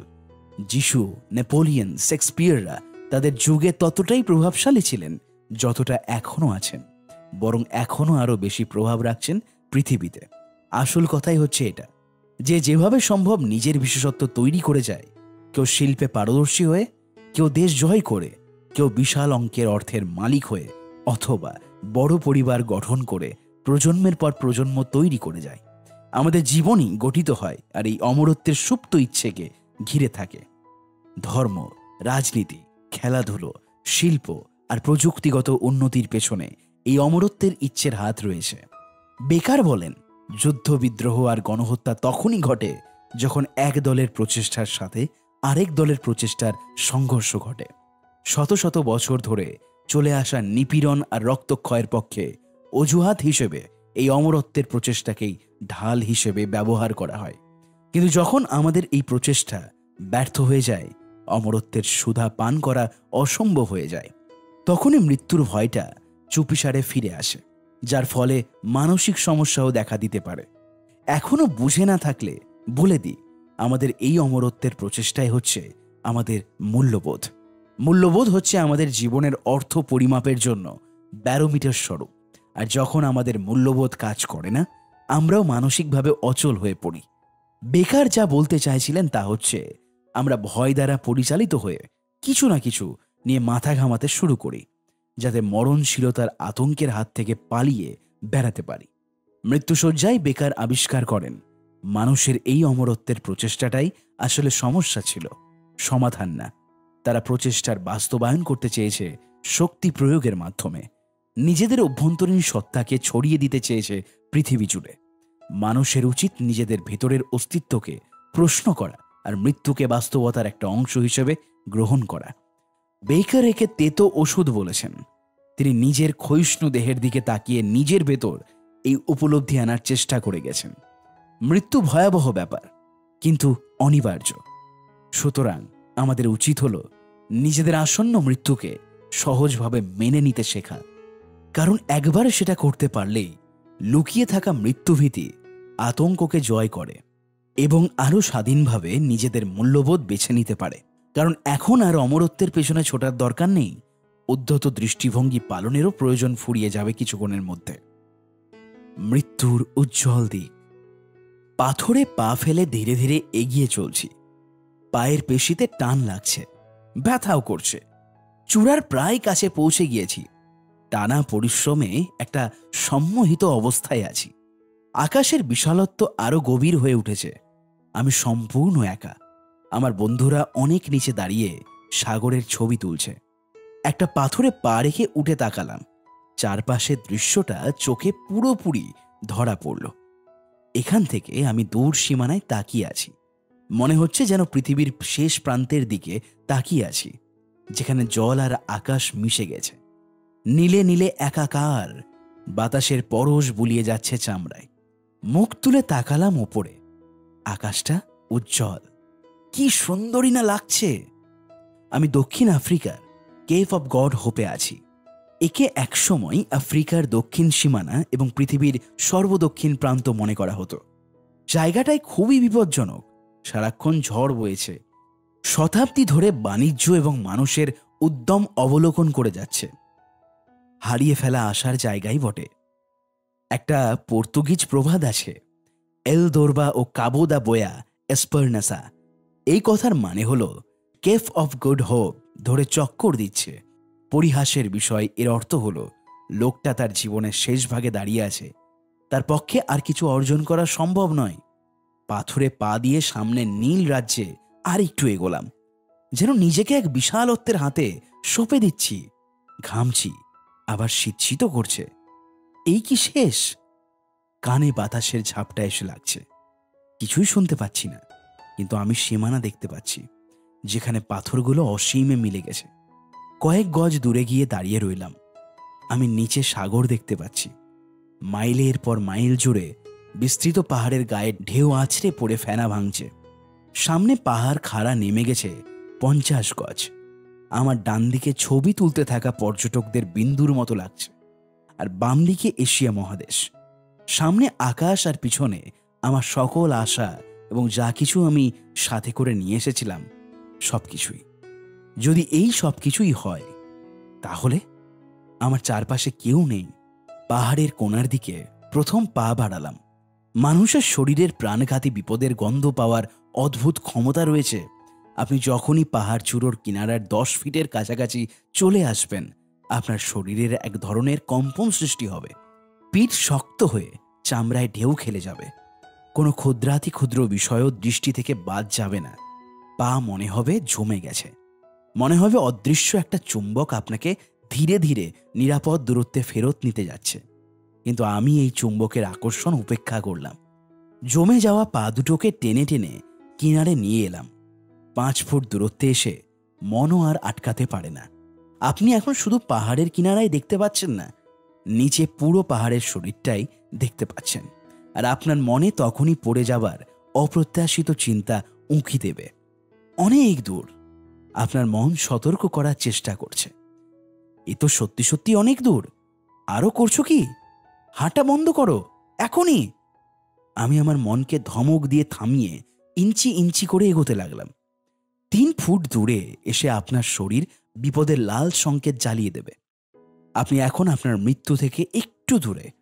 মনে হবে বাতাসের বড় একটা ঝাপটা এলেই আপনি পড়ে যাবেন। হাত পা দুটোই কাঁপতে থাকবে। গলার স্বরও কেঁপে যাবে। যেন এখনও মনে করিয়ে দিতে হবে, আপনি মাটিতে আছড়ে পড়ে মরতে যাচ্ছেন না। এই তিন ফুট দূরত্বটাই অনেকের জন্য চূড়ান্ত সীমা। এই তিন ফুট দূরত্বে এসে উঁকি দিলে নিচের এক ঝলক দৃশ্য দেখতে পাওয়া যায়। আবার পিছলে পড়ার জন্য এই তিন ফুটি অনেক দূরত্ব। পাহাড়ের এত কোনায় এসে দাঁড়ালে সামনের দৃশ্য যতই সুন্দর হোক না কেন, অনেক সময় মাথা ঘোরাতে শুরু করে। পেটে খাবার বেরিয়ে আসতে চায়। তাহলে কি এই ছিল? যা জানার সব জেনে ফেলেছি? জীবনে এই ছিল? আমি আরেকটা ছোট পদক্ষেপ নিলাম, তারপর আরেকটা। এখন আর দুই ফুট বাকি আছে। সামনের পায়ে ভর দেওয়াতে কাঁপছে। পায়ে ভার বদল করলাম। এগোচ্ছি ইন্দ্রিয়ের সতর্কবাণীর বিরুদ্ধে। জোরালো হাওয়া ভেসে এসে চামড়ায় কেটে বসেছে তীক্ষ্ণভাবে। আর এক ফুট বাকি। আমি এখন ঢাল দিয়ে সোজা নিচের দিকে তাকিয়ে আছি। আমার চিৎকার করতে ইচ্ছে করছে। এমনি এমনি শরীর বেঁকে গেছে। যেন অদৃশ্য কোনো কিছুর বিরুদ্ধে রক্ষা করছি নিজেকে। এক ফুট দূরে থেকে মনে হবে আপনি হাওয়ায় ভাসছেন। সোজা নিচের দিকে তাকিয়ে থাকলে মনে হবে আপনি আকাশেরই একটা অংশ। এই সময় হয়তো পড়ে গেলেও আপত্তি থাকবে না। আমি একটু বসলাম। শ্বাস ধরে রেখে চিন্তাগুলো মিলিয়ে নিলাম। জোর করে নিচে তাকিয়ে দেখলাম পাথরের গায়ে জলরাশি ছিটকে পড়ছে। তারপর ডান দিকে তাকিয়ে পিঁপড়া সাইজের পর্যটকদের দেখলাম। নিচে ফটাফট ছবি তুলছে। কেউ ট্যুর বাসের পিছনে ছুটছে। সেখান থেকে আমাকে দেখা যাবে কিনা সন্দেহ। এই মুহূর্তে মনোযোগ আকর্ষণের ইচ্ছেকে অবান্তর বলে মনে হচ্ছে। অবান্তর মনে হচ্ছে সব কিছুকেই আমাকে এখানে দেখতে পাওয়া অসম্ভব। আর দেখতে পেলেও লাভ হতো না। এত দূর থেকে তারা কিছুই করতে পারত না।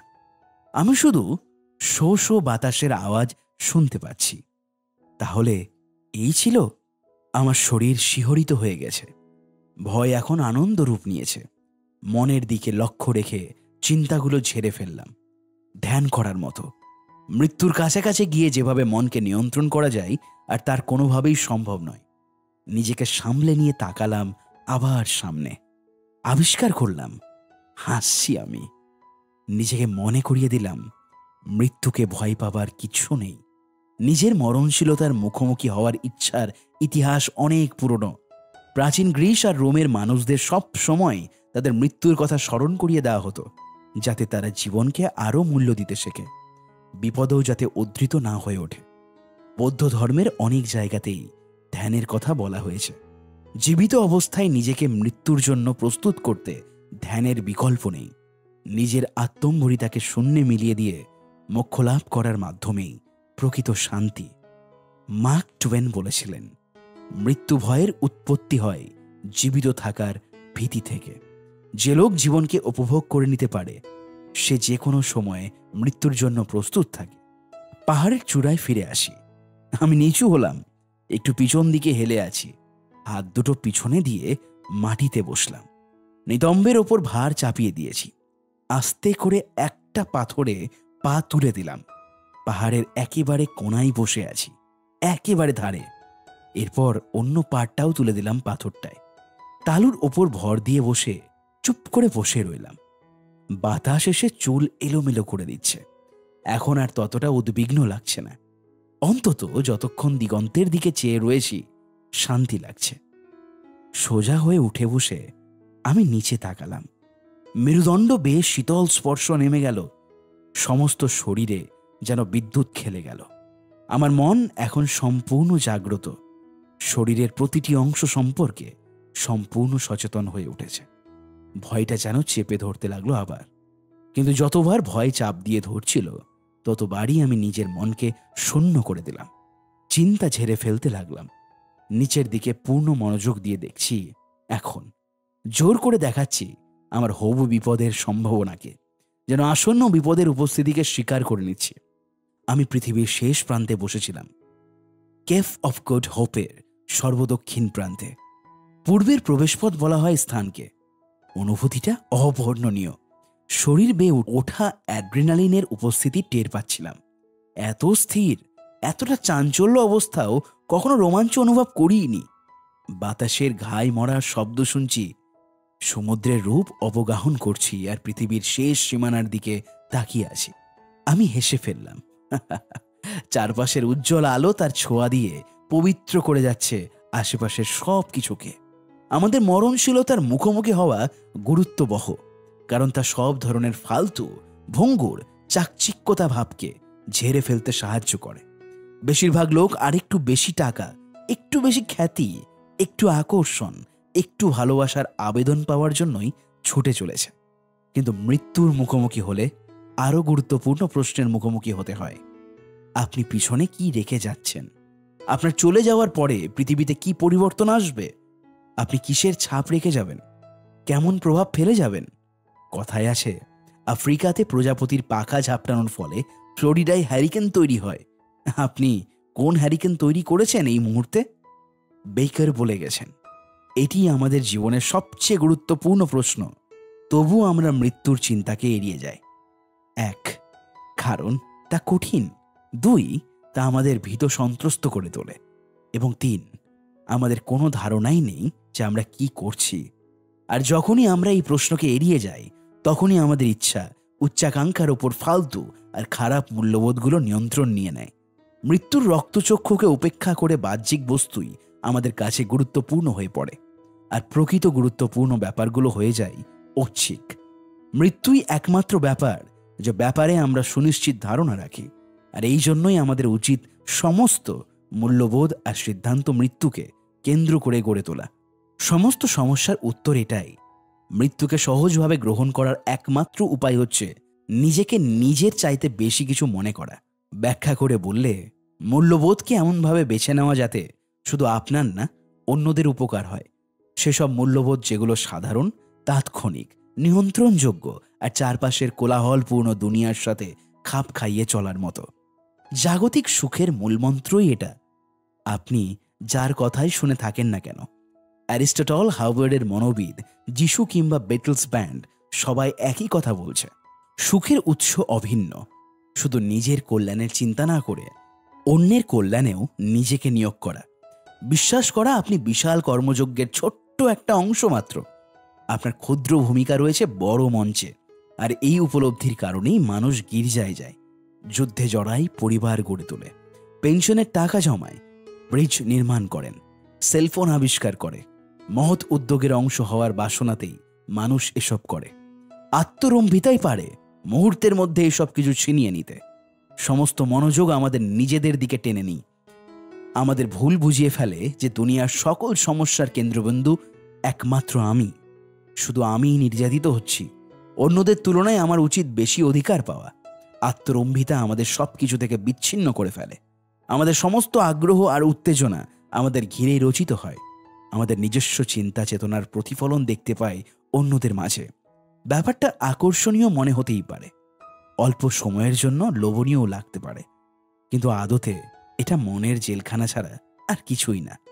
আমাদের মাঝে এই ধারণা মহামারীর আকারে ছড়িয়ে পড়েছে। আমাদের এখন বিত্ত বৈভবের অভাব না থাকলেও মানসিকভাবে বিপর্যস্ত থাকি বেশিরভাগ সময় মানুষ এখন দায়িত্বে অবহেলা করে। সমাজ তার আবেগ আর চাহিদা মেটাবে এমন প্রত্যাশায় ভোগে।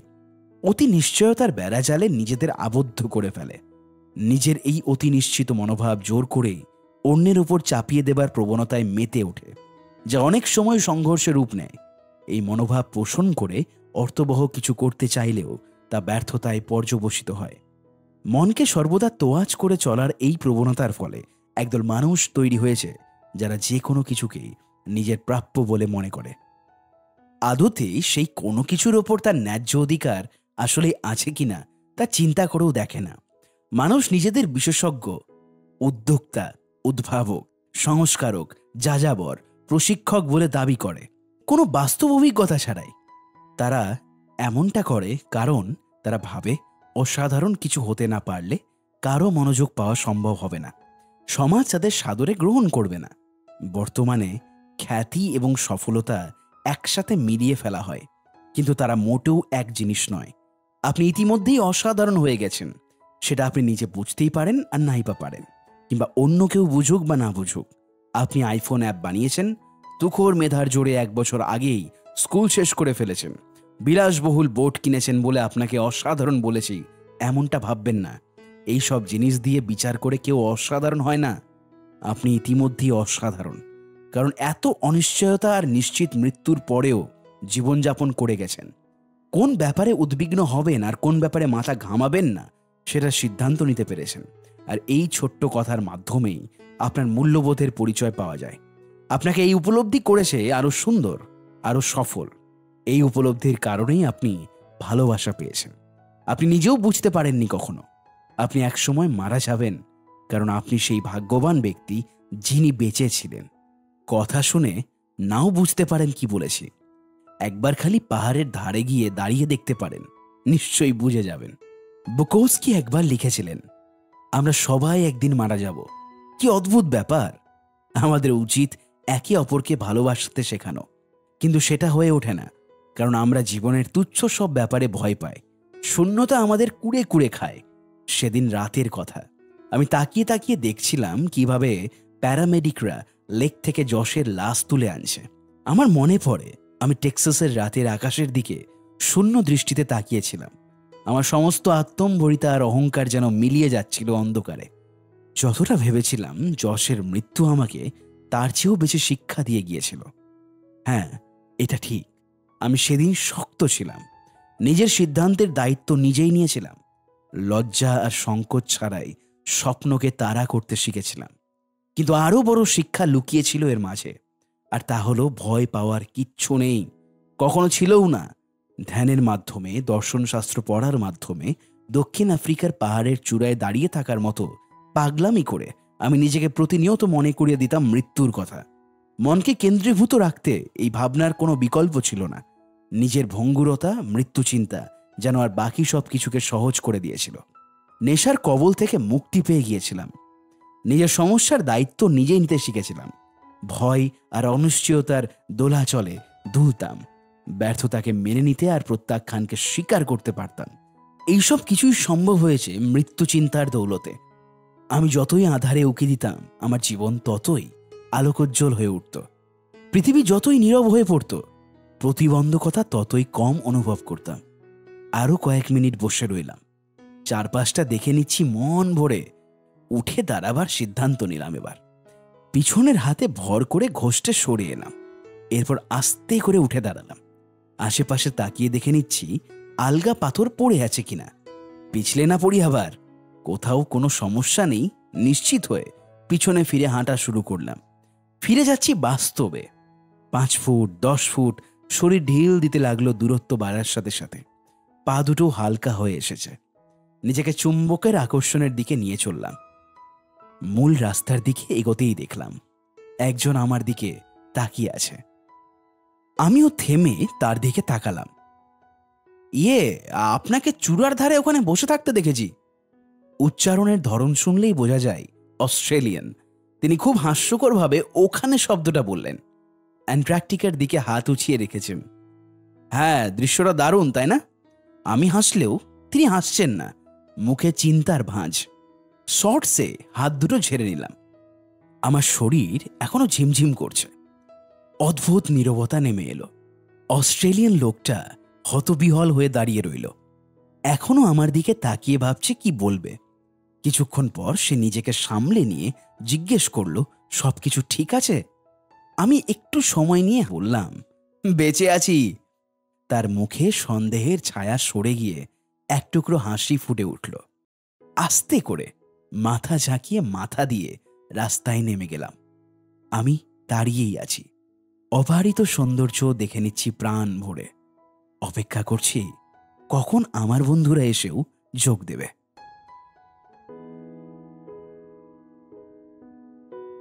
আপনি এই বইটি খুব সুন্দরভাবে শেষ অবধি শুনলেন। তার জন্য আপনাকে অসংখ্য ধন্যবাদ। ভালো থাকুন, সুস্থ থাকুন এবং শুনতে থাকুন Audifeel the voice of enlightenment